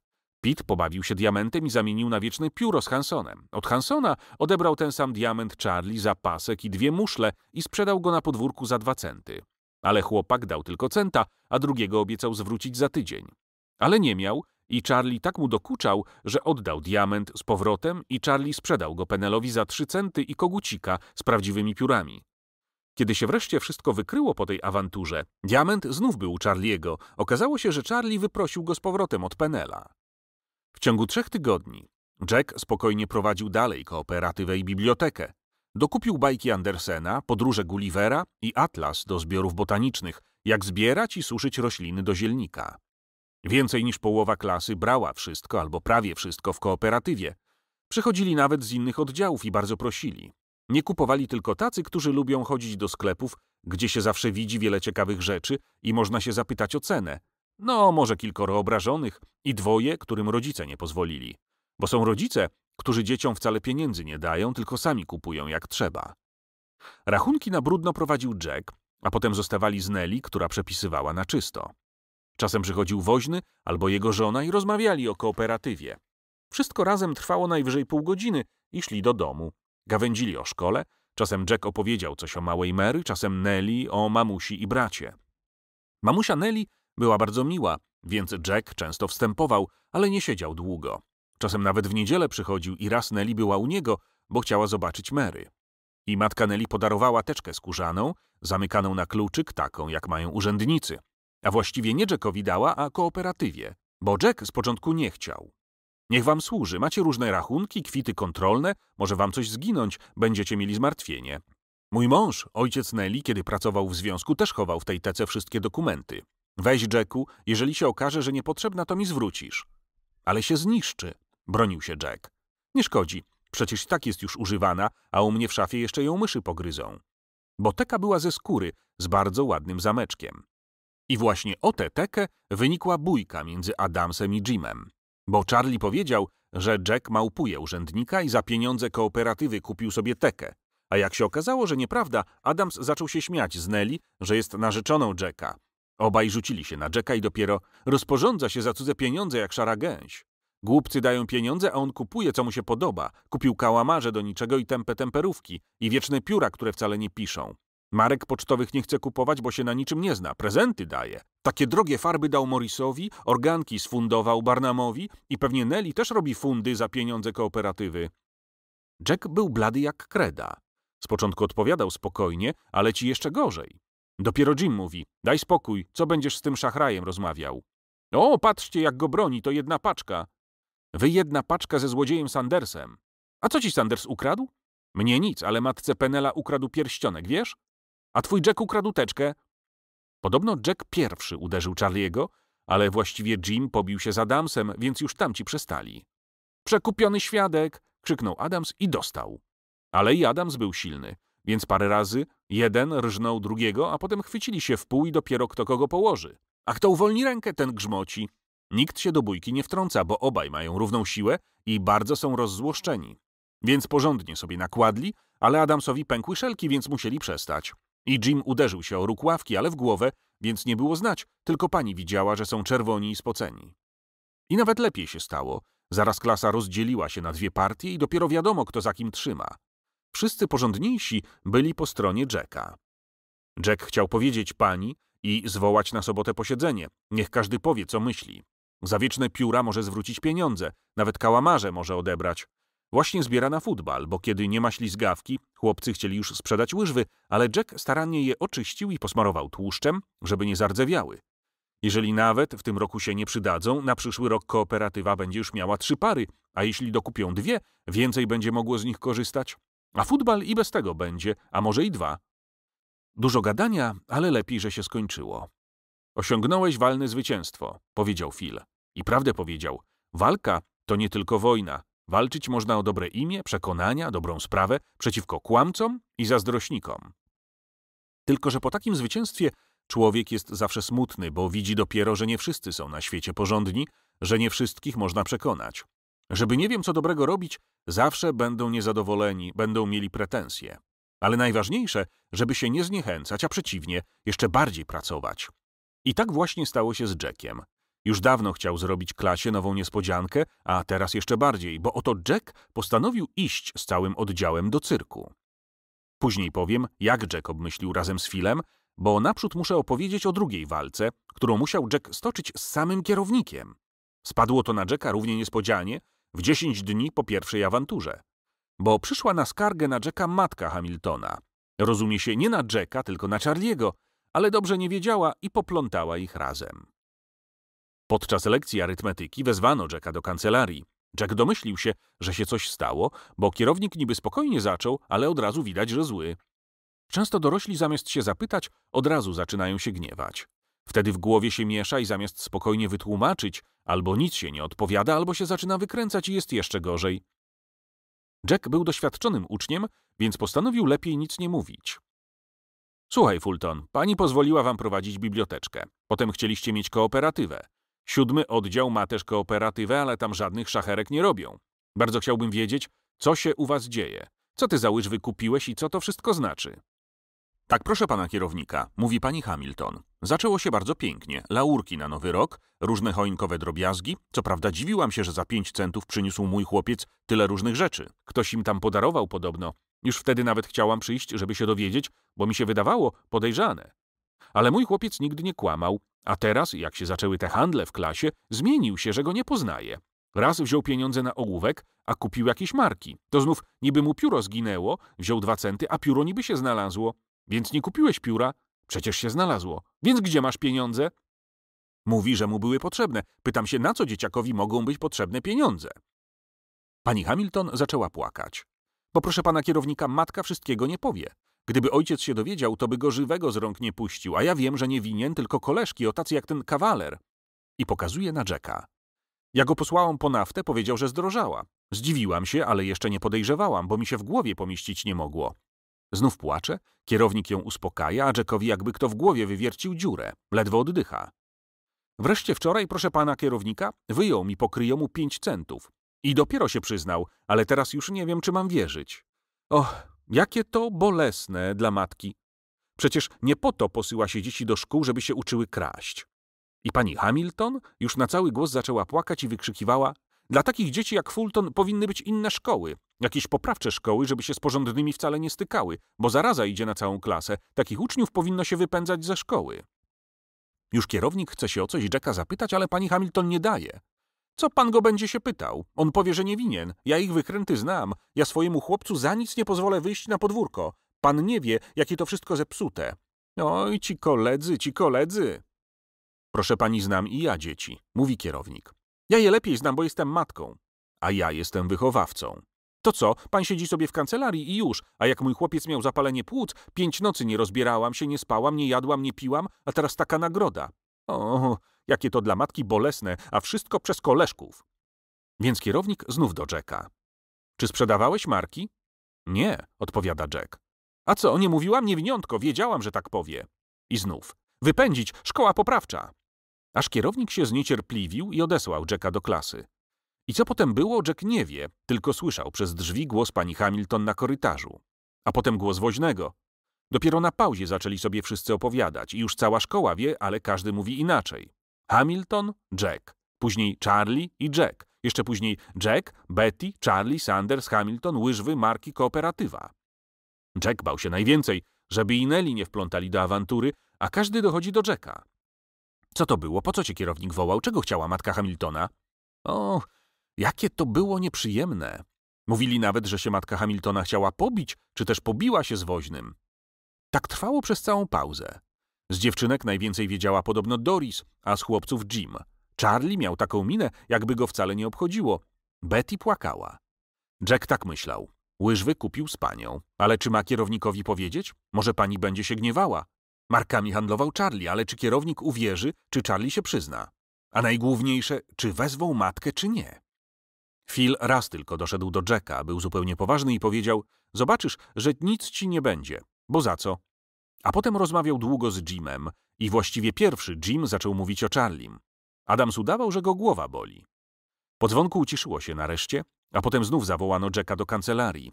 Weszła pani podczas lekcji rysunków i powiedziała: Jack, weź swoje rachunki z kooperatywy i chodź. Teraz Jack przekonał się, jak wygodna jest teka. Tylko otworzył szafę, wyjął tekę z papierami i już miał wszystko bez szukania. A w kancelarii pierwszy zeznawał woźny. Proszę pana kierownika, Jack jest bardzo porządny chłopiec. Tam jest jeden Charlie Rock, ten trochę lubi kręcić. Kierownik powiedział, żeby woźny zawołał Charliego, a sam zaczął przeglądać rachunki Jacka. Okazało się, że Hamilton tylko dwa razy brał łyżwy. Raz zapłacił, a drugi raz nie zapłacił i więcej już nie brał. Hamilton przez cały czas kupił tylko jeden zeszyt, trzy stalówki, no i laurkę. Co kupił przed świętami, dokładnie nie było wiadomo, bo wtedy Clarissa obraziła się i przestała pisać. Wszedł Charlie. Marki? A no tak, zbiera marki, zamienia się, ale we wszystkich szkołach wszyscy robią to samo. Zresztą może nie przynosić więcej albumu, bo i tak przynosi tylko jak go bardzo proszą. Czy Hamiltonowi coś sprzedawał, nie pamięta, ale zdaje się, że nie. Jak można tak strasznie kłamać? I patrzy kierownikowi prosto w oczy i nawet się nie zaczerwieni.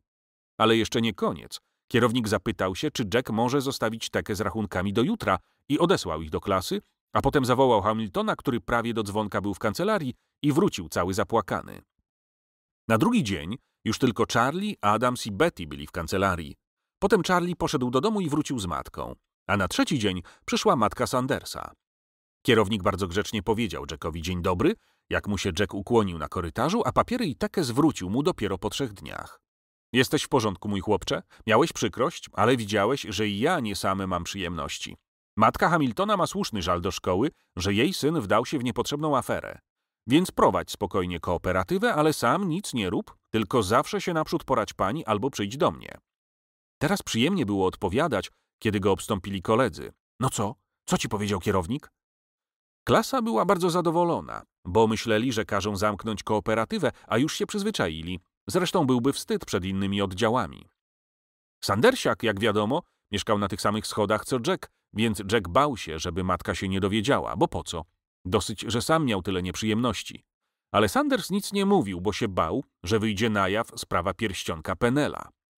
I niby wszystko zostało po dawnemu, że Jack i Nelly prowadzą bibliotekę i kooperatywę, ale teraz jeszcze się więcej pilnuje, żeby rachunki były w porządku. I klasa tak się przyzwyczaiła, że myślą, że już inaczej wcale być nie może. A nie. Jack znów chce zrobić klasie niespodziankę, a nawet dwie niespodzianki. Pierwsza, żeby się cały oddział razem fotografował, a druga, żeby cały oddział poszedł do cyrku.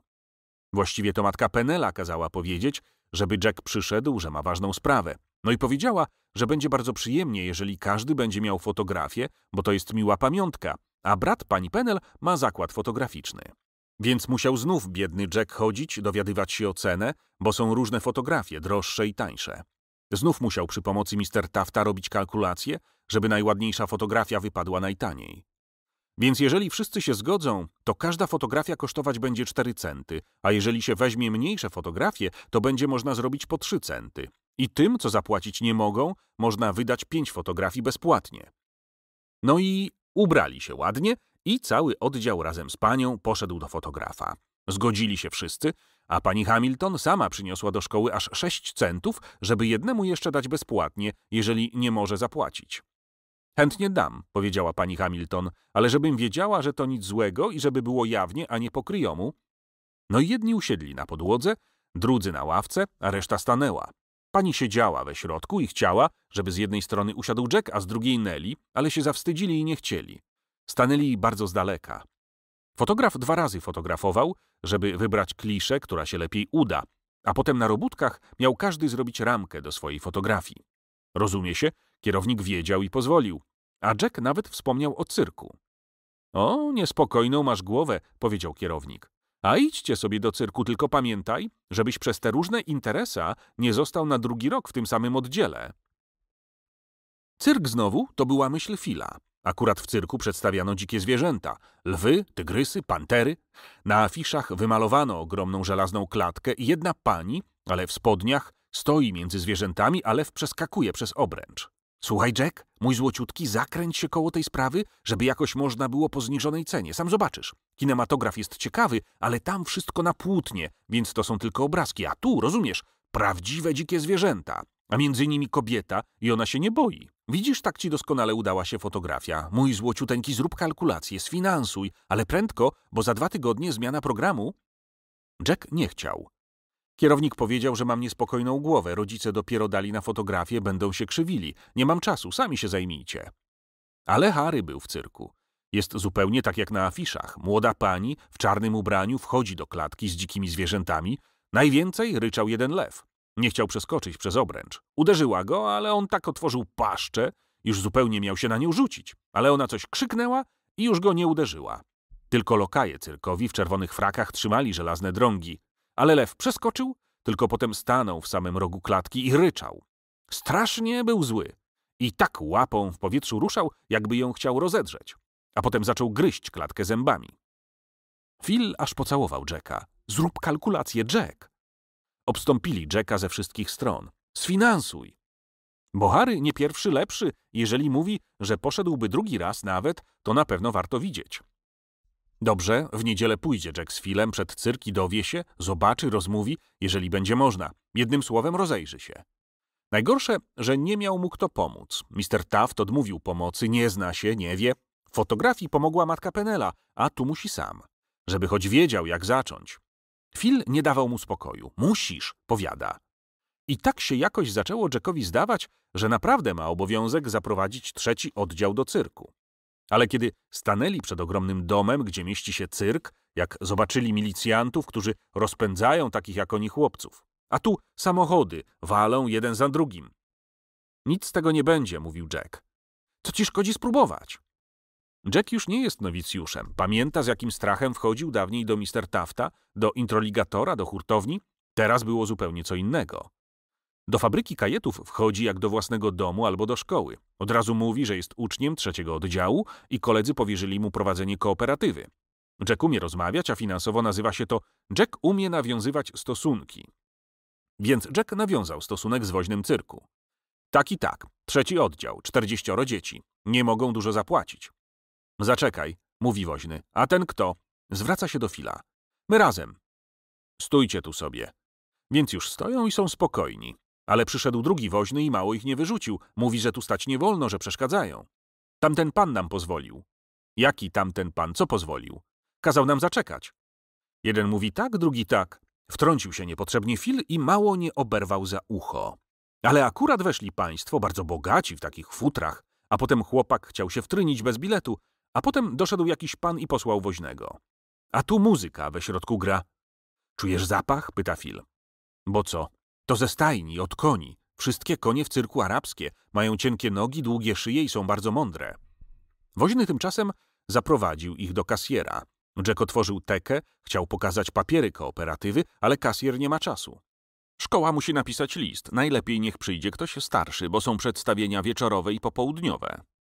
A ile kosztuje bilet? Najtańszy 10 centów. Tyle akurat zapłacił Harry. No ale rozmawialiśmy z kasjerem. I trzeba napisać list. Wiesz, mówi Phil, wyślemy sami. Morris wymaluje klatkę ze zwierzętami, Nelly napisze, a wszyscy podpiszą. Musimy zwierzęta zobaczyć. Czy wiesz, gdzie Morris mieszka? Poszli do Morisa, kupili arkusz czystego papieru. Morris raz jeszcze obejrzał na ogłoszeniowym słupie afisz cyrkowy i powiedział, że nie wie, czy potrafi. Ale na jutro obiecał przynieść. Potem poszli do Harego, żeby napisał lista. Harry napisał. Szanowny panie, byłem w cyrku i bardzo mi się podobały dzikie zwierzęta. I opowiedziałem w szkole. I wszyscy chcemy zobaczyć dzikie zwierzęta. Długo myśleli, co dalej, ale Jack wymyślił. Więc bardzo prosimy, bo mamy kooperatywę, żebyśmy mogli tanio być w cyrku, bo mamy mało pieniędzy, a najtańszy bilet kosztuje 10 centów. Mamy na futbal odłożony 1 dolar 35 centów i możemy dać jedną parę łyżew, to się może w cyrku przydadzą. Trochę Harry ma zmienić i jutro przyniesie do szkoły. Bardzo cicho było w poniedziałek na lekcjach. Harry wymalował śliczną laurkę, na pauzie się podpisali, a o godzinie 12 te petycje, bo taki list zbiorowy nazywa się u dorosłych petycja, więc ten list Jack dał pani do przeczytania. Pani poszła z listem do kierownika, który obiecał zatelefonować do dyrektora cyrku, jeżeli będzie miał czas. Co zrobić, żeby kierownik miał czas? Dlaczego dorośli są zawsze zajęci i właśnie na najważniejsze sprawy nie mają czasu? I mogli się spóźnić, bo dopiero po tygodniu kierownik zwrócił list klasy i Jack z Harrym poszli do cyrku, ale im kazano przyjść na zajutrz, bo kogoś nie zastali. Potem im powiedzieli, żeby sam kierownik napisał i znów przeszedł tydzień. Tymczasem afisze głosiły ostatni tydzień, jeszcze tylko dwa dni. Wreszcie, kiedy już zupełnie stracili nadzieję, Phil wpadł jak bomba do klasy z wiadomością, że z powodu nadzwyczajnego zainteresowania na żądanie publiczności dzikie zwierzęta zostaną jeszcze przez tydzień. Więc kto nie zdążył, niech się spieszy, bo już naprawdę ostatni tydzień. I zdążyli. Rodzice trochę się krzywili, ale Phil obmyślił odezwę do rodziców pod tytułem Przecież to karnawał, wszyscy się bawią, a dzieci to przyszłość narodu. I w tę nieodwołalnie ostatnią niedzielę trzeci oddział poszedł do cyrku. Program był taki. Gimnastycy akrobaci, oryginalna tresura czystej krwi ogiera arabskiego Arik, bim-bom, sześć koni oryginalnie tresowanych, Billy Jenkins, Cowboy, Indianin i Miss Bohara, sztuki rzucania lasso, tańce indyjskie, celne strzały. I jeszcze, i jeszcze, aż na końcu dzikie zwierzęta. Gdyby nic nawet nie było, to sam cyrk trzeba koniecznie zobaczyć. Arena wysypana piaskiem, a potem wokoło coraz wyżej i niżej krzesła dla publiczności. Na ścianach różne obrazy o dzikich ludach. I tyle światła, i mały kucyk z napisem 15 minut przerwy. I śmieszny tresowany osiołek, i bim-bom. Jedno śmieszne, drugie śliczne, trzecie straszne. Jak oni mogą to wszystko, że się nie pozabijają? Nawet dziewczynki były zachwycone, nawet ci, którzy już byli raz i dwa razy w cyrku. Nawet Jackowi cyrk się bardzo podobał, tylko nie mógł się zgodzić, że pogromczyni zwierząt jest najpiękniejszą i najsławniejszą kobietą na całym świecie i nawet od początku świata. Przecież to są tresowane zwierzęta, mówi Jack. A ty może byś wszedł do klatki? Zaperzył się Phil. Są tacy, którzy mówią, żeby weszli. Clarissa powiada, że żaden chłopak by nie wszedł. Nic dziwnego, że dziewczynki są trochę dumne. Są tacy, którzy mówią, że tygrys jest niebezpieczniejszy od lwa, bo się rzuca od razu, a lew najprzód ryczy. No ale że głowę kładła w paszczę lwa, tego już nikt nie może zrozumieć. Jack, który myślał akurat o czymś innym, tak sobie tylko, aby coś powiedzieć, zauważył, a może to tylko naumyślnie? Co naumyślnie? Może to był sztuczny lew? Ach, ty kalkulacjo, krzyknął oburzony Phil. I zaległa nieprzyjemna cisza. Jack żałował, że się niepotrzebnie odezwał, a Phil strasznie żałował, że wymyślił na Jacka nowe przezwisko. Już teraz niech ktoś zechce Jackowi dokuczyć, na pewno przezwie go kalkulacja. Jack zaraz się usunął i niewesołe myśli zaczął snuć po głowie. Oto słońce świeci, niezadługo klasa upomni się o futbal, w kasie kooperatywy pustki. Szkoda, że nie odebrał dolara wtedy, kiedy były w kasie pieniądze. Weźmie dziś tekę z papierami do domu i obliczy, ile mu są winni. Jeżeli nic nie będzie kupował przez miesiąc, powinien zebrać chociaż na jeden futbal. Gdyby kto i kupił parę łyżew, szkoda, że kupił trzy pary. Łyżwy potrzebne są jeden albo dwa miesiące. Łyżwami bawi się tylko jeden, a w futbal gra od razu dużo. Myśli tak Jack. Myśli, a tu go nagle trąca w łokieć Hanson. Słuchaj, Phil się pyta, czy się na niego gniewasz. Ja na Phila za co? No, że cię przezwał. Jak? Powiedział na ciebie kalkulacja. Nie, nie gniewam się, szczerze powiedział Jack. Ale Phil doszedł do Jacka dopiero nazajutrz po drugiej lekcji, bo wstydził się, że wyrządził przykrość dobremu koledze. Ano, przyszła wiosna. I Jack postawił na swoim. Oddział trzeci ma dwa własne futbale, bo Jack napisał memoriał. Memoriał jest zupełnie czymś innym niż petycja. Petycja to list, w którym się o coś prosi. Nazwa mądra, ale znaczy to samo co prośba. A memoriał to żądanie, ale tak napisane, że nie można odmówić, że trzeba się zgodzić. Może jest inaczej, ale tak właśnie zrozumiał Jack i napisał. I oddał kierownikowi do odczytania na miesięcznym posiedzeniu rodziców. Chociaż Jack nie lubi pisać, ale widział, że inaczej nic nie poradzi. Jack pisał cały tydzień, a potem Nelly bardzo ładnie przepisała. Jack długie tygodnie rozmyślał nad tą sprawą, a sprawa jest taka, że dzieciom potrzebne są pieniądze. Dzieciom pieniądze są potrzebne zupełnie tak samo jak dorosłym, tylko na inne rzeczy. Dzieci nie mają niby własnych pieniędzy, ale rodzice dają na zeszyty, pióra, ołówki, gumy. Czasem rodzice dają chętnie, czasem się gniewają, ale na nieszkolne rzeczy to zawsze czekać trzeba, aż się trafi dobra sposobność. Dorośli mają wyraz, nazywają to dobra koniunktura. Więc ojciec Toda daje chętnie, kiedy się upije, a ojciec Gila odwrotnie, jak zacznie pić. Biedny Gil zawsze odesłany jest przez panią do domu, bo nie ma kajetu albo stalki. W zeszłym roku cały miesiąc nie miał książek, bo akurat ojciec dużo pił, kiedy się zaczął rok szkolny. Kto wie, gdyby kooperatywa mogła wtedy kupić piłkę, młotek, cęgi i deski, może by Adams nie wdał się z Charlim, tylko robił sanki dla członków kooperatywy. Adams zrobił na podwórku sanki i woził dzieciaków za darmo. Nawet zrobił żelazne okucie z blachy. Adams tak wtedy mówił. Morrisowi daliście farby i patrzcie, ile wam namalował. Macie z niego pożytek, a mnie nie chcecie.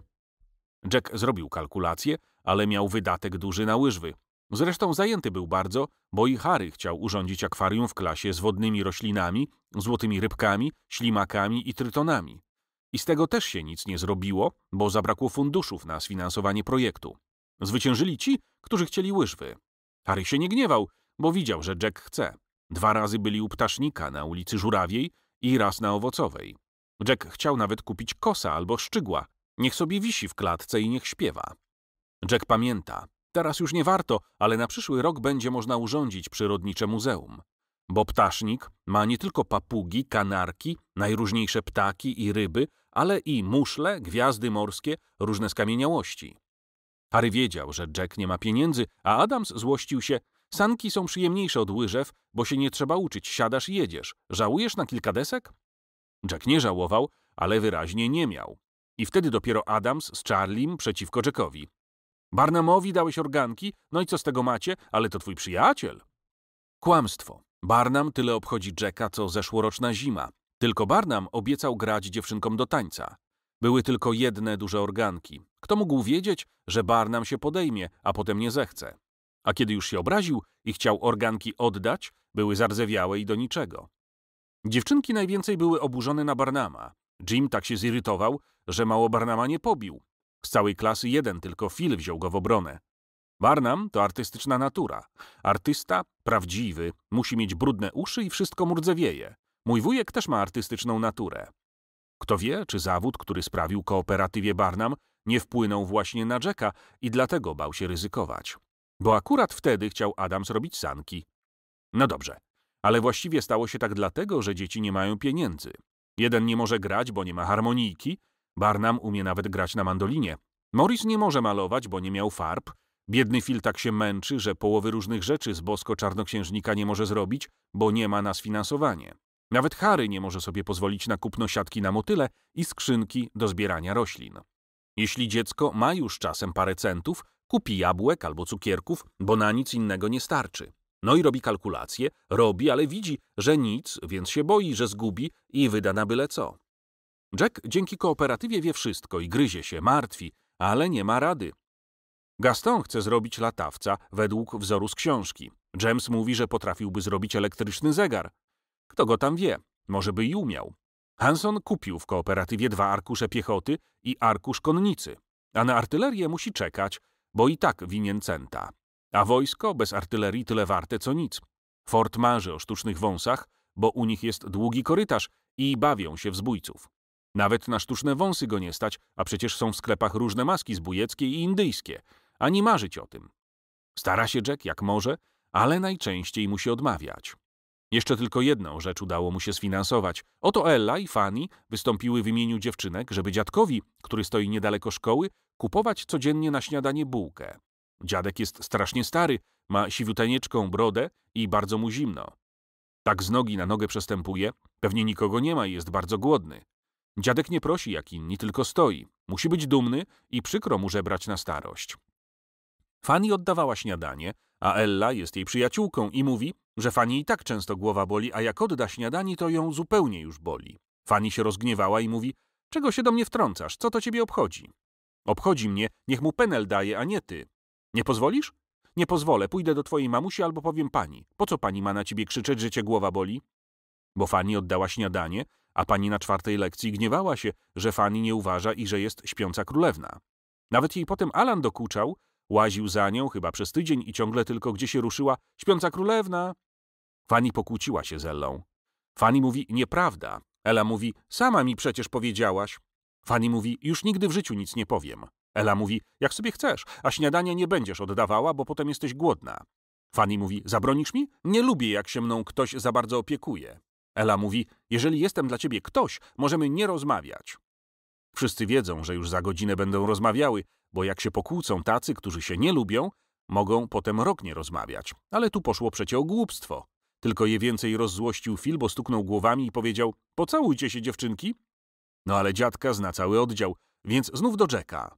Dziadkowi kupować chleb. Nie, bułkę, bo nie ma zębów. Jack się zgadza. Przecież nie można pozwolić, żeby Fanny co dzień bolała głowa. Bo ona dobra dziewczynka, nie skarży się, trochę się lubi rozporządzać, ale dobrze się uczy i wytłumaczy, jak ją poprosić, czasem nawet lepiej niż Harry. I obciążył Jack budżet kooperatywy o stały wydatek. Ale Mr. Taft powiedział, że nie szkodzi, bo kooperatywa powinna przeznaczyć pewne sumy na cele społeczne. Wszystko to wiedział Jack i wiele innych jeszcze rzeczy. Pisał Jack cały tydzień, ciężko szło, przekreślał, mazał, znów przepisywał. To mu się początek nie podoba, to zakończenie. Nagle coś sobie przypomina i dodaje. Głównie, że wiosna się zbliża, a nie mają futbalu. Tak i tak, futbal kosztuje tyle i tyle. Raz na tydzień odbywać się będzie mecz za miastem, więc potrzebne pieniądze na tramwaje. Kooperatywa oszczędziła rodzicom wiele pieniędzy nie tylko dlatego, że jest taniej, ale że każdy ma okładkę i bibułę, że nikt teraz nie wydziera kartek z zeszytów, bo kupują arkusze papieru. Biblioteka szkolna wydała 246 razy książki. Gdyby dzieci nie czytały książek, pewnie dokazywałyby w mieszkaniu i mogły coś stłuc albo by biegały po podwórku i darłyby zelówki. Dzięki kooperatywie choinki były ładnie i tanio przybrane. Jack ma zamiar zakupić większą ilość wielkanocnych stoliczków. Adams obiecał wyciąć laubzegą, a Jack był w cukierni, ale powiedzieli, że jeszcze za wcześnie. Dzieci napisały laurki noworoczne, zrobiły z drutu klatki. Same na robótkach oprawiły fotografie, którymi ozdobiły mieszkania. Dorosłym potrzebne są pieniądze, ale dzieciom tak samo. Przecież nie można tylko pracować, jeść, spać i nic więcej. W oknach mieszkań muszą być doniczki. Jack się dowiadywał o nasiona, pomoże mu w tym wujaszek Dicka. Gdyby można było zaraz kupić doniczki, wypadłoby taniej. Kooperatywa ugina się pod ciężarem wydatków. Jack chciał zamówić pieczątkę gumową z napisem Kooperatywa. Taką pieczątkę ma siódmy oddział, ale Jack postanowił zredukować wydatki administracyjne ze względu na zły stan finansów i pieczątki nie kupił.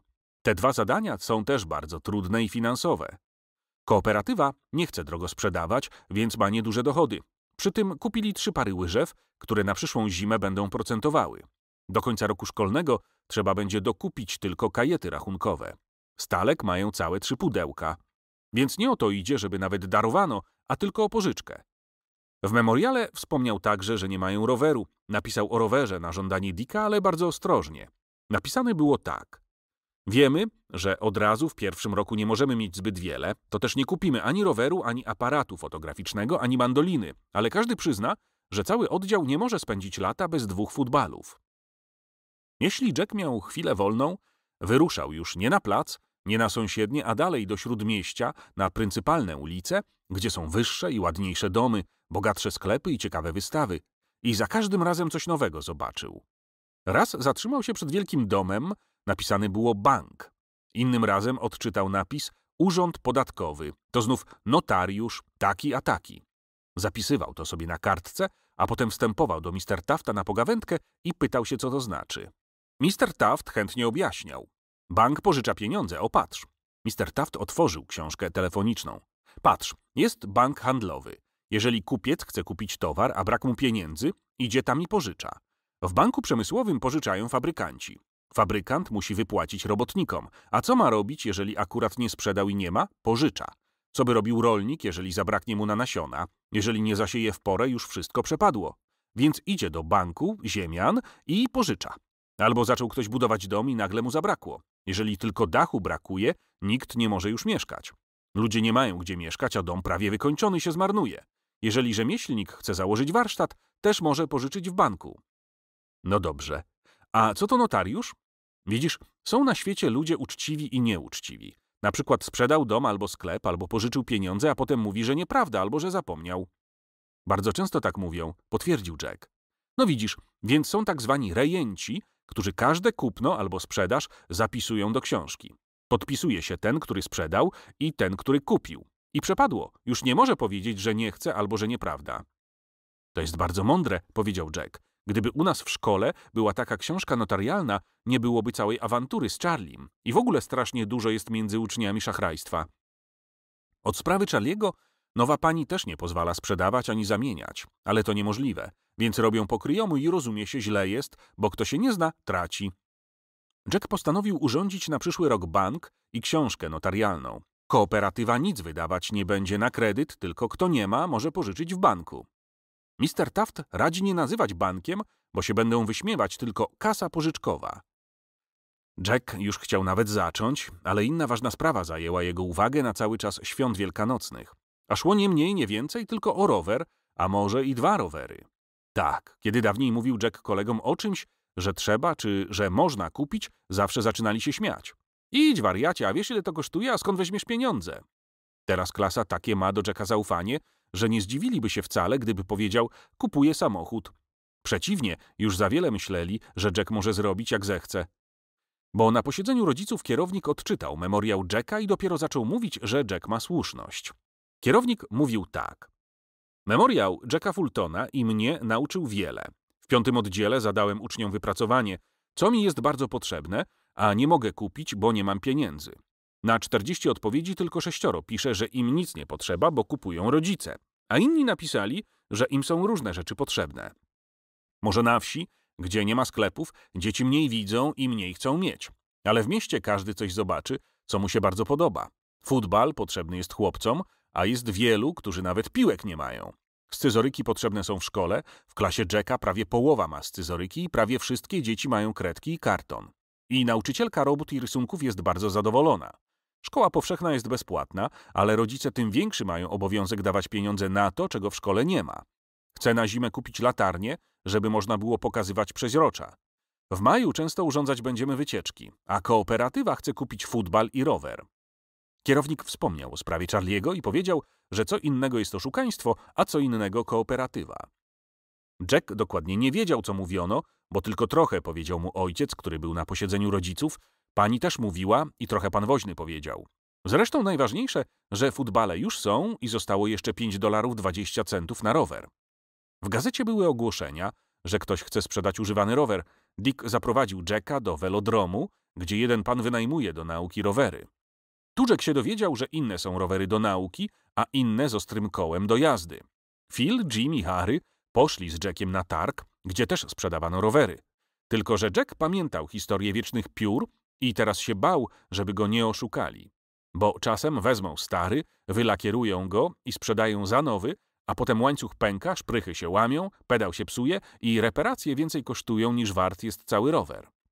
Szczególnie do nauki rower musi być mocny. Jack się boi, strasznie się boi, już był w dwóch sklepach, raz ze starszym bratem Dicka, raz z wujem Stanleya. Tak, koniecznie potrzebny ktoś starszy i może nie tyle starszy, ile ktoś, co się zna. Na przykład, jeżeli kupuje dom, bierze architekta, żeby obejrzał i powiedział, czy warto kupić i czy nie za drogi. Takiego doradcę dorośli nazywają rzeczoznawcą, to znaczy, że on się zna. Mr. Taft mówi, że i dorośli sami nie kupują, jeżeli coś jest ważne, a nie bardzo się znają. Bo nie ma dorosłego, żeby się znał na wszystkim i żeby wszystko wiedział. No i poszedł Jack do sklepu, gdzie można kupić rower na raty. Jack zapłaci ile ma, potem będzie spłacał. Chłopcy grają sobie w futbal, a Jack musi głowę łamać. Jeszcze go tylko drażnią, bo każdy co innego radzi, a już by chcieli jeździć. Jack chciał nawet odłożyć do przyszłego roku, bo z futbalem ma i tak dość kłopotu. Oni niszczą, a on nosi do reparacji. Dopiero Jim powiedział, że co za dużo to niezdrowo, że jeśli chcą mieć rower, niech Jackowi głowy nie zawracają futbalem. I teraz Jim, który jest najlepszym bramkarzem, wydaje futbal, odbiera i zapisuje pieniądze, daje do reparacji albo brat jego zeszywa. Jack tylko finansuje i niech robią co chcą. Jima wybrali, bo jest sprawiedliwy, sam dobrze gra, co najważniejsze, ma zegarek. Ma Jim swoje zalety, ma i wadę. Zanadto dużo gada i lubi się kłócić. Ma i zegarek Jima wadę. Zegarek idzie, kiedy Jim stoi. I zaraz staje, jak Jim zacznie chodzić. Jim mówi, że to kłamstwo, że Charlie naplotkował, bo zły, że ktoś jeszcze prócz niego ma zegar. W każdym razie dobrze, że wiedzą, kiedy zaczyna się partia i kiedy kończy, bo teraz jeden drugiego pilnuje, żeby za wszystko płacili, bo inaczej nie będzie roweru. Więc kiedy już rowery były przez rzeczoznawców dokładnie obejrzane i ocenione, Jack wziął tekę z papierami kooperatywy i poszedł do sklepu, gdzie sprzedają na raty. Rower kupuje nie ja, a kooperatywa. Mogę zapłacić 6 dolarów 80 centów, a resztę oddam, jak wpłyną pieniądze za naukę i za futbal. Nasza kooperatywa jest solidna, a nie spekulacyjna. Proszę, niech pan łaskawie przejrzy rachunki. To są kwity firm, z którymi jesteśmy w stosunkach, to są protokoły komisji rewizyjnej. Bo zapomniałem napisać, że komisja rewizyjna znów sprawdziła rachunki i znalazła wszystko w porządku. Właściciel sklepu, bardzo gruby Mr. Fay, uważnie przejrzał papiery, ani jednego papierka nie przepuścił. Kto ci prowadzi książki? zapytał się. Czy ty sam pisałeś? Nie, książki handlowe prowadzi Nelly. A dlaczego ten kwit nie ma daty? Kwit bez daty jest nieważny. A dlaczego tu przekreślone cztery centy? W książkach handlowych nic nie wolno mazać. A dlaczego tu nie wpisane trzy stalki? Dlaczego nie wpisana jedna laurka? Dlaczego nieskończony rachunek sprzedaży świątecznej? Czy masz te dwa scyzoryki, które tu figurują? Dlaczego trzy wiersze napisane innym charakterem pisma? Jack tak jakby odpowiadał w szkole albo zdawał egzamin. Tu ja zapomniałem, tu Nelly się pewnie omyliła, tu Clarissa, nie wiedziałem, że tak trzeba, jedna laurka się podarła. Ale najciekawsze, że Mr. Fay tak jakby cały czas był z Jackiem w szkole. Niby nic, przegląda same rachunki, a wszystko wie.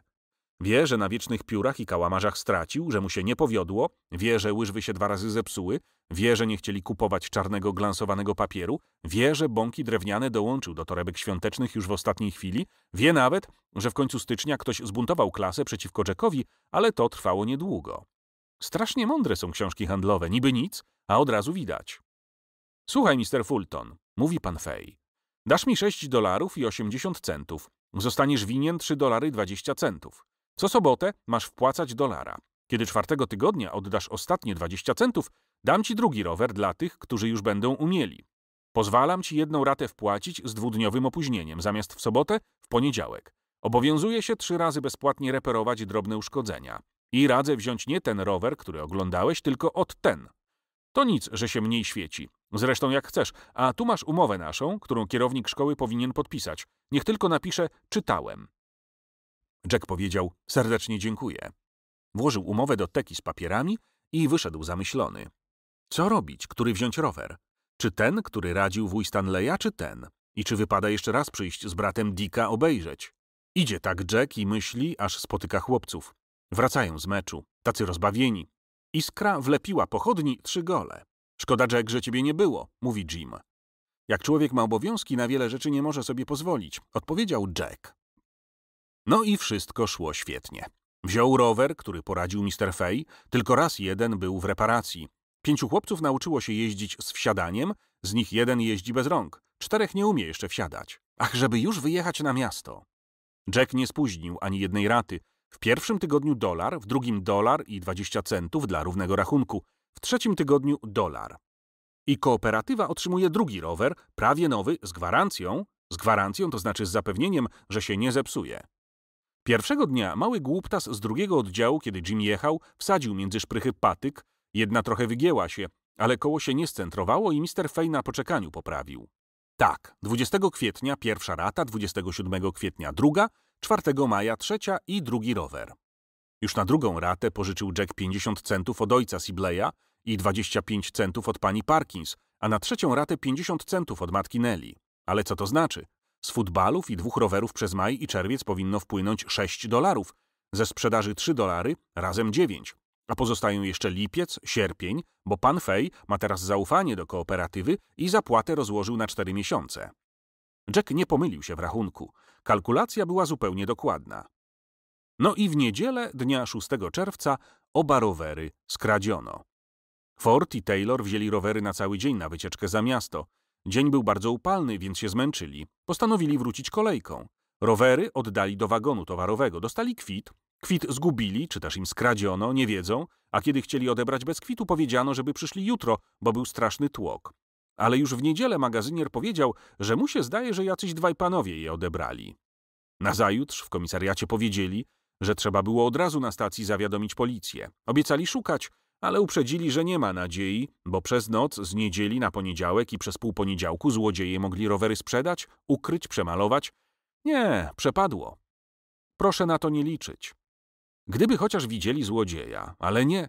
Chłopcy nie wiedzą nawet, czy zgubili kwit kolejowy, czy im skradziono. A magazynier w tłoku i pośpiechu ani co widział, ani pamięta. Był to straszny cios dla całego oddziału. Dziewczynki niektóre płakały, chociaż nie jeździły, bo to były męskie rowery. Wszyscy się pytają, co teraz będzie. Sil żąda zwrotu dwóch centów, które dał w sobotę za dzisiejszą jazdę, ale nawymyślali mu zaraz, że dokucza głupimi dwoma centami teraz, kiedy trzeba myśleć, co w ogóle robić. W poniedziałek byli na dworcu kolei i w komisariacie, we wtorek znów na kolei i dwa razy w komisariacie, a w środę im powiedziano, żeby więcej nie przychodzili, że zawiadomią, jak będzie potrzeba. I rzeczywiście, w piątek przyszedł do szkoły milicjant, pytał się Forda, Taylora i Jacka, coś zapisał na arkuszu.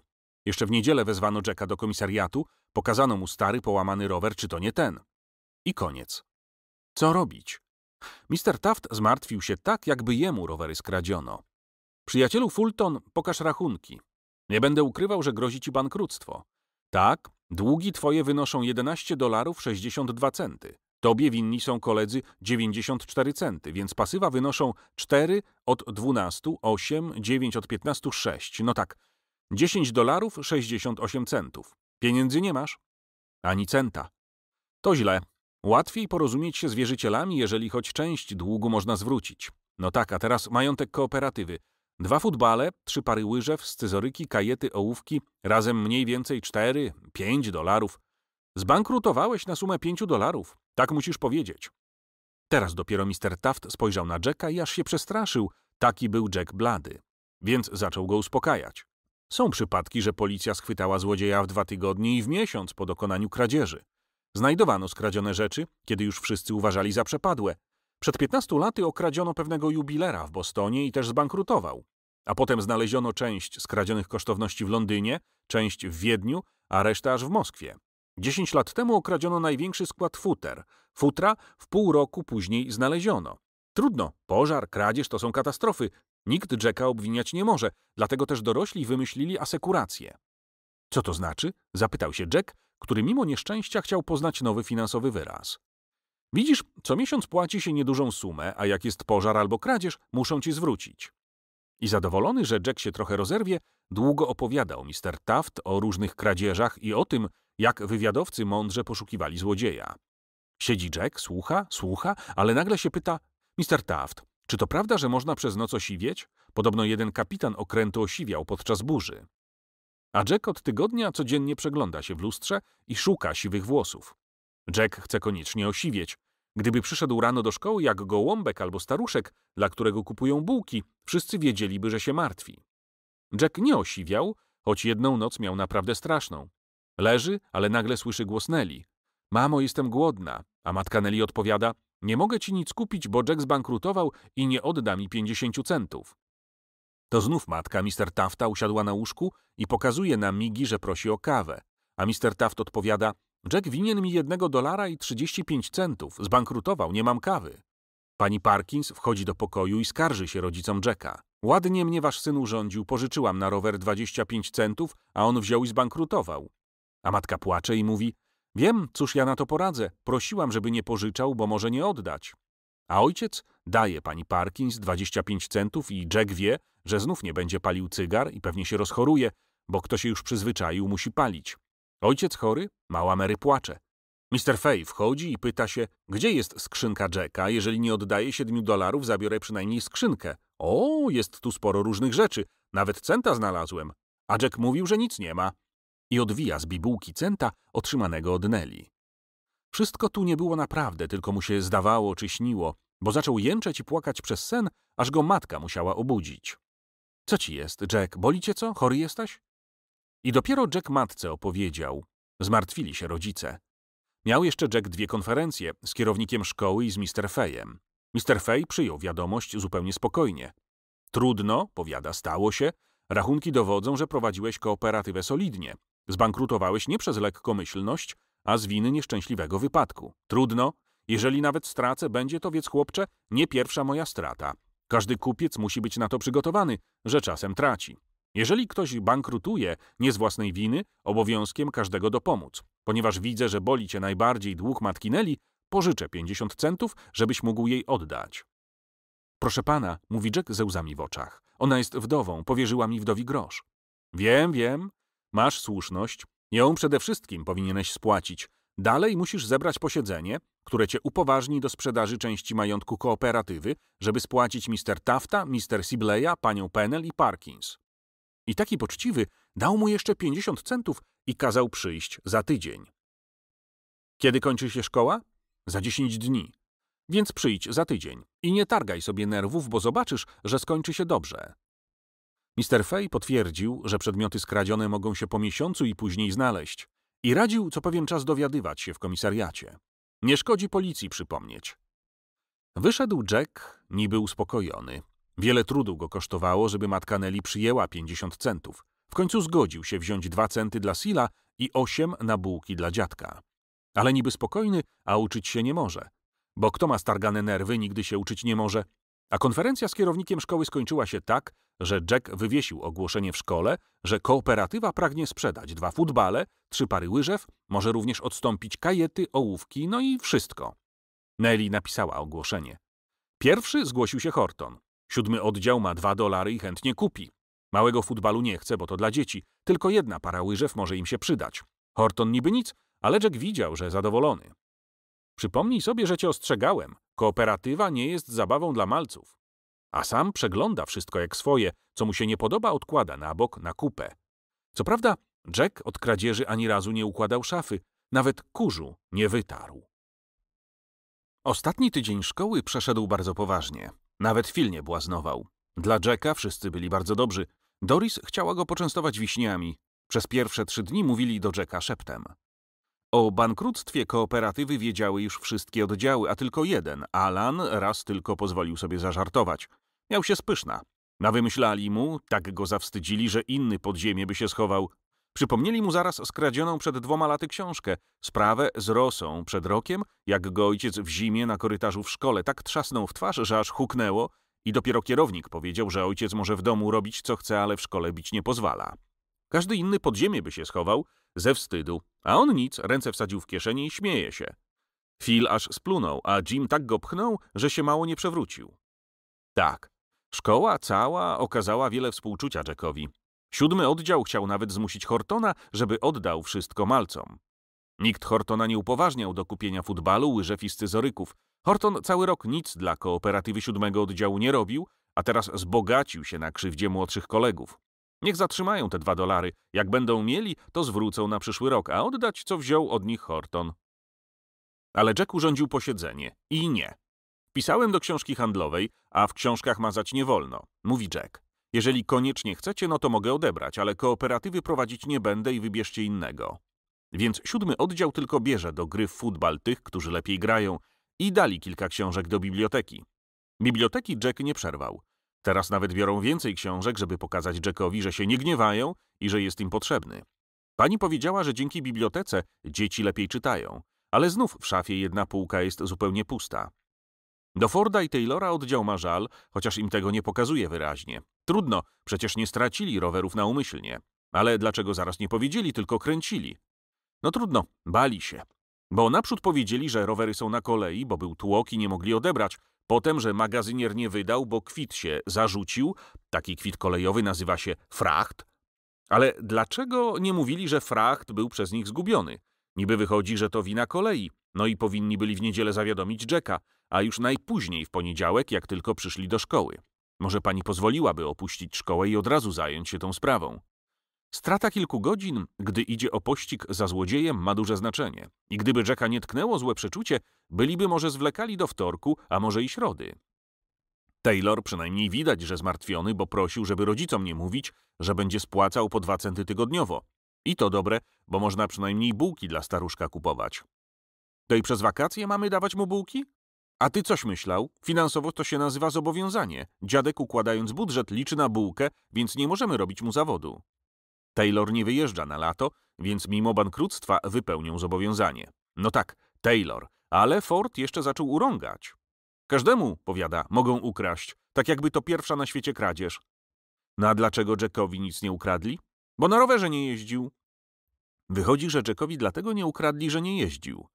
Co z głupcem gadać. A Jack naprawdę ani w futbal nie grał, ani się nie ślizgał, ani na rowerze nie jeździł. A co najgorsze, bardzo się zaniedbał w nauce. Pani tylko na prośbę oddziału nie dała mu poprawki ani robót wakacyjnych. Tak, Jack był naprawdę osobliwym chłopcem. Bo są ludzie, których nic nie obchodzi. Aby jemu było dobrze. Wszędzie pcha się pierwszy, nie pomyśli, że innym też się należy. Mówią o nich samolub, sobek, nieużyty, sknera.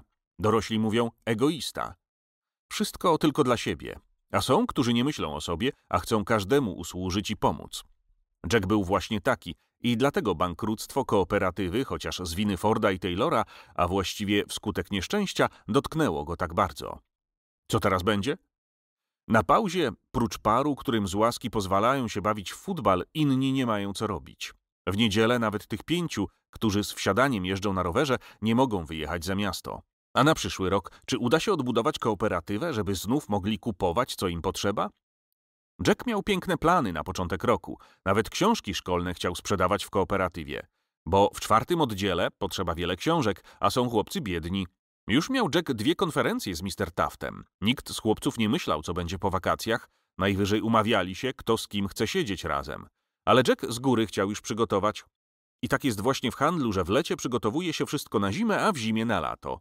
Już w lecie szyją krawcy zimowe palta i ubrania, a w zimie zamawiają kupcy na lato w fabrykach i u rzemieślników. Dzieci wtedy dopiero myślą, kiedy im zaraz potrzeba, a dorośli już wcześniej wiedzą, że za miesiąc trzeba coś mieć albo zrobić. Bo dorośli są przezorni. I pani też była przezorna. To też na długo przed wakacjami zamówiła pani statek, żeby na pożegnanie roku szkolnego urządzić wycieczkę. Pójdą pieszo do rzeki, wsiądą na statek, popłyną w dół rzeki, gdzie jest piękna góra w lesie ze starym zamkiem. Ten zamek warowny był oblegany przez Indian, a potem się spalił podczas rewolucji. A teraz widać tylko jedną ścianę i kupę gruzów, porosłych mchem i trawą. Przyjemnie być w takim miejscu, gdzie chociaż dawno odbywały się boje. Tu kiedyś stały wojska. Tu strzelali. Może akurat w miejscu, gdzie teraz stoją, padł człowiek przeszyty zatrutą strzałą. Naprzód miały iść na wycieczkę tylko cztery wyższe oddziały, a potem cała szkoła. Jack zrazu nie chciał, zdawało mu się, że nie wypada bawić się człowiekowi, który zbankrutował. Nie mam czasu, mówi. Muszę powtórzyć wiersze. Pani ma mnie wyrwać na poprawkę. Ale poskarżyli się. Proszę pani, Jack mówi, że nie pojedzie. Dopiero pani na niego, Jack, nie bądź dziwakiem, jak wszyscy, to wszyscy. I zaczęli prosić, żeby Jack nie miał poprawki. Proszę pani, mówi Jim, Jack nie mógł się dobrze uczyć, bo miał z nami tyle kłopotów i zmartwień. Byłoby niesprawiedliwie, gdyby mu się krzywda stała. Tak, mówi Phil, wytoczymy proszę pani za Jacka ostatnią kroplę krwi. Bez namysłu oddam głowę pod miecz katowski. I tak śmiesznie palcem przesunął po szyi i tak wytrzeszczył oczy, że klasa nie mogła się nie śmiać. I pani powiedziała, że jeśli Jack pójdzie na wycieczkę, to może nie mieć poprawki. Było naprawdę przyjemnie. Szli czwórkami przez miasto i nawet samochody się zatrzymują, żeby im zrobić miejsce. Zupełnie jak wojsko. Potem dziewczynki niby się boją, żeby się nie utopić. Czy statek może utonąć? Nie boją się wcale, tylko udawalskie. Harry i James urządzili bitwę pod zamkiem. Kiedy było śniadanie, Jack, Phil i Nelly usiedli na murku. Nelly z matką wyjeżdża do brata na lato. A ty, Phil, co będziesz robił w wakacje? Boję się, że się rozdokazuje, potem znów będzie mi trudno, a dałem sobie słowo, że w czwartym oddziale nie będę robił małpy ze siebie. Znudziło mi się. Jak jestem wesół, to nic, ale jak mi smutno, strasznie nie lubię, kiedy się ze mnie śmieją. Jedzą, nic nie mówią, ale nagle Nelly przechyliła w bok głowę, że jej się włosy tak w jedną stronę zabrały i mówi Mamusia kazała się spytać, czy nie chcesz z nami pojechać, Jack. Tam jest bardzo ładnie. Las taki, ale gęsty, można zbierać poziomki. Nie, Jack musi zostać. Będzie pracował u Mr. Tafta. Mr. Taft powiedział, że w lecie jest mały ruch w sklepie, bo nie ma szkoły, więc chce wziąć chłopca. Mr. Taft będzie miał czas zająć się chorą matką i porobi zakupy na nowy rok szkolny. A Jack sam zostawać będzie w sklepie. I Mr. Fay chciał go wziąć na lato, bo jego chłopiec wyjeżdża na wakacje. To się nazywa urlop. Nawet Mr. Fay miał więcej płacić. Jackowi nieprzyjemnie było odmówić, ale powiedział, że otrzymanymi od Tafta pieniędzmi zapłaci panu Fayowi za skradziony rower. A może by Mr. Fay nie przyjął? Mówi Phil. Co tam trzeba robić? U Mr. Feja najwięcej zajęcia na mieście. Potrzebny mu goniec na pocztę z listem? Pewnie rowerem. Nie wiem. Jackunciu, kochany, poleć mu mnie, tylko nie mów, jaki ja jestem. Zobaczysz, się będę starał. I tak rozmawiali przyjemnie. A kiedy wracali razem do domu, Phil zapytał się Jacka, jak ci się zdaje, Jack, czy Nelly i mnie troszkę lubi? Bo ona jest bardzo przyjemna. Zamiast do szkoły chodzi teraz Jack do Mr. Tafta. Otwiera sklep, zamiata, kurze ściera, a potem sprzedaje. Ale kupujących mało, bo lato, więc albo zdejmie z półki książkę i czyta, albo siedzi i myśli. Myśli o różnych rzeczach. Raz o szkole i kolegach, którzy wyjechali na wieś, raz o ojcu i małej Mary, raz o tym, co będzie robił, gdy urośnie. Nudzi się czasem, więc wziął książkę telefoniczną i naprzód szuka nazwiska Fulton, a potem różne nazwiska czyta i adresy. Aż wreszcie zobaczył rozmaite banki i przypomniał sobie, że banki pożyczają pieniądze, jeżeli ktoś nie ma pieniędzy. Aż znalazł i bank kooperatyw. Bardzo go to zaciekawiło, a Mr. Taft objaśnił, że dorośli mają kooperatywy, ale Jackowi nic by nie dali, bo mały. Często słyszy się coś, zaraz się zapomina, a potem znów się pamięta. Tak było właśnie teraz. Jack leży w łóżku i już ma zasnąć, ale nagle przychodzi mu na myśl, że powinien być także bank dla dzieci, taki bank szkolny. Bo dlaczego dzieci nie mogą pożyczać? I już nie zasnął tak prędko, tylko myślał. Łatwo pisać, co ludzie robią albo co mówią, ale bardzo trudno opisać, co człowiek myśli, a szczególnie kiedy jest śpiący.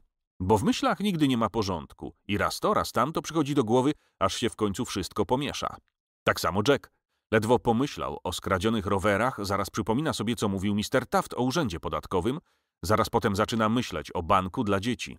Na przykład nie może ktoś książek kupić, albo farb, albo harmonijki, albo łyżew, albo mu rower ukradli, idzie do banku i pożycza, a jak urośnie i zacznie zarabiać, będzie po trochu oddawał. I to już Jack sam nie wie, czy śpi, czy nie śpi, ale widzi sklep, gdzie nie ma półek, tylko stoją szafy z pieniędzmi. Finansowa szafa z pieniędzmi nazywa się kasa. Kasy są bardzo mocne, żelazne, ogniotrwałe.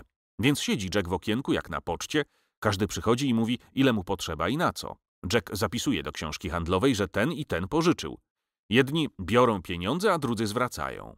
Już nie pamięta Jack, kiedy zasnął, a na drugi dzień dopiero już myśli o tym samym naprawdę. I teraz widzi, że trudno taki bank szkolny założyć, a wczoraj zdawało się, że łatwo. No dobrze, przecież nie znam wszystkich, a może on kłamie, albo będzie ciągle tylko brał, a potem nie zechce oddać, zresztą gdzie go szukać? Ale i dorośli mogą robić tak samo. Widocznie banki mają sposoby, żeby nie oszukiwać. W niedzielę idzie Jack z Philem, ale się zatrzymuje przed bankiem i patrzy, a Phil się pyta, czego tak patrzysz? Jack nie chce powiedzieć, żeby Phil się nie śmiał, aż się okazuje, że Phil był w banku we środku. Bo Phil od trzech tygodni jest gońcem w składzie rowerów Mr. Feja. Phil nie wie dokładnie, jak w banku jest urządzone, ale zanim wydadzą pieniądze, trzeba chodzić do różnych okienek. Przy każdym okienku siedzi urzędnik i zapisuje, i jest kontrola. Nie można banku oszukać, bo mają książki handlowe. Jack przypomniał sobie, jak przejrzawszy książkę Hortona z siódmego oddziału wiedział, ile mają w szafie kajetów, chociaż szafa była zamknięta. I jak Mr. Fay wszystko wiedział z książki handlowej, chociaż w szkole nie był. Tak samo jest pewnie w banku. I teraz Jack ciągle myśli, że potrzebny jest bank dla dzieci i trzeba bank szkolny założyć. Dlaczego dzieci uczą się oszukiwać? Bo pożyczy od kolegi albo się założy i mówi, że odda, ale kiedy odda? Jedni od razu mówią, jak będę miał, bo dzieci nigdy nie wiedzą, kiedy będą miały, kiedy im dadzą. Żadnej kalkulacji dzieci nie mogą robić, nic sfinansować nie mogą. Jeden mówi oddam, a nie może, bo nie ma. I już się tak przyzwyczai. Dopiero teraz rozumie Jack, dlaczego zbankrutował. Gdyby był bank dla dzieci, kradzież rowerów byłaby tylko stratą, którą mógłby jeszcze odrobić, a tak wszystko na nic. Cała kooperatywa do luftu, powiedział Phil. Do luftu to też finansowe wyrażenie. Phil słyszał, jak raz tak powiedział pijany mularz. Ale Jack postanowił rozmówić się z Mr. Taftem. Trudno, będzie się śmiał. To trudno, ale właściwie co w tym śmiesznego, że dzieci chcą także bank szkolny założyć? Nie wszystkie dzieci są głupie, że nie wiedzą, co robić z pieniędzmi. Ale Mr. Taft się nie śmiał. Bank dla dzieci powiadasz? Owszem, mógłby być, ale kto go założy? Za długo trzeba czekać, aż zwrócą. Taki bank może tylko założyć rząd. Wszystko jedno kto. No tak, tobie wszystko jedno. Pamiętasz, co ci mówiłem o urzędzie podatkowym? Dorośli płacą podatki, więc rząd o nich dba. A z dzieciakami rząd tylko ma kłopot i niepotrzebne wydatki. Dzieci to dla rządu taki kupujący, który dużo ogląda w sklepie, na zawraca głowę, a potem mówi, że przyjdzie kiedy indziej i kupi. Jack przypomniał sobie historię z łyżwami. Właśnie tak było. Chodzili, oglądali, aż ich przegonili. No dobrze, pyta się Jack, a od kogo zależy, żeby rząd założył bank szkolny? Chyba od ministra finansów. Tymczasem wszedł ktoś po papier listowy i kopertę, potem pani Taft zaczęła kaszleć w pokoju i rozmowa przerwała się. Często dorośli nie chcą odpowiadać, bo się zdaje, że tylko tak sobie zadają pytania, a nie wiedzą, że czasem chłopiec bardzo długo myśli, zanim się o coś zapyta, a potem długo się zastanawia nad odpowiedzią dorosłych. Z rozmowy z Mr. Taftem zrozumiał Jack cztery rzeczy. 1. Bank dla dzieci można założyć. 2. Bogaci nie zechcą takiego banku otworzyć, bo nie chcą długo czekać, aż dzieci urosną i oddadzą. 3. Rząd banku dla dzieci nie założy, bo nie płacą podatków. 4. Bank dla dzieci może założyć minister finansów, jeżeli zechce. Więc trzeba zrobić, żeby chciał. A więc Jack musiał napisać memoriał do ministra finansów. I zaczął Jack pisać memoriał. Pisał, poprawiał, przekreślał, przepisywał. Już mu się zdawało, że dobrze, a tu nagle jeszcze mu coś lepszego przychodzi do głowy. Więc znów przepisuje, ale zmienia inaczej. Aż skończył. A memoriał był taki. Panie ministrze finansów, Jestem uczniem czwartego oddziału szkoły powszechnej. Nazywam się Jack Fulton. Koledzy mnie wybrali, żebym prowadził kooperatywę. Załączam protokoły komisji rewizyjnej, że dobrze gospodarowałem. Załączam także rachunki, z których widać, że nasza kooperatywa nie spała tak jak w siódmym oddziale. Sfinansowałem bardzo wiele, a to był pierwszy rok dopiero. W przyszłym roku chciałem założyć koło mandolinistów. Chciałem kupić latarnię czarnoksięską i aparat fotograficzny. Chciałem założyć teatr amatorski i zbiory przyrodnicze. Chciałem założyć warsztat stolarski dla wyrobu sanek na zimę. Chciałem finansować wycieczki i różne zabawy, cyrk i kinematograf. W tym roku pomagała mi tylko Nelly, ale w przyszłym roku Barnum miał się zająć orkiestrą, Phil teatrem, Harry muzeum, Adams warsztatem itd. Wszystko to można zrobić, gdybyśmy mieli kredyt w banku. Ale dzieciom kredytu nie dają. Dlatego przez kradzież rowerów od razu zostaliśmy zrujnowani, kooperatywa zbankrutowała, a ja stargałem nerwy i mało nie osiwiałem. Więc piszę memoriał, żeby pan minister finansów otworzył bank dla dzieci. Dzieci nie płacą podatków i rząd musi dawać dużo pieniędzy na szkoły, ale my przecież urośniemy i zwrócimy, co nam bank pożyczy i będziemy płacili podatki. Bez kredytu nam jest bardzo ciężko, bo nigdy nie wiemy, kiedy nam dadzą rodzice i ile. Nawet Philowi nic Jack o liście nie powiedział. Wrzucił do skrzynki i koniec. Jack miał taką naturę, że bardzo był niespokojny, jeżeli chciał coś zrobić, ale jak już jest, przestawał myśleć i brał się do czego innego. Tak było i teraz. Jeśli minister odpowie, to dobrze, a nie, to nie. I muszę dodać, że Jack znalazł na półce u Mr. Tafta napisaną przez Werna piękną książkę Piętnastoletni kapitan. Dawniej nie lubił czytać, a teraz lubi. Aż Mr. Taft zaczął się na niego gniewać. Mój Jacku, przecież nie po to przyjąłem ciebie, żebyś całe dnie czytał. Nawet nieładnie wygląda, kiedy wchodzi do sklepu kupujący, a ty siedzisz i czytasz. Bo wygląda, że ci na nim wcale nie zależy, albo że nikt u nas nie kupuje. Więc czyta sobie Jack piętnastoletniego kapitana i myśli o podróżach, aż prawie zapomniał o liście. Aż tu raz wraca do domu wieczorem, jest list. Mama zdziwiona, co to może być. A Jack zaczerwienił się z radości, a serce mu zaczyna mocno stukać. Patrzy, na kopercie napis Ministerstwo. Patrzy dalej Ministerstwo Oświecenia. Zdziwiło go, że nie Ministerstwo Finansów, ale otwiera. Widzi swój list, rachunki, ale jeszcze jakieś papiery. Na jednym stempel Minister Finansów. Czyta. Ministerstwo Finansów po przeczytaniu memoriału ucznia czwartego oddziału Jacka Fultona postanowiło przesłać memoriał do Ministerstwa Oświecenia. Chociaż myśl o założeniu banku dla dzieci bardzo nam się podoba, memoriał ze względów formalnych musi być odrzucony, bo są w nim trzy gramatyczne błędy, a listy i papiery finansowe, zgodnie z artykułem 485 ustawy handlowej, muszą być pisane bez błędów gramatycznych. Na drugim papierze Ministerstwa Oświecenia było napisane Wydział Nauczania Powszechnego Ministerstwa Oświecenia zwraca przy niniejszym nadesłany przez Ministerstwo Finansów memoriał Jacka Fultona w sprawie założenia banku kredytowego dla dzieci zgodnie z artykułem 485 ustawy handlowej i paragrafem 75 instrukcji o szkołach powszechnych. Dużo jeszcze na obu listach było pieczątek i napisów czerwonym atramentem i niebieskim ołówkiem. Ale co z tego? Trzy błędy gramatyczne. Co za szkoda. List z ministerstwa przyszedł dnia 10 sierpnia, a trzy dni później, to jest 13 sierpnia o godzinie 7 minut 46 wieczorem, milicjant wręczył Jackowi wezwanie z komisariatu. Jack Fulton ma się zgłosić jutro, 14 sierpnia o godzinie 9 rano w celu rozpoznania i odebrania dwóch rowerów skradzionych mu w dniu 6 czerwca bieżącego roku. Nazajutrz Jack bez trudu rozpoznał i odebrał rowery kooperatywy. Wydawnictwo Dobry Owoc dziękuję za wysłuchanie książki autorstwa Janusza Korczaka pod tytułem Bankructwo Małego Jacka. Czytał Wojtek Masiak. Dofinansowano ze środków Narodowego Centrum Kultury w ramach programu Kultura w sieci.